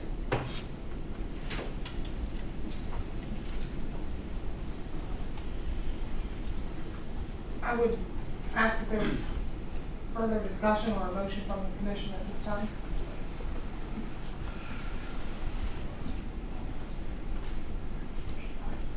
Mr. Lane, have you had any success in finding anything on your, Yes, finally. Um, it's always the last place you look. The Supreme Court defined frivolous, at least as they were applying it, in the case of Yost versus Toro. Toro. Toro. Two fifty-eight, two fifty-six Georgia ninety-two. what's the year? nineteen eighty-six. Okay. So it's a little old. Old law's good law. If they haven't changed it. The term means lacks substantial justification. It's, subs- it shall mean substantially frivolous, substantially groundless, and substantially vexatious. Thank you. And then there's a Black's Law Dictionary definition of y'all. Yes, would you read the Black's Dictionary definition? An answer or plea is called frivolous when it is clearly insufficient on its face and does not convert, controvert material points of the opposite pleading and is presumably interposed for mere purpose of delay or to embarrass the plaintiff. Thank you. Madam Chair, with respect to that last part of the definition, the Georgia Code, the Ethics in Government Act, sorry, Campaign Finance Act, does not include the last part of that definition, when it says for the purpose of vexation or, or, or, or dealing with the complaining party's purpose. What the General Assembly did a few years ago was they imposed a requirement on the commission to impose attorney's fees if they find that a complaint is legally or factually without basis in fact. It says the allegations of the complaint. And um, the commission, in the five years since that has been adopted, as you all know, you have not imposed those sorts of fees on complaining parties. That is why we are here today. Thank you.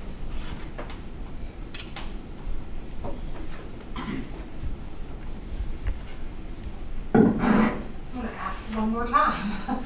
Is there a discussion from the commission or a motion from the commission?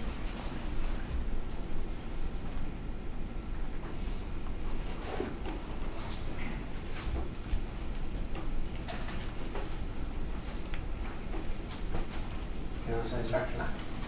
Um, this is what Mr. Johnson, I think since Mr. Chalmers is the movant, um, he is to have the last word, and I'll ask if there's a question from the commission, if there's further questions, if you will inquire at that time. I have a question.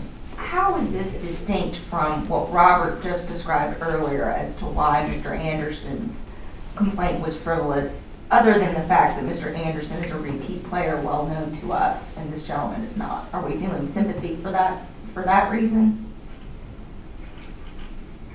I, I think that the distinction, um, is that folks feel like perhaps it was a valid misunderstanding of what constitutes a fiduciary position. Um, you know, in, in my world and frame of reference, under no circumstances, what she was doing a fiduciary position.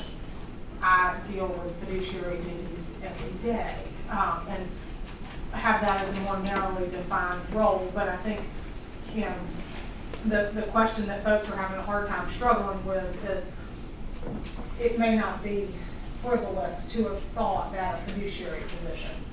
Is that a fair assessment? And so the concern is, I can make a good argument that there is a basis in fact for the allegation. I, um, I'm sorry, did you, Mr. Garrett, would you repeat that, sir? I couldn't hear it. There's a basis in fact. The, the, the, common, if you apply your common sense definitions, common sense person could look at this and say, look, she didn't disclose this relationship, she's a publicly elected official, and What's the business end?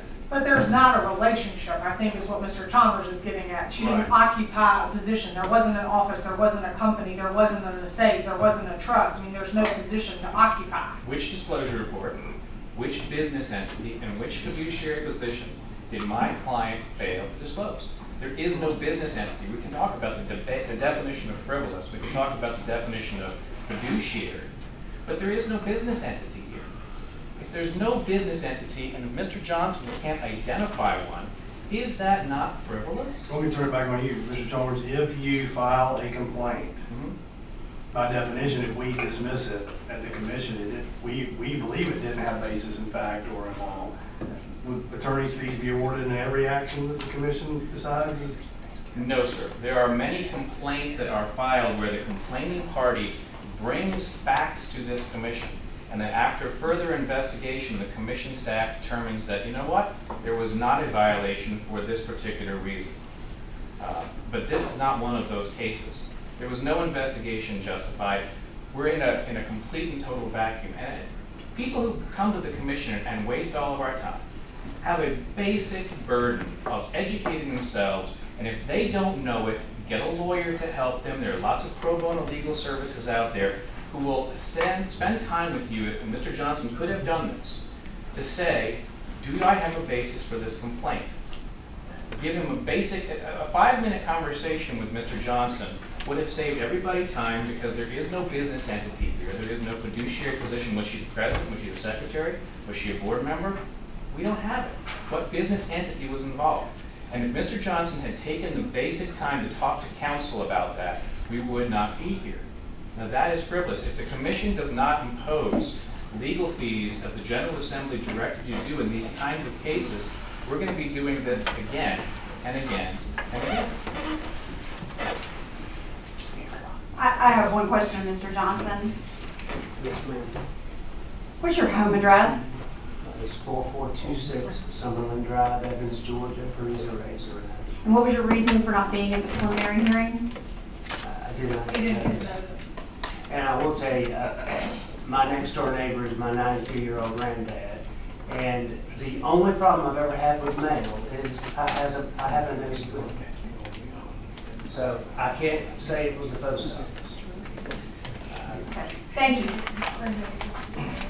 I do, I do just want to say one more thing, though. I respect whatever position you take, and will, and did not mean to waste anyone's time, and Mr. Chalmers as well.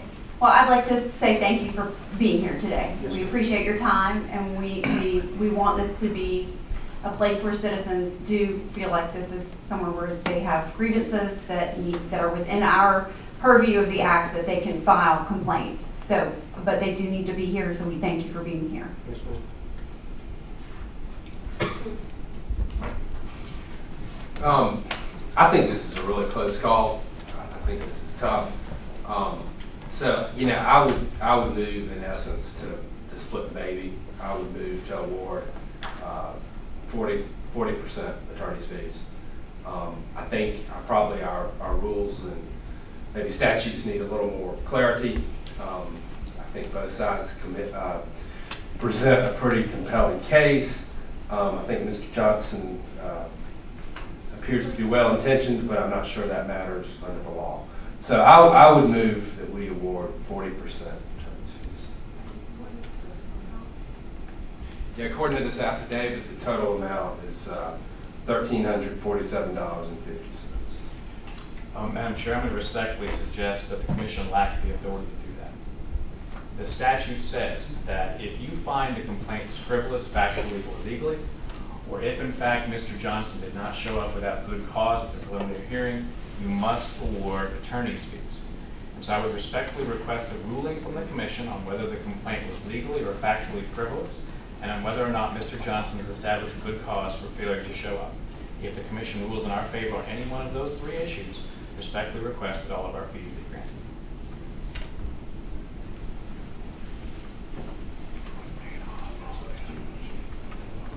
All right, I, uh, for the record, I think for. No second.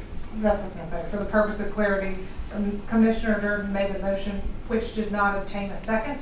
Um, so that motion will die, and then we'll hear from Commissioner Garrett as to the motion he is to make.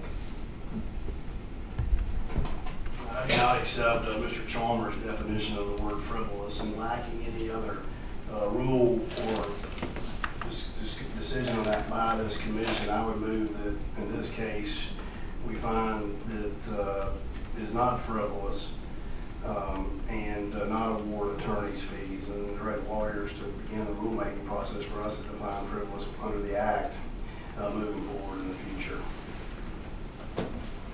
There's been a motion made by Commissioner Garrett to um, reject the definition of frivolous as offered by the movant um, and deny the motion for attorney's fees. And at the same time, add to our list of rules to be made a definition of frivolous. Is there a second for that motion? I second. Been moved by Commissioner Garrett, Garrett, seconded by Commissioner Cathey. Is there further discussion on the motion? Hearing none, I would ask for a vote. All those in favor of the motion to deny attorney's fees, please say aye. Aye. Opposed, like sign. Nay. So I- the motion carries three to one.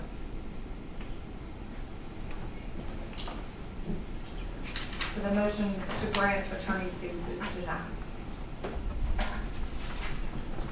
Uh, Moving along on our agenda, that was the s- second matter for um, attorney's fees, and there are no other motions for attorney's fees to be heard. Um, Is anybody the on the commission in need of a break? A break, okay? Okay, all right. um, So I think Commissioner Garrett's going to step out for a minute, but we will continue on our agenda for the afternoon. Um, The next item, it's in our books behind tab 10. It is Bates stamp number 146, the motion to reattach respondent Carolyn Crosby. Um, Is Ms. Crosby here? She is not here. She sent a Right. doctor's excuse last Right. night. Um, I was just noticing that. Um, I will say for the record, just for the benefit of the other commissioners as well as the minutes and, uh, those in attendance, um, Ms. Crosby received notice of today's hearing, um, for all of the matters appearing before the commission in which she is involved. She timely received notice of those. Um, she is engaged in various correspondence with the commission, um, attempting to set aside, undo, postpone, delay, um, that her attendance today, um, none of which was granted as with merit. Um, and then the doctor's excuse that came in last night after five o'clock was the most recent attempt. Um, I don't see any reason to delay in these matters that were properly noticed. Does anyone on the commission wish to do so? She's got five things before us today, Correct. and she is not present. I don't, I don't hear an objection from anyone on the commission about proceeding, um, so we will do that. Um, I would ask, in the interest of time, I think we're all fairly familiar with the facts of this case, um, cases, so we don't need to go into them, um, in great detail. But, um, Ms. Whetzel, if you want to proceed with the motion to reattach. Um, Commissioners, at page one forty-six, you'll find a motion to reattach respondent Carolyn Cosby. As some of you may recall, on, um, April twenty-fourth of two thousand thirteen, this case came before the commission.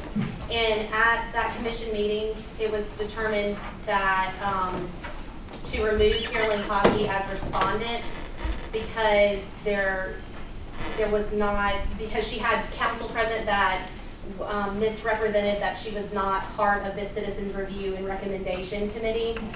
Um, when the case was referred to the Attorney General's office and there was research to figure out who to serve in this case, um, additional evidence was discovered that Carolyn Cosby is in fact the person and chairman responsible for the Citizens Review and Recommendation Committee. And um, there is evidence in your packet starting at page 148 showing um, various documents. We have um, we have commission videos from the Cherokee County Board of Commission where she actually speaks during public comment and says, Hi, my name is Carolyn Cosby. I am the chair of the Citizens Review and Recommendation Committee. There are several documents that show that.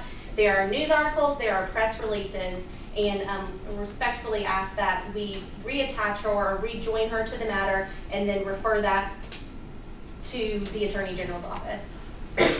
just so that I understand um, the procedure, has that matter, is this the matter, of the competing case you're waiting on? Absolutely. Um, And this matter has already been referred to the Attorney General's office, it's just a matter of reattaching Ms. Crosby? Correct. Super. Um, Actually, Questions? I don't believe this one has been referred. The other one to, uh, 2012-33 has been referred. This has not been So- referred because we are first waiting on somebody to serve. Okay, There was nobody to serve, but now that we can put Ms. Crosby as the proper respondent, Uh-huh. we can serve her but then we would have to serve her, have a preliminary hearing in February and then send it over? No, no. No, this is the preliminary hearing now. I, my understanding is that at the April meeting in 2013, that you found probable cause Right. to refer it to the Attorney General's office. However, however, you removed Carolyn Cosby from the complaint. So two thousand twelve 32 has already been referred to the Attorney General's office? That was my question. That, that was my, that was our impression. Okay. Well, if it has, I, I thought that it had, had not, because every. If it has not, then I think we have, to- it has to come move- before yeah, let's this just body. move Just in case, because I was pretty But sure. then we have to have a preliminary hearing and give her the opportunity to be present. Well, I, this is, noticed she was of noticed of this. She So was she just noticed of the motion to reattach or noticed of a preliminary hearing for thirty-two? Let me check the notice. Let me see. There was a preliminary hearing in April um, of last year on both this and on the other case, which is currently in my office. At that meeting, her um, attorney came forward and, from what I understand, gave facts that were inaccurate and misled the Right. commission as to her allegiance. Staff attorney went back and found other facts um, linking her definitively to the matter, and now, um, you know, she can be rejoined as a respondent. Right, but my question is, is at that April hearing, was thirty-two referred to your office or not? If it was not, then I think we have to have a preliminary hearing to refer it. When I looked at the case file, there was an inter-office memo to Stefan referring the case to the Attorney General's Okay, office. then we have it. Okay. So if it's already at the Attorney General's office, all we need to do today is reattach Ms. Crosby. Yes, ma'am. I I believe at the meeting, if I recall the video minutes correctly, the commission voted unanimously to refer the whole case and then did a second motion To to remove. necessarily remove Ms. Cosby. So- And we're simply just adding her back to the case. I, I would just ask that between the two of you and Kelly, that we confirm Sure. that it has procedurally properly been referred to the Attorney General's office. Okay. Um, and if it has not, I think we will have to add it to our February agenda for a preliminary hearing to properly refer it over. Um, but at this juncture, whether it's still with us or already at the AG's office, I think it is appropriate to consider a motion to reattach Carolyn Crosby as a respondent to case two thousand twelve 32 Is there such a motion? So moved. It's been moved by Commissioner Adams. Is there a second? Seconded by Commissioner Cathey. Any discussion? If none, all in favor of reattaching Ms. Crosby to case as a respondent to case 2012-0032, please say aye. Aye. Opposed, like sign. The motion carries. So, um, maybe y'all can just let us know the status of 32. Thank you. Um, okay, so moving along with preliminary hearings, uh, let's come, we can sort of, We can face. The first three that we have, 2014 36, 2014 46, and 2014 45. All, Or the second two can be heard together. The first one is Is somewhat, separate, is right. somewhat separate. but I was gonna say they all involve Ms. Crosby. Correct. Is there anyone here from the Canton Tea Party, citizens opposed to spiraling taxation or expose Bobo boondoggle now? It's kind of a tongue twister. Um, if not, um, we will just proceed then to hear from the staff attorneys, taking, um, thirty-six separately and then combining forty-five and forty-six. Um, And for everybody else, these are found, um. at two oh five. Thank you. Sorry. No, you're correct. Um, okay, 2014-0036 in the matter of Canton Tea Party, Carolyn Crosby. This complaint was filed by Garrett Jameson on July 1st of this year. Um, he's alleging that Carolyn Crosby failed to register Canton Tea Party as an independent committee. Um, currently, there is already a case at the Attorney General's office, and this is the one that Kelly was referring earlier. It's 2012 um, dash 0033, and it's in, in the matter of Canton Tea Party Patriots. Carolyn Cosby is already attached as the respondent. It's basic, it's the same allegations, except that it's, she continued the conduct after the last, after the preliminary hearing.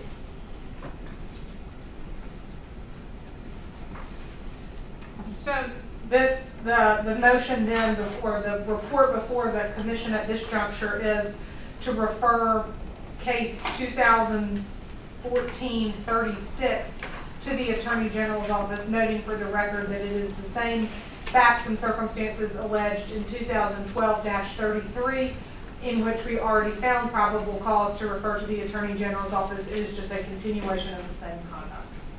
Um, Are there questions for Ms. Whetzel? from the commission.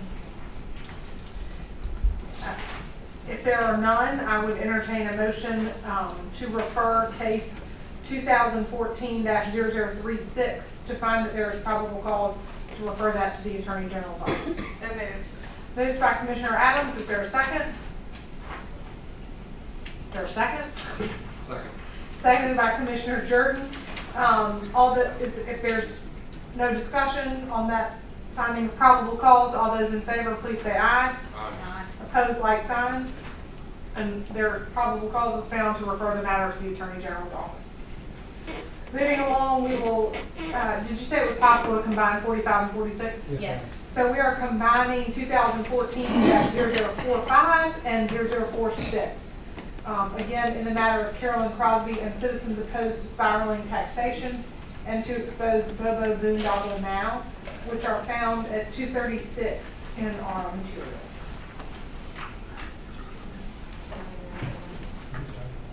Um, okay, 2014-0046 was filed by Jeffrey Wilbur on August 4th, August, let's see, August 4th of this year.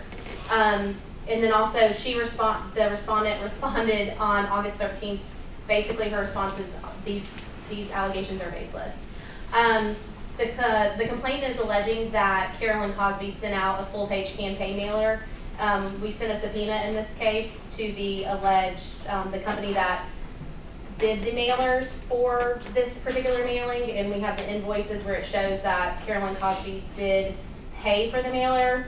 And it also says at the top, paid for citizens opposed to spiraling taxation. And we also have documents from Advantage Fulfillment Center saying that Carolyn Cosby paid for this, so she is connected with this. Um, this is an independent, um, expenditure because it advocates the defeat of a sitting candidate for the Cherokee County Board of Commissioners. Um, as such, she should have registered the citizens opposed to spiraling taxation, um, registered it with the commission as an independent committee. Um, and she did not, so she violated the code. Um, also, there are several other documents, several um, exhibits behind that, shows the website. Um, and really the, the, the mailer refers you to go to boboboondoggleexposed.com. And if you go to that website, at the header, it says COST LLC, which it's an acronym for Citizens Opposed to Spiraling Taxation. Talks about the history. You can see where they solicit donations and where they advocate for the defeat or um, election of certain candidates, which are all independent expenditures.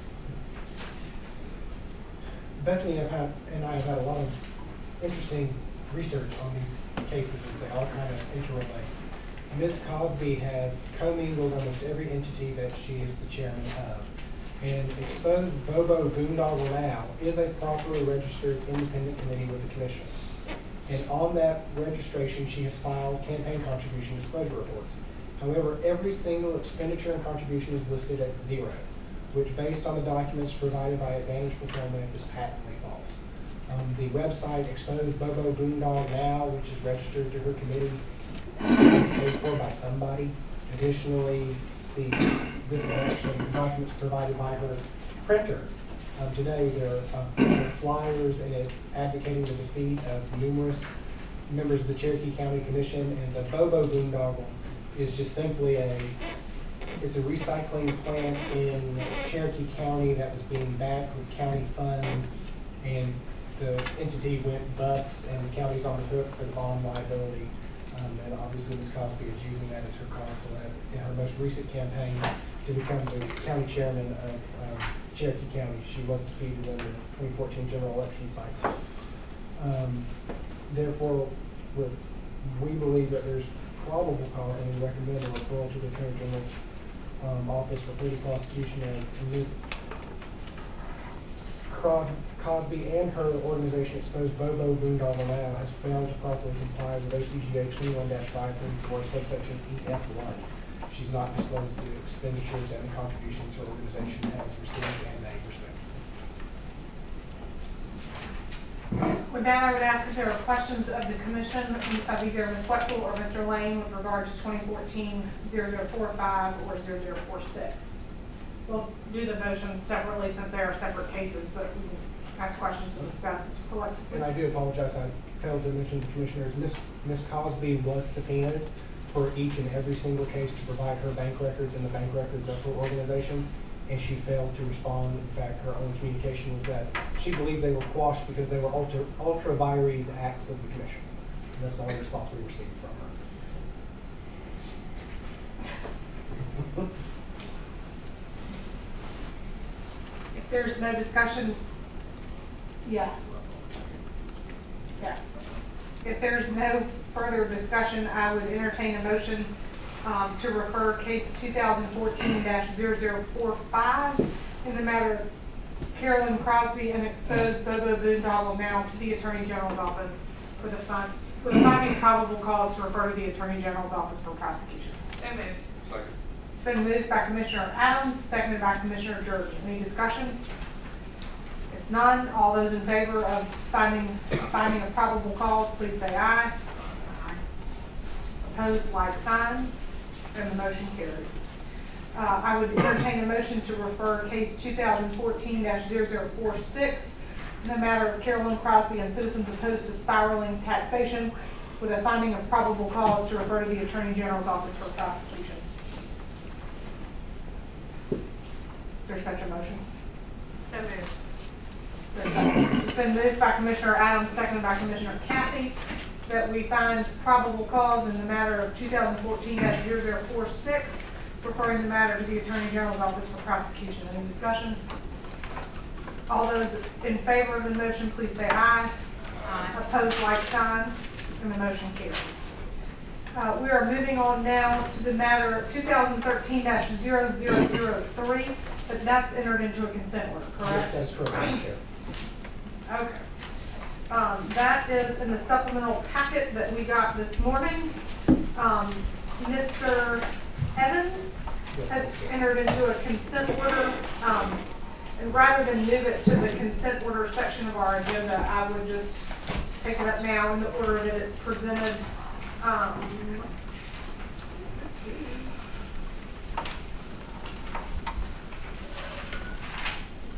So he's page three oh eight. Yeah. Um, Mr. Lane, you want to just quickly summarize the contents of the consent order? Absolutely. On this case, Madam Chair, is a a complaint was received by Mr. Dale Miller on March fourth of two thousand and thirteen, which alleged that Mr. Evans, the respondent, who is a county commission chair for Monroe County District One, has failed to file any personal financial disclosure reports or campaign contribution disclosure reports during his entire tenure, which is spanning thirty years, with the county commission down in Monroe County. Um, in reviewing the filings, that was correct. Um, we confirmed that Mr. Um, Evans's most recent declaration of intention to accept campaign contributions was on December sixth, two thousand and ten. Um, and like I said, he's held office since nineteen eighty-seven with no filing reports his response was very simple of, yep, I didn't do it. Um, so he, he admitted it. He, he has since filed every single disclosure report he's required to do. Um, he has further agreed to the payment of civil penalties in the amount of $3,900. Um, the way that was provided that is there are 13 outstanding reports that he had within the statute of limitations at $300 of a report under our matrix. He, that was the fee. He's asked that it be done in quarterly payments of $650 per month, so he'll have it paid within eighteen months. Additionally, he had one thousand five hundred and seventy-five dollars in late fees, and he has paid those in full without question. So he's, he's done what he's needed to do. We like these sorts of consent orders. I asked Bethany if she was even born then. Robert, were you born in nineteen eighty-seven? Yes, ma'am, I was born in nineteen eighty-two. Um, are there any questions for Mr. Lane of the consent order involving Mr. Evans? He's paid fifteen seventy-five in late fees and will finish paying his civil penalty, um, by June of twenty sixteen. And he's gonna file a report? He's already filed all of them. All right, very good. He filed all the reports before he paid. Who, um, who was it that turned it in? Um, that was Mr. Dale Miller. And he's here. Mr. Miller, are you here? I don't recall seeing him. Okay. Questions of Mr. Lane regarding the consent order? If none, I would entertain a motion to adopt the consent order as presented. So moved. Second? Second. So moved by Commissioner Cathey, seconded by Commissioner Jordan, to adopt the consent order in the matter of two thousand thirteen 3 in the matter of Larry C. Evans as presented. All those in favor say aye. Aye. Opposed, like sign. And the motion carries. We will adopt that consent order as presented. Um, next, we have 2014-0001 and 0064. Both are in the matter of Robert L. Henderson. Um, so Mr. Lane will hear from you. And on that case, um, Madam Chair, uh, Mr. Curtis Gay represents Mr. Henderson. Okay, Could great. I- Um, Good. So,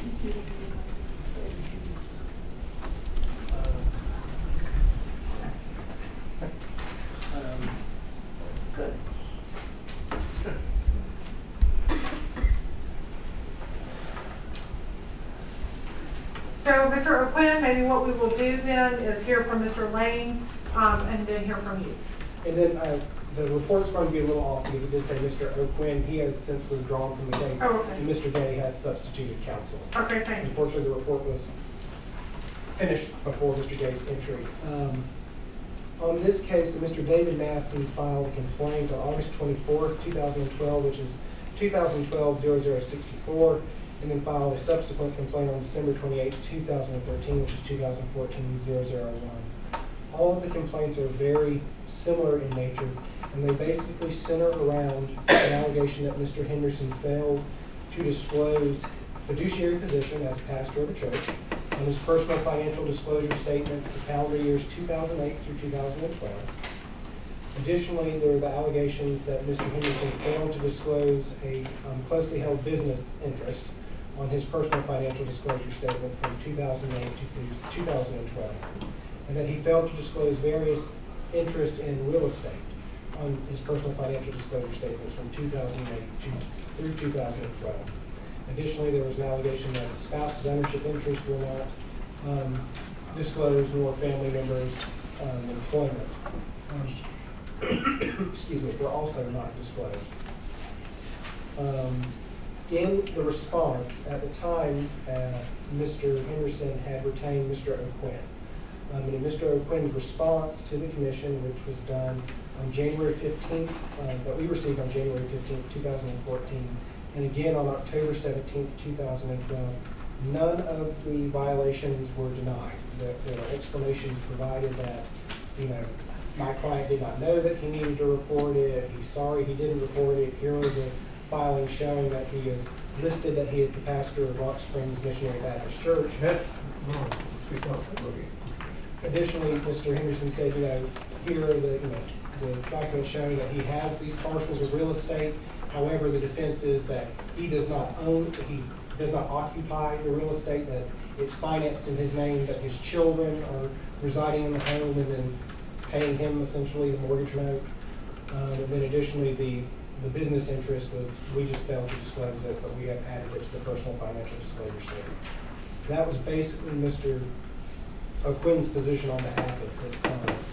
Um, a, a consent order was proposed to Mr. O'Quinn. I know that, I'm not sure how much of a discussion Mr. O'Quinn had with his client regarding it, but the last I heard was the response was no. I know that Mr. Gay just very recently came into the case, I believe, Thursday or Friday of last week, if I recall correctly. We've spoken somewhat about it. Um, we've had some discussions, but unfortunately unable to reach an agreement. Mr. Fair, we'll hear from you. Um, Go, you can go to the podium, yes, sir. uh, Madam Chair. Um, Let me correct one, I, I'm, my name is Curtis Gay, I'm from Jackson, Georgia. I'm an attorney, I'm here, Bono, so no one thinks that all of a sudden, uh, Mr. Henderson has come into a lot of money. Mr. Henderson is here, he's seated here, come on up. I believe the complainant is also here. Very well. Mr. I- Massey I here? think- It's in right here. Oh, okay. Right, right. think the first thing I want to correct here is, uh, Mr. Henderson is being portrayed as pastor of Rock Springs Church. Let's get that straight out.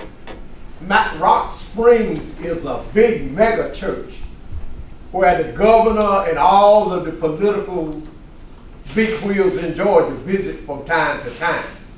Uh, he, he was down this year and presented a plaque on the attendance that they have at Rock Springs. Big church. That's not Mr. Henderson's church. So we're not talking about finance uh, in a situation like that. One of the allegations uh, uh, that Mr. Henderson is being charged with. But he is the pastor of Rock Springs Missionary No, but Rock Creek. Oh, okay. Yeah, Rock a, Creek. a spring is, a creek is bigger than a spring, but not in this case. In this case, the spring. Not Rock River either. The spring is much, much bigger than the, the creek in this case. Uh, he's also a member of, of, of, of Rock Creek, uh, has been a lifelong member. And I would take the position that there, there's no fiduciary, uh, position here. Uh, there's no contract, he gets no salary, uh, the church owes him money, uh, and we'll put him on oath and he'll tell you that. Uh, so, he did disclose that he was held a fiduciary position with Rock Creek Church because frankly, we don't think that is a fiduciary, uh, position, but if, uh, if the commission would like to know that he's pastor of Rock Creek Baptist Church, then, uh, I think that, uh, disclosures have been made, uh, since that time, uh, where that was pointed out. Uh, basically, Mr. Henderson explains that these are, these are, uh, items that he did not know that need to be filed because they really have no impact on government and what have you.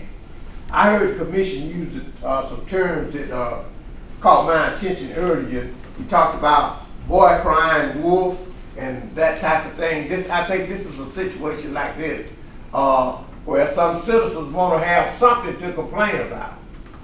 And I'll go down the list of charges uh, that have been made against Mr. Henderson. Failure to disclose, disclose real estate. Didn't know he was supposed to disclose it. But the real estate they're talking about is Mr. Henderson has adult children who cannot finance homes themselves. And his name is on the mortgage. He has no real estate holdings. Uh, we're talking about Jackson, Georgia, but So County. his name's not on the deed? Ma'am? Mr. Henderson's name is not on the deed? Um, it's on the security deed and on, on, on deeds Is it on the because real property deed? is your name on the real property deed? Yeah, I had to sign for the houses. But I have, Mayor, Yeah. I have all records to show that they make payments. Look, I would not hurt my integrity. I wouldn't start today. I'm a man, it may be one person in Butts County think that I'm a bad person, but I wouldn't do anything to hurt my integrity and my family, okay? So the, the houses that we're talking about belong to my mother, which makes, which gets five hundred dollars a month. My daughter helped her, my son and my daughter. Those houses, that's all that.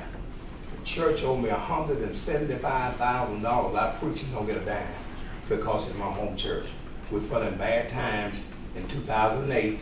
We couldn't make the mortgage. I had to take my retirement money while I worked for Central Georgia EMC and help them out of the situation. So I wouldn't hurt myself and nobody else. I want you to feel, please listen. When I ran for commission, ACCG, uh, voters person, nobody gave us any training about anything. Out of all the classes we went to, one while you file, you sending this out by paper. Next time you sending it by internet, now it's paper again. So it's totally confusing. We even asked our administrator to ask you, somebody on this panel, to come to our commission and teach us, or teach our clerk how to fill out. The county attorney made this statement. It's so confusing, I can't fill it out, Reverend. So now, listen, I wouldn't hurt myself and nobody else. So out of all you're seeing and hearing is out of ignorance. I just didn't know. Thank you. Right, let's move on. We need to address the four items that are at issue. Okay, we, okay. That's good. I think, uh, you used the term also repeat players. I think if you would check your records, you would find that these same charges have been made against all of the commissioners of Butts County by the same complainants. Uh, and, and it's, it's, uh, sure, it's, it's, it's, uh, it's a black letter violation. Uh, but that's, that's all it is. And since that time, uh, Mr. Henderson has been filing the campaign, all of, everything that he's supposed to file. Uh, he doesn't get any campaign contributions. Nobody runs against him, so he he doesn't have any of those to report. But this is, they are black letter violations, we admit. But, uh, if we could get a deal like the previous case where the man had filed for thirty years, then we would be happy to, maybe to enter into a consent. And that's something we hadn't had a chance, uh, to discuss with the attorney. We didn't know that there was somebody out there with a thirty-year history. When he paid thirty-nine hundred dollars. I, I understand that, but that, I, I think what we need to do today, and we can also hear from Mr. Massey, but there are four allegations that misconduct has occurred. The first being a failure to disclose a fiduciary relationship because you're employed as the pastor of a church. The second, what's the business entity that he's alleged to have failed to disclose? I think it's tree service. Henderson, Henderson Tree Service. And then, um, the real property interests in the home that belongs to your mother and the adult children. And then, And I um, I believe also identified it was also his personal residence as well, so it's not just other family members, but Okay. multiple real estate holdings. Well, he- and yeah, the form does not residence. disclose any real estate holdings? It's been corrected, it now does. Appro- Okay. He's, he's corrected all of his filings. It's just now a matter of civil penalties and late fees. Okay. Additionally, there was a failure to file a personal financial, um, excuse a financial disclosure, a campaign contribution disclosure report for December thirty-first, two thousand and eleven, which was a non-election year, and failure to file an election year campaign contribution disclosure report for September thirtieth, two thousand and twelve. And I believe that's also been fixed as well. And, and I guess one thing I would like to ask at this juncture would be, I would like to hear from Mr. Massey because he's been here all day, but, um, do you think that this is something that, um, you could endeavor to reach a consent order with Mr. Lane on between now and our February meeting to bring the consent order back? We to our will February work, we'll, we'll work, work real hard at it. So why don't we hear from Mr. The only thing is I've spoken at length with Mr. Gay about a consent order. And I'm afraid we may be too far apart, because as I've explained to him, zero is not something the commission staff would be able to recommend. Okay. Um, As I've said, I've said, all things are negotiable. If you don't like my starting number, feel free to give me something else, but I can't negotiate against myself. Uh, We're reasonable people. I mean, I know zero is a hard number to deal with. Yeah. But, but just so you understand, Mr. say Gay, that entering a con- consent order may mean that your client does need to pay some, some penalties. So, and some I think, fees. it's I think we paid, uh, two hundred and fifty dollars already. Two hundred and fifty dollars in late fees has been paid. The starting, the starting negotiating point for civil penalties, if I recall correctly, I believe was, I want to say it was three thousand dollars was the starting point. Twenty-three hundred. Or twenty-three hundred. And and just for 1700. clarity's sake, just so you understand, there, there are two different, the, the, the, what you paid is a late fee for not filing on time. The civil penalties that are being discussed are penalties that are imposed to address the four mistakes that were made in previous filings. And while we understand that they may be actual or alleged, you know, unintentional black letter violations, they are still violations of the act because they were incorrectly, potentially incorrectly reported. So, um, I, I know you said you just recently came on to the case. Do y'all, do you want to try to work it out between Yes. now and February? Yes, Or ma'am. do you want us to proceed with a preliminary hearing at this juncture? I, I would rather try working it out rather than referring it to the Attorney General's office at this time. Could we get a ruling maybe on what, on the issue of the No, sir. fiduciary At, relationship? at this juncture, we've either got to consider it as a preliminary hearing to refer with a finding of probable cause, or allow you the opportunity to continue to, consider to, continue to work on a consent order. I don't think we have the ability to bifurcate that. And and Madam Chair, I don't mean to outs- No, you're step fine. outside my bounds, but the respondent would, and Mr. Gay would have the ability to continue negotiating even once you refer the case for administrative hearing, because the statute says you get another thirty days to resolve your case, where the commission can remove it back from the Attorney General's office and enter into the consent order. So you wouldn't have to delay the vote, you could go ahead and approve it if you felt that was appropriate. And then the negotiation can continue, but then you don't have to come back and hear it all over again. It's, Um, My thought on that. My thought on that, thank you, Mr. Lane, for that, I appreciate that. Um, My thought on that would be that since Mr. Gay has just come into the matter, that giving him the opportunity, um, a little more time than just, you know, Thursday, um, to, to work with you all, um, is probably the best course of action. It's in, in some ways maybe seeking a little bit of a continuance. Um, But, but I would say, I think if you are not able to enter into a consent order, this will be, we'll find probable cause and refer it at the February meeting. But I would like to hear from Mr. Massey, who's been here all day.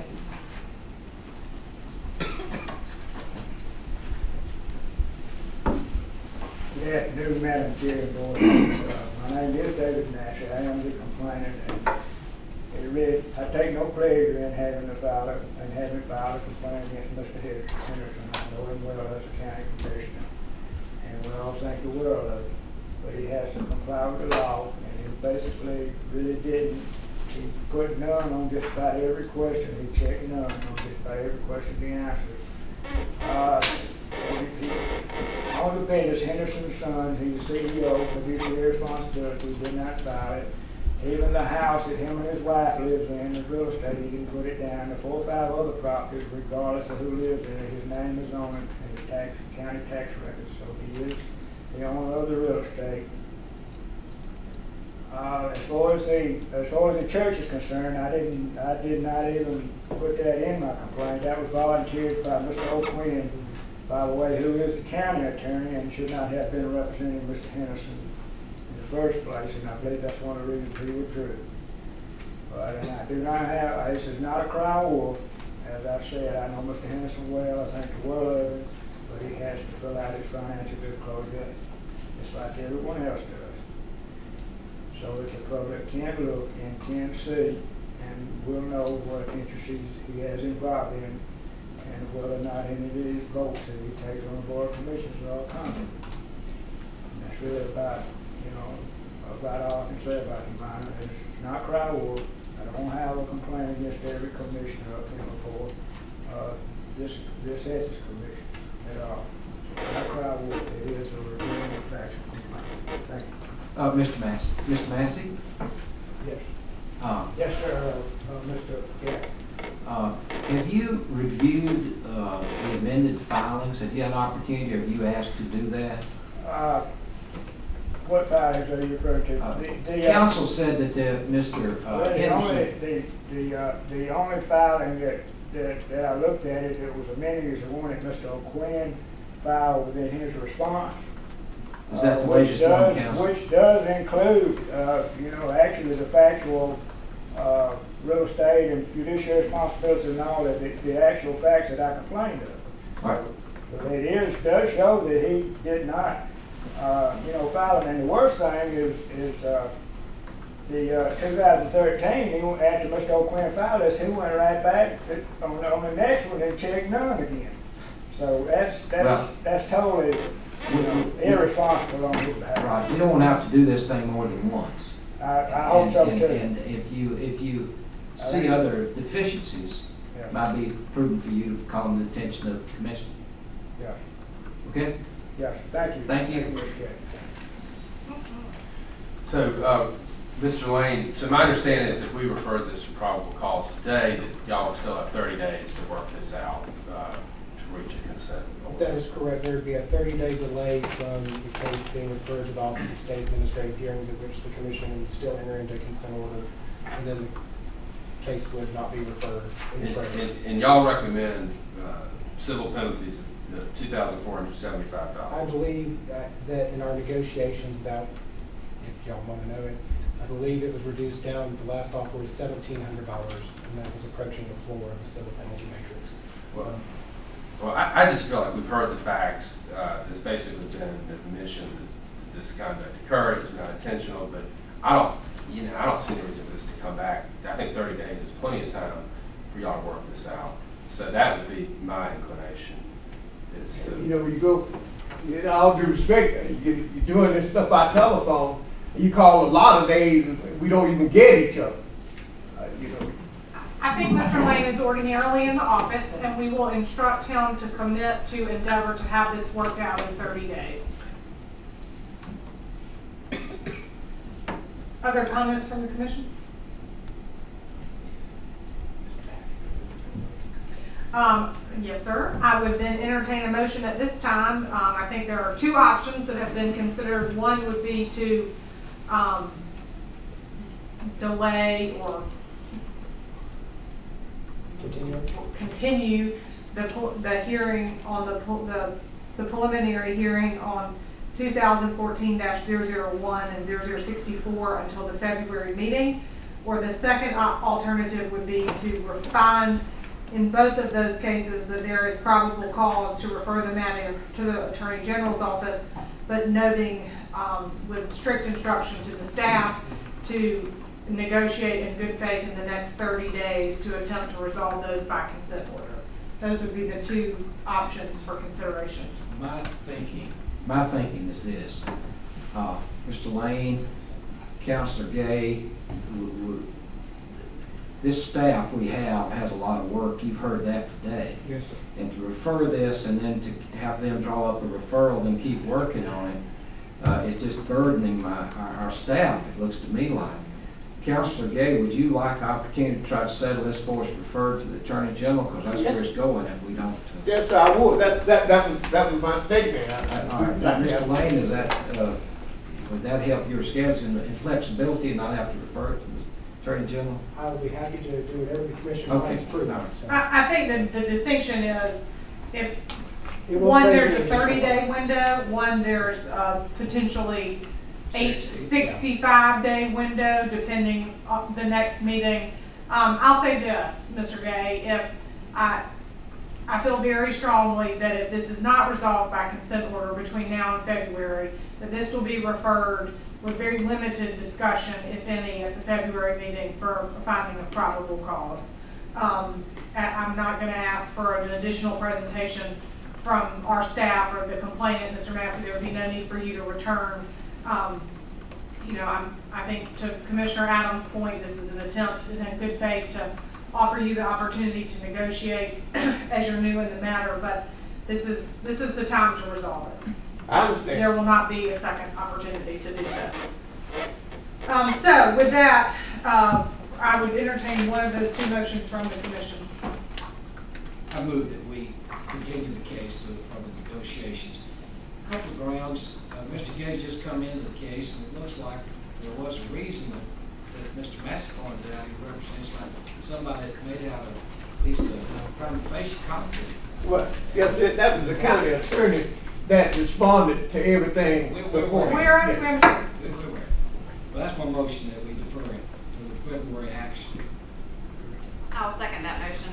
It's been moved by Commissioner Cathey, second by Commissioner Adams, to delay the vote on a motion for a finding of probable cause on these two matters until the February meeting. Um, I would go ahead and place these two items on the February agenda right now unless they are removed because a consent order is entered. Um, and there would be no need for Mr. Massey or anyone else to return at that time. Um, is there any further discussion? If none, then all those in favor, please say aye. Aye. Opposed, like sign. The motion carries. Um, it's just about three o'clock. Let's hear this last preliminary hearing and then take a ten-minute break and come back and tackle the consent orders. So, um, and Mr. Gay and Mr. Henderson, and Mr. Massey, we hope that you'll be able to resolve this matter between now and the February meeting and appreciate all of your attendance today. Thank, thank you, I mean, uh, uh, Madam Chair. Well, thank you. Just, yeah. Um, yeah, right. I don't know anything about the rules of evidence or never. The only depositions I've ever attended was through this commission. It's a local. Uh, Let's take up 2012-0057 in the matter of William Hendricks. Is Mr. Hendricks here? Um, This, for our folks, this is at uh, page 392. This is one of our friends from Brooklet, Bulloch County. Members of the commission, this case involves um, Mr. William Hendricks of Brooklet, Georgia. He is the mayor of Brooklet, Georgia. Unfortunately, Mr. Senath is, every member of the commission down there, including the mayor. Is this the factual scenario where the guy had this, bought the old school? Yes, ma'am. They wouldn't give him the asbestos removal permit? Yes, ma'am. I'm thinking they should probably condemn it and tear it down at this point, given as much trouble as he's given them.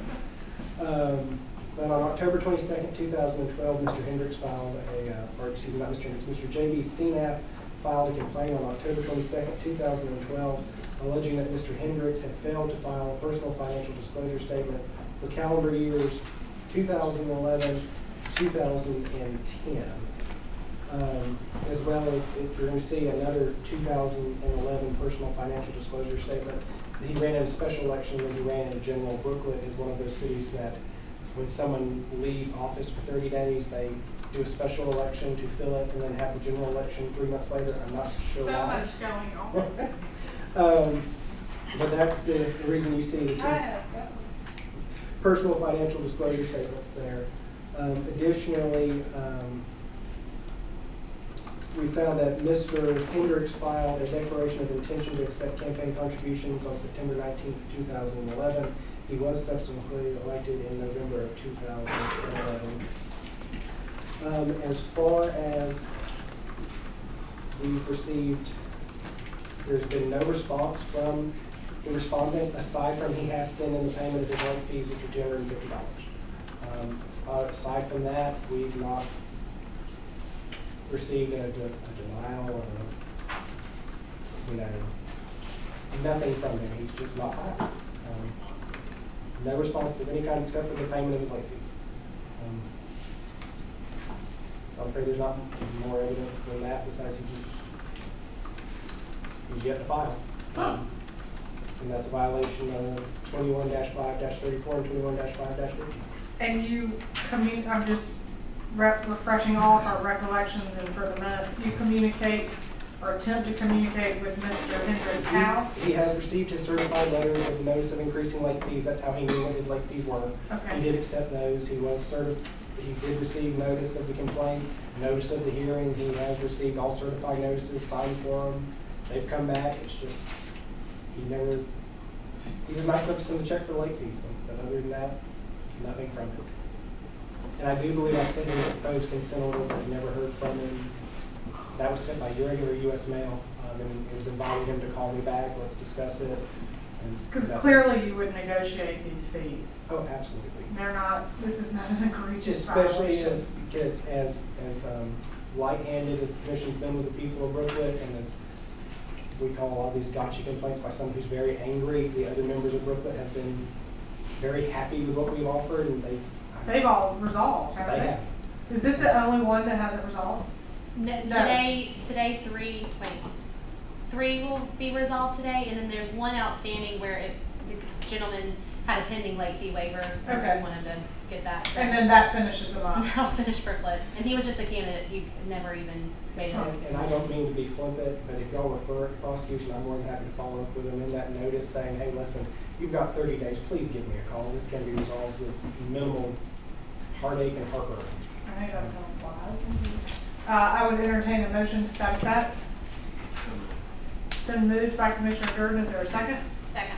Seconded by Commissioner Adams, that we find probable cause to refer case two thousand twelve 75 to the Attorney General's Office for prosecution, but with the understanding that Mr. Lane will again attempt to reach out to Mr. Hendricks to tell him this is his last thirty-day shot at finishing this up. Um, any further discussion? All those in favor say aye. Opposed, like sign.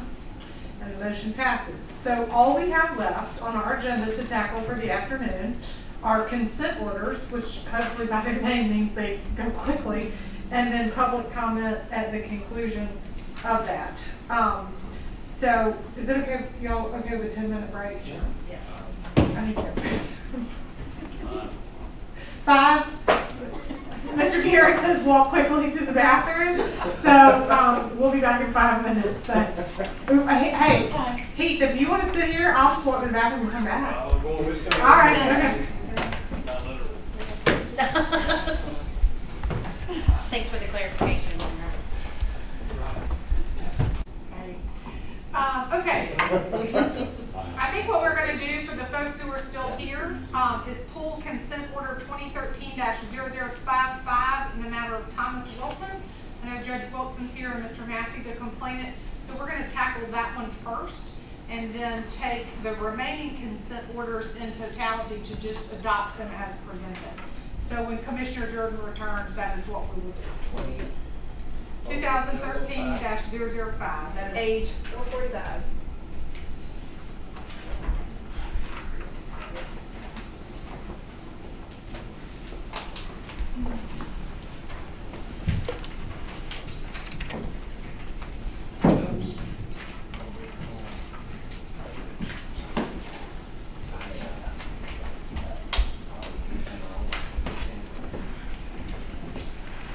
All right, so it is three eleven, and we are gonna resume our commission meeting. Um, we're gonna pull consent order two thousand thirteen 55 in the matter of Thomas Wilson and tackle that matter first, as I know, um, the, both the complainant and the respondent are present. So what I'd like to do is hear first from staff, then from the complainant, then from the respondent, and then we'll deal with the proposed order. Okay, um, this is case 2013-0055, um, in the matter of Judge Thomas Wilson. This complaint was filed on December twentieth, two thousand thirteen by Mr. David Massey. The complainant alleged that Judge, um, Wilson violated twenty-one five fifty by failing to file required personal financial disclosure statements for calendar years 2010, 2011, and twenty twelve. Um, on January sixteenth, the respondent responded to the complaint, and in his response, respondent admitted, admitted to the allegations in the complaint and self-reported that he had not filed personal financial disclosure statements since two thousand five. Um, in his letter, he did mention that he thought he didn't have to file because he had not received a notification letter since 25 2005, excuse me. And also, he wanted to point out that the, the information is available because he does have to file it um, pursuant to canon six of the Georgia Judicial Conduct. So some of the information that is included in his personal financial disclosure statements is available because he does have to file it with the Georgia Judicial Con. the- And, um, let's see, after the respondent was notified of his um, failure to file and, um, his late fees, he immediately filed all his personal financial disclosure statements since two thousand five, and he paid late fees totaling six hundred and he even paid that, even though some of them were outside the statute of limitations, and filed all those documents, even though some of those documents, technically, we couldn't have, because they are outside the statute of limitations, so he, in abundance caution, he really tried to fix his, um, his um, violations. Um, in addition to the failing to file the three PDF, PFDSs, there are two additional allegations discovered during the investigation complaint, and that he failed to timely file two June thirtieth um, CCDR reports in non-election years. He paid the late fees for those. One late, one report he missed it by a day, one missed it by a year. Um, in resolving this matter, he has agreed to pay five hundred and fifty dollars in, as a civil penalty, so that it's a total of eleven, one thousand one hundred and seventy-five, because he's already paid six hundred and twenty-five dollars in late fees, and he's already paid five, and he has already sent us a check in for um, five hundred and fifty dollars in civil penalties for a total of one thousand one hundred and seventy-five dollars. And he has filed all, um, documents that were missing. And he's in compliance with that. Okay, uh, I guess we'll hear from the complainant first and then the respondent.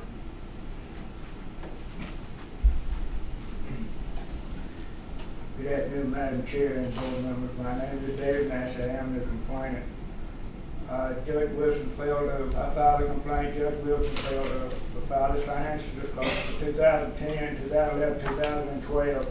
And the reason I filed for those three years, those were the years that the law changed. And with the file, you can file electronically, and you no longer file locally, you file with the, uh, you know, directly with the Ethics Commission. Of course, the law has changed again now, but that's the reason I filed for three years. And, and Mr. Judge Wilson's response, he admitted he hadn't filed since, since two thousand and five, he hadn't filed financial disclosure. Judge Wilson is, uh, a Superior Court judge.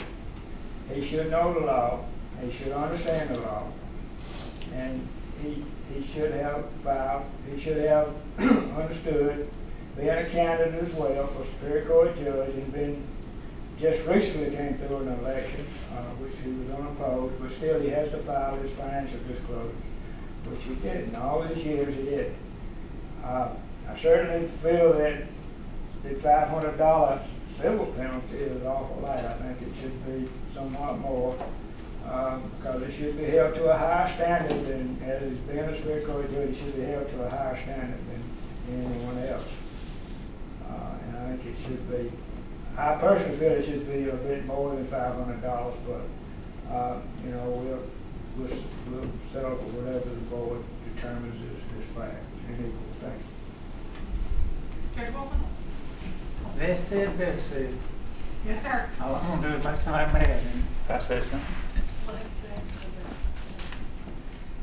Are there questions or comments from the commission in regard to the consent order as proposed? If not, is there a motion to accept the consent order as proposed? So moved. It's been moved by Commissioner Adams, seconded by Commissioner Cathey to to accept the consent order as proposed in case number two thousand thirteen 55 Um, As there was no discussion on the matter, all those in favor, please say aye. Aye. Opposed, like sign. The motion carries. Um, Uh, what I'd like to do at this juncture, thank you, Thank Judge Wilson. Um, Thank you, Mr. Massey. Thank y'all. Thank y'all. Um, presented before us are, how many? One, Ten, eleven, twelve, thirteen.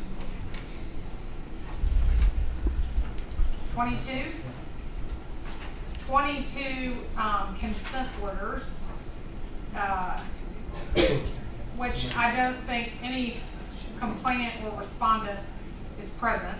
Mm, No, ma'am, but I, I do apologize. 2010 and 44 and 45, you may want more information on before y'all accept it. Okay. That's the only, Um, only issue.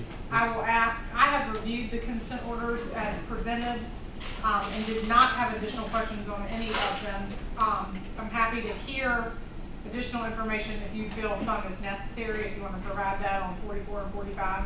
Yes, ma'am, on 44 and 45, that's the, one of the, the remaining two cases of the Right. original three Karen Handel cases. Yep.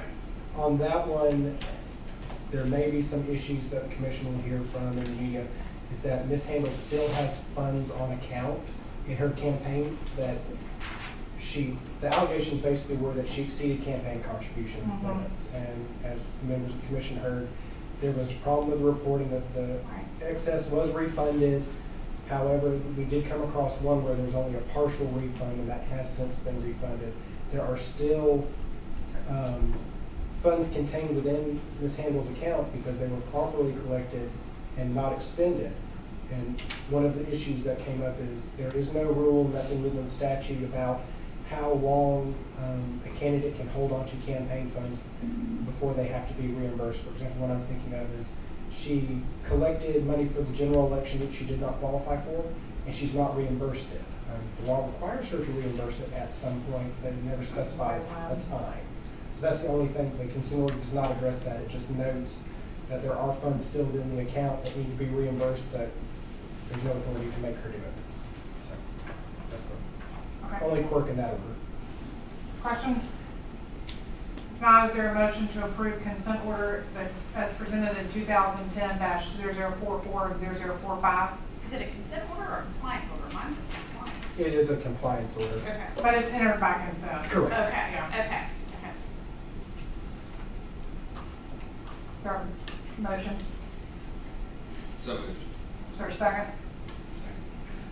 It's been moved by Commissioner Jordan, seconded by Commissioner Cathey. There was no discussion on the matter. All those in favor of adopting the compliance order as consented to by the parties and presented by staff, please say aye. Aye. Opposed, like sign. Uh, the motion carries. Um, do you want me to go through these individually to adopt them? It probably wouldn't be a bad idea I for the think we minutes. probably need to. Um, two thousand ten 60 PC in the matter of Larry Chisholm. Um, questions from commission or comments from staff that need to be heard before the motion is considered? If none, I would entertain a motion to accept the consent order as presented. So moved. Second.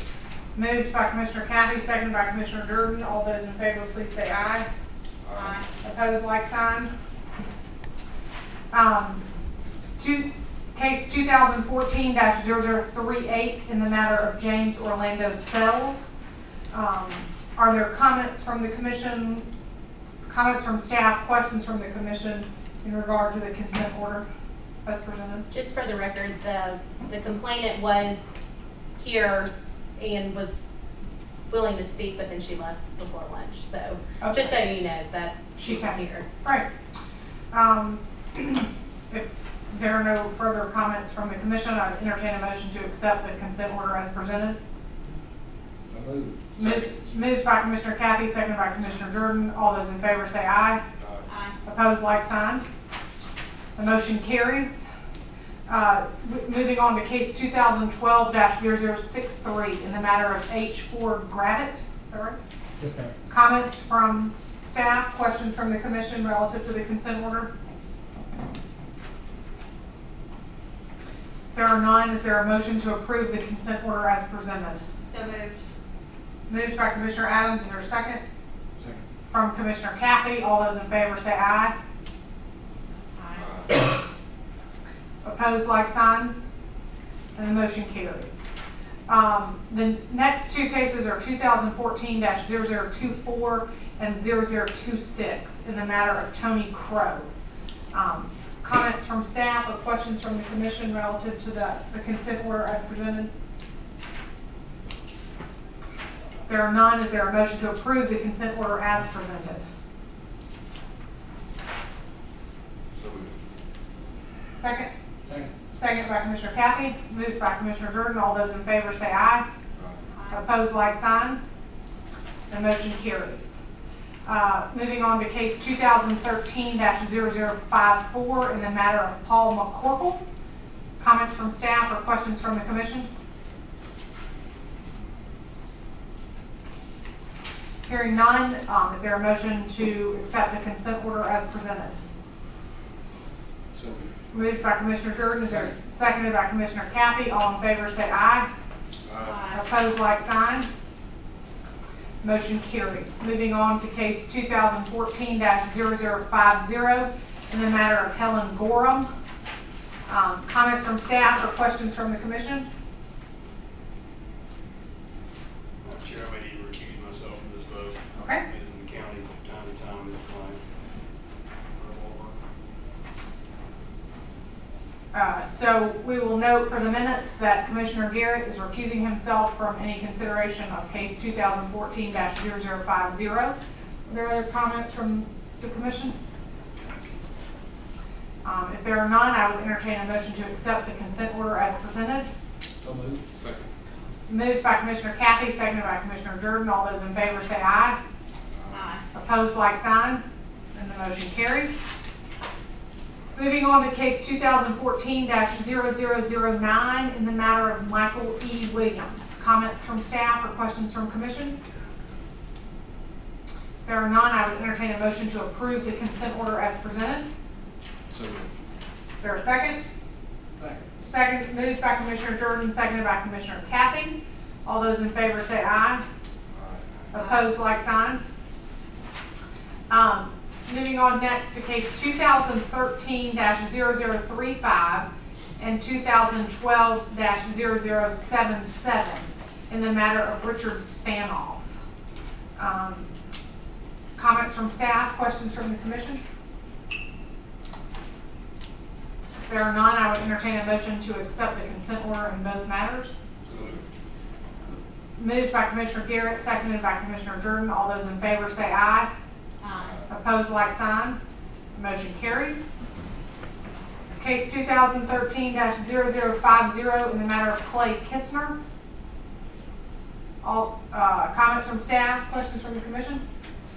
Uh, is there a motion to accept the consent order as presented? So moved. Second. Moved by Adams, seconded by Garrett. All those in favor say aye. Aye. Opposed, like sign. Motion carries. Case 2012-0076A, 2012-0076B in the matter of Russell Davis. Comments from staff, questions from the commission? Um, is there a motion to accept the consent order as presented? Moved. Moved by Cathey, seconded by Second. Commissioner Jordan. Um, all those in favor, please say aye. Aye. Opposed, like sign. Um, case two thousand thirteen 44 and 0045. it's two cases, in the matter of Matthew Redmond, is that right? Readman, and it- the reason it's two cases is they were entered twice in the system, and it's an identical case. Oh, okay, thank you for that clarification. Um, further comments from staff or questions from the commission? If not, is there a motion to accept the consent order as presented? So moved. Second. Moved by Commissioner Cathey, seconded by Commissioner Jordan. All those in favor say aye. Aye. Opposed, like sign, and the motion carries. Case 2014-0020 in the matter of Don Clark. Comments from the staff, questions from the commission? If not, is there a motion to approve the consent order as presented? So moved. Second. Moved by Adams, seconded by Jordan. All those in favor say aye. Opposed, like sign. Motion carries. We got four more. Hang in there. 2012-0071 in the matter of Brian Walton Whiteside. Um, comments from staff, questions from the commission? Is there a motion to approve the consent order as presented? So moved. Second. Moved by Adams, seconded by Jordan. All those in favor say aye. Aye. Opposed, like sign. Motion carries. Case 2013-0033 and 2012-0074 in the matter of Benjamin Randy Newman. Comments from staff or questions from the commission? Is there a motion to approve the consent order as presented? Moved by Jordan, seconded by Commissioner Cathey. All those in favor, please say aye. Aye. Aye. Opposed, like sign. And last but not least, 2014-0029 in the matter of Darlene Taylor. Comments from staff or questions from the commission? If none, I would entertain a motion to approve the consent order as presented. So moved. Moved by Adams, seconded by Cathey. Cathey. All those in favor, please say aye. Aye. Opposed, like sign, and the motion carries. Um, and we certainly appreciate your good work in presenting twenty-three consent orders today. That is an undertaking of no small feat. Um, at this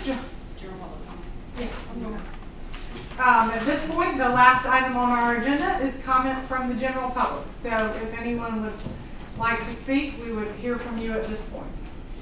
Good afternoon, Madam Chair and Commissioners, and yes, I am general public. My name is Nydia Tisdale, and I have been video recording your meeting here today. And I wanted to let you know that the video will be available on YouTube for all of you to watch and for the public to watch. And I also would like to share with you the newest edition of Georgia Sunshine Laws, A Citizen's Guide to Open Government, which discusses the open meetings law and the open records law. And this was just published this year by the Attorney General's Office and Georgia First Amendment Foundation. I've got a dozen of these books for you to have and to keep. And um, I'd like to read a couple of sentences from the book. And actually, would you please pass these out? Thank you so much.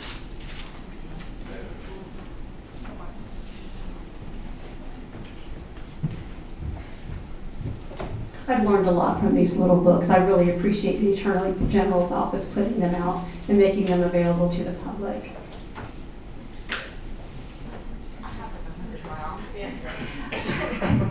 And I'm passing them out like candy cane at Christmas. I do too, I do too.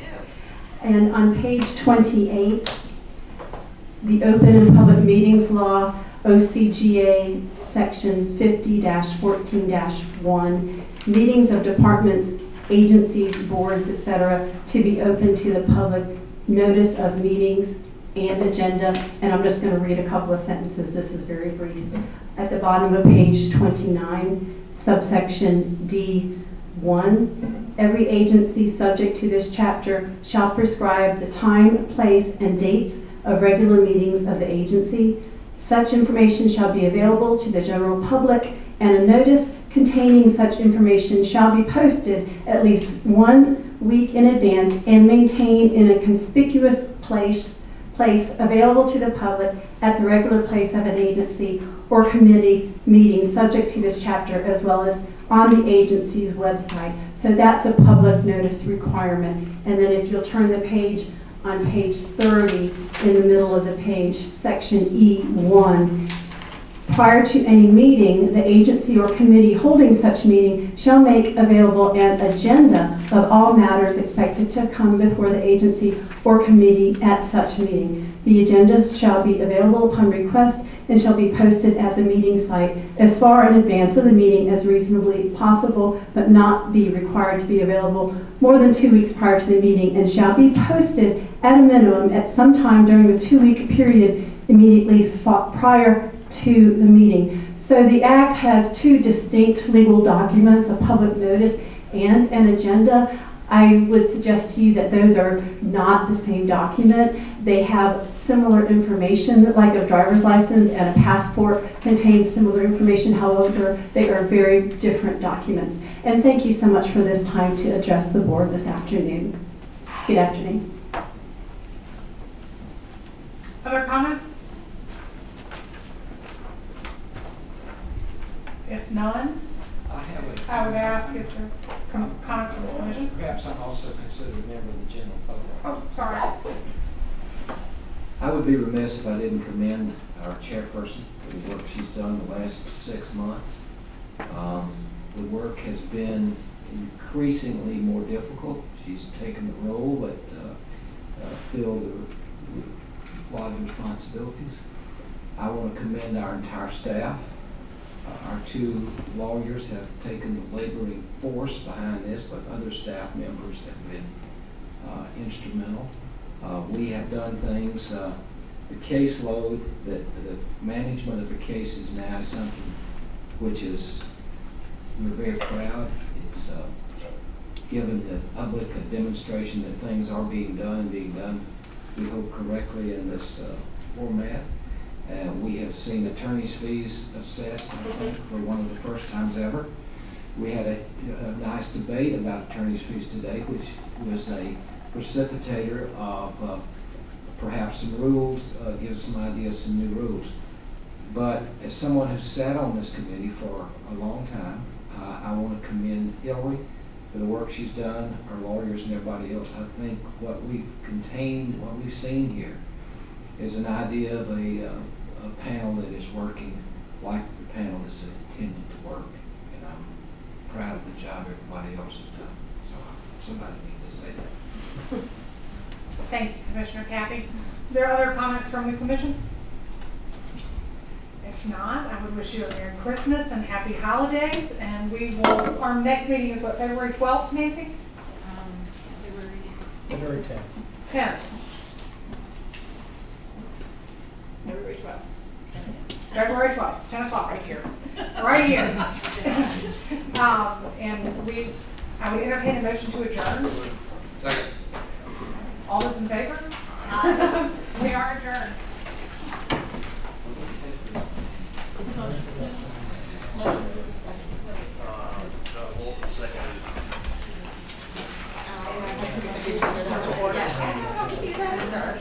She's pretty under wraps knew that. Yeah. It's easier to pay your dues. Your last name. Right. Thank you all. Sam, Sue, Jeff. I knew that. I knew that. Yeah, she's over Georgia all the time.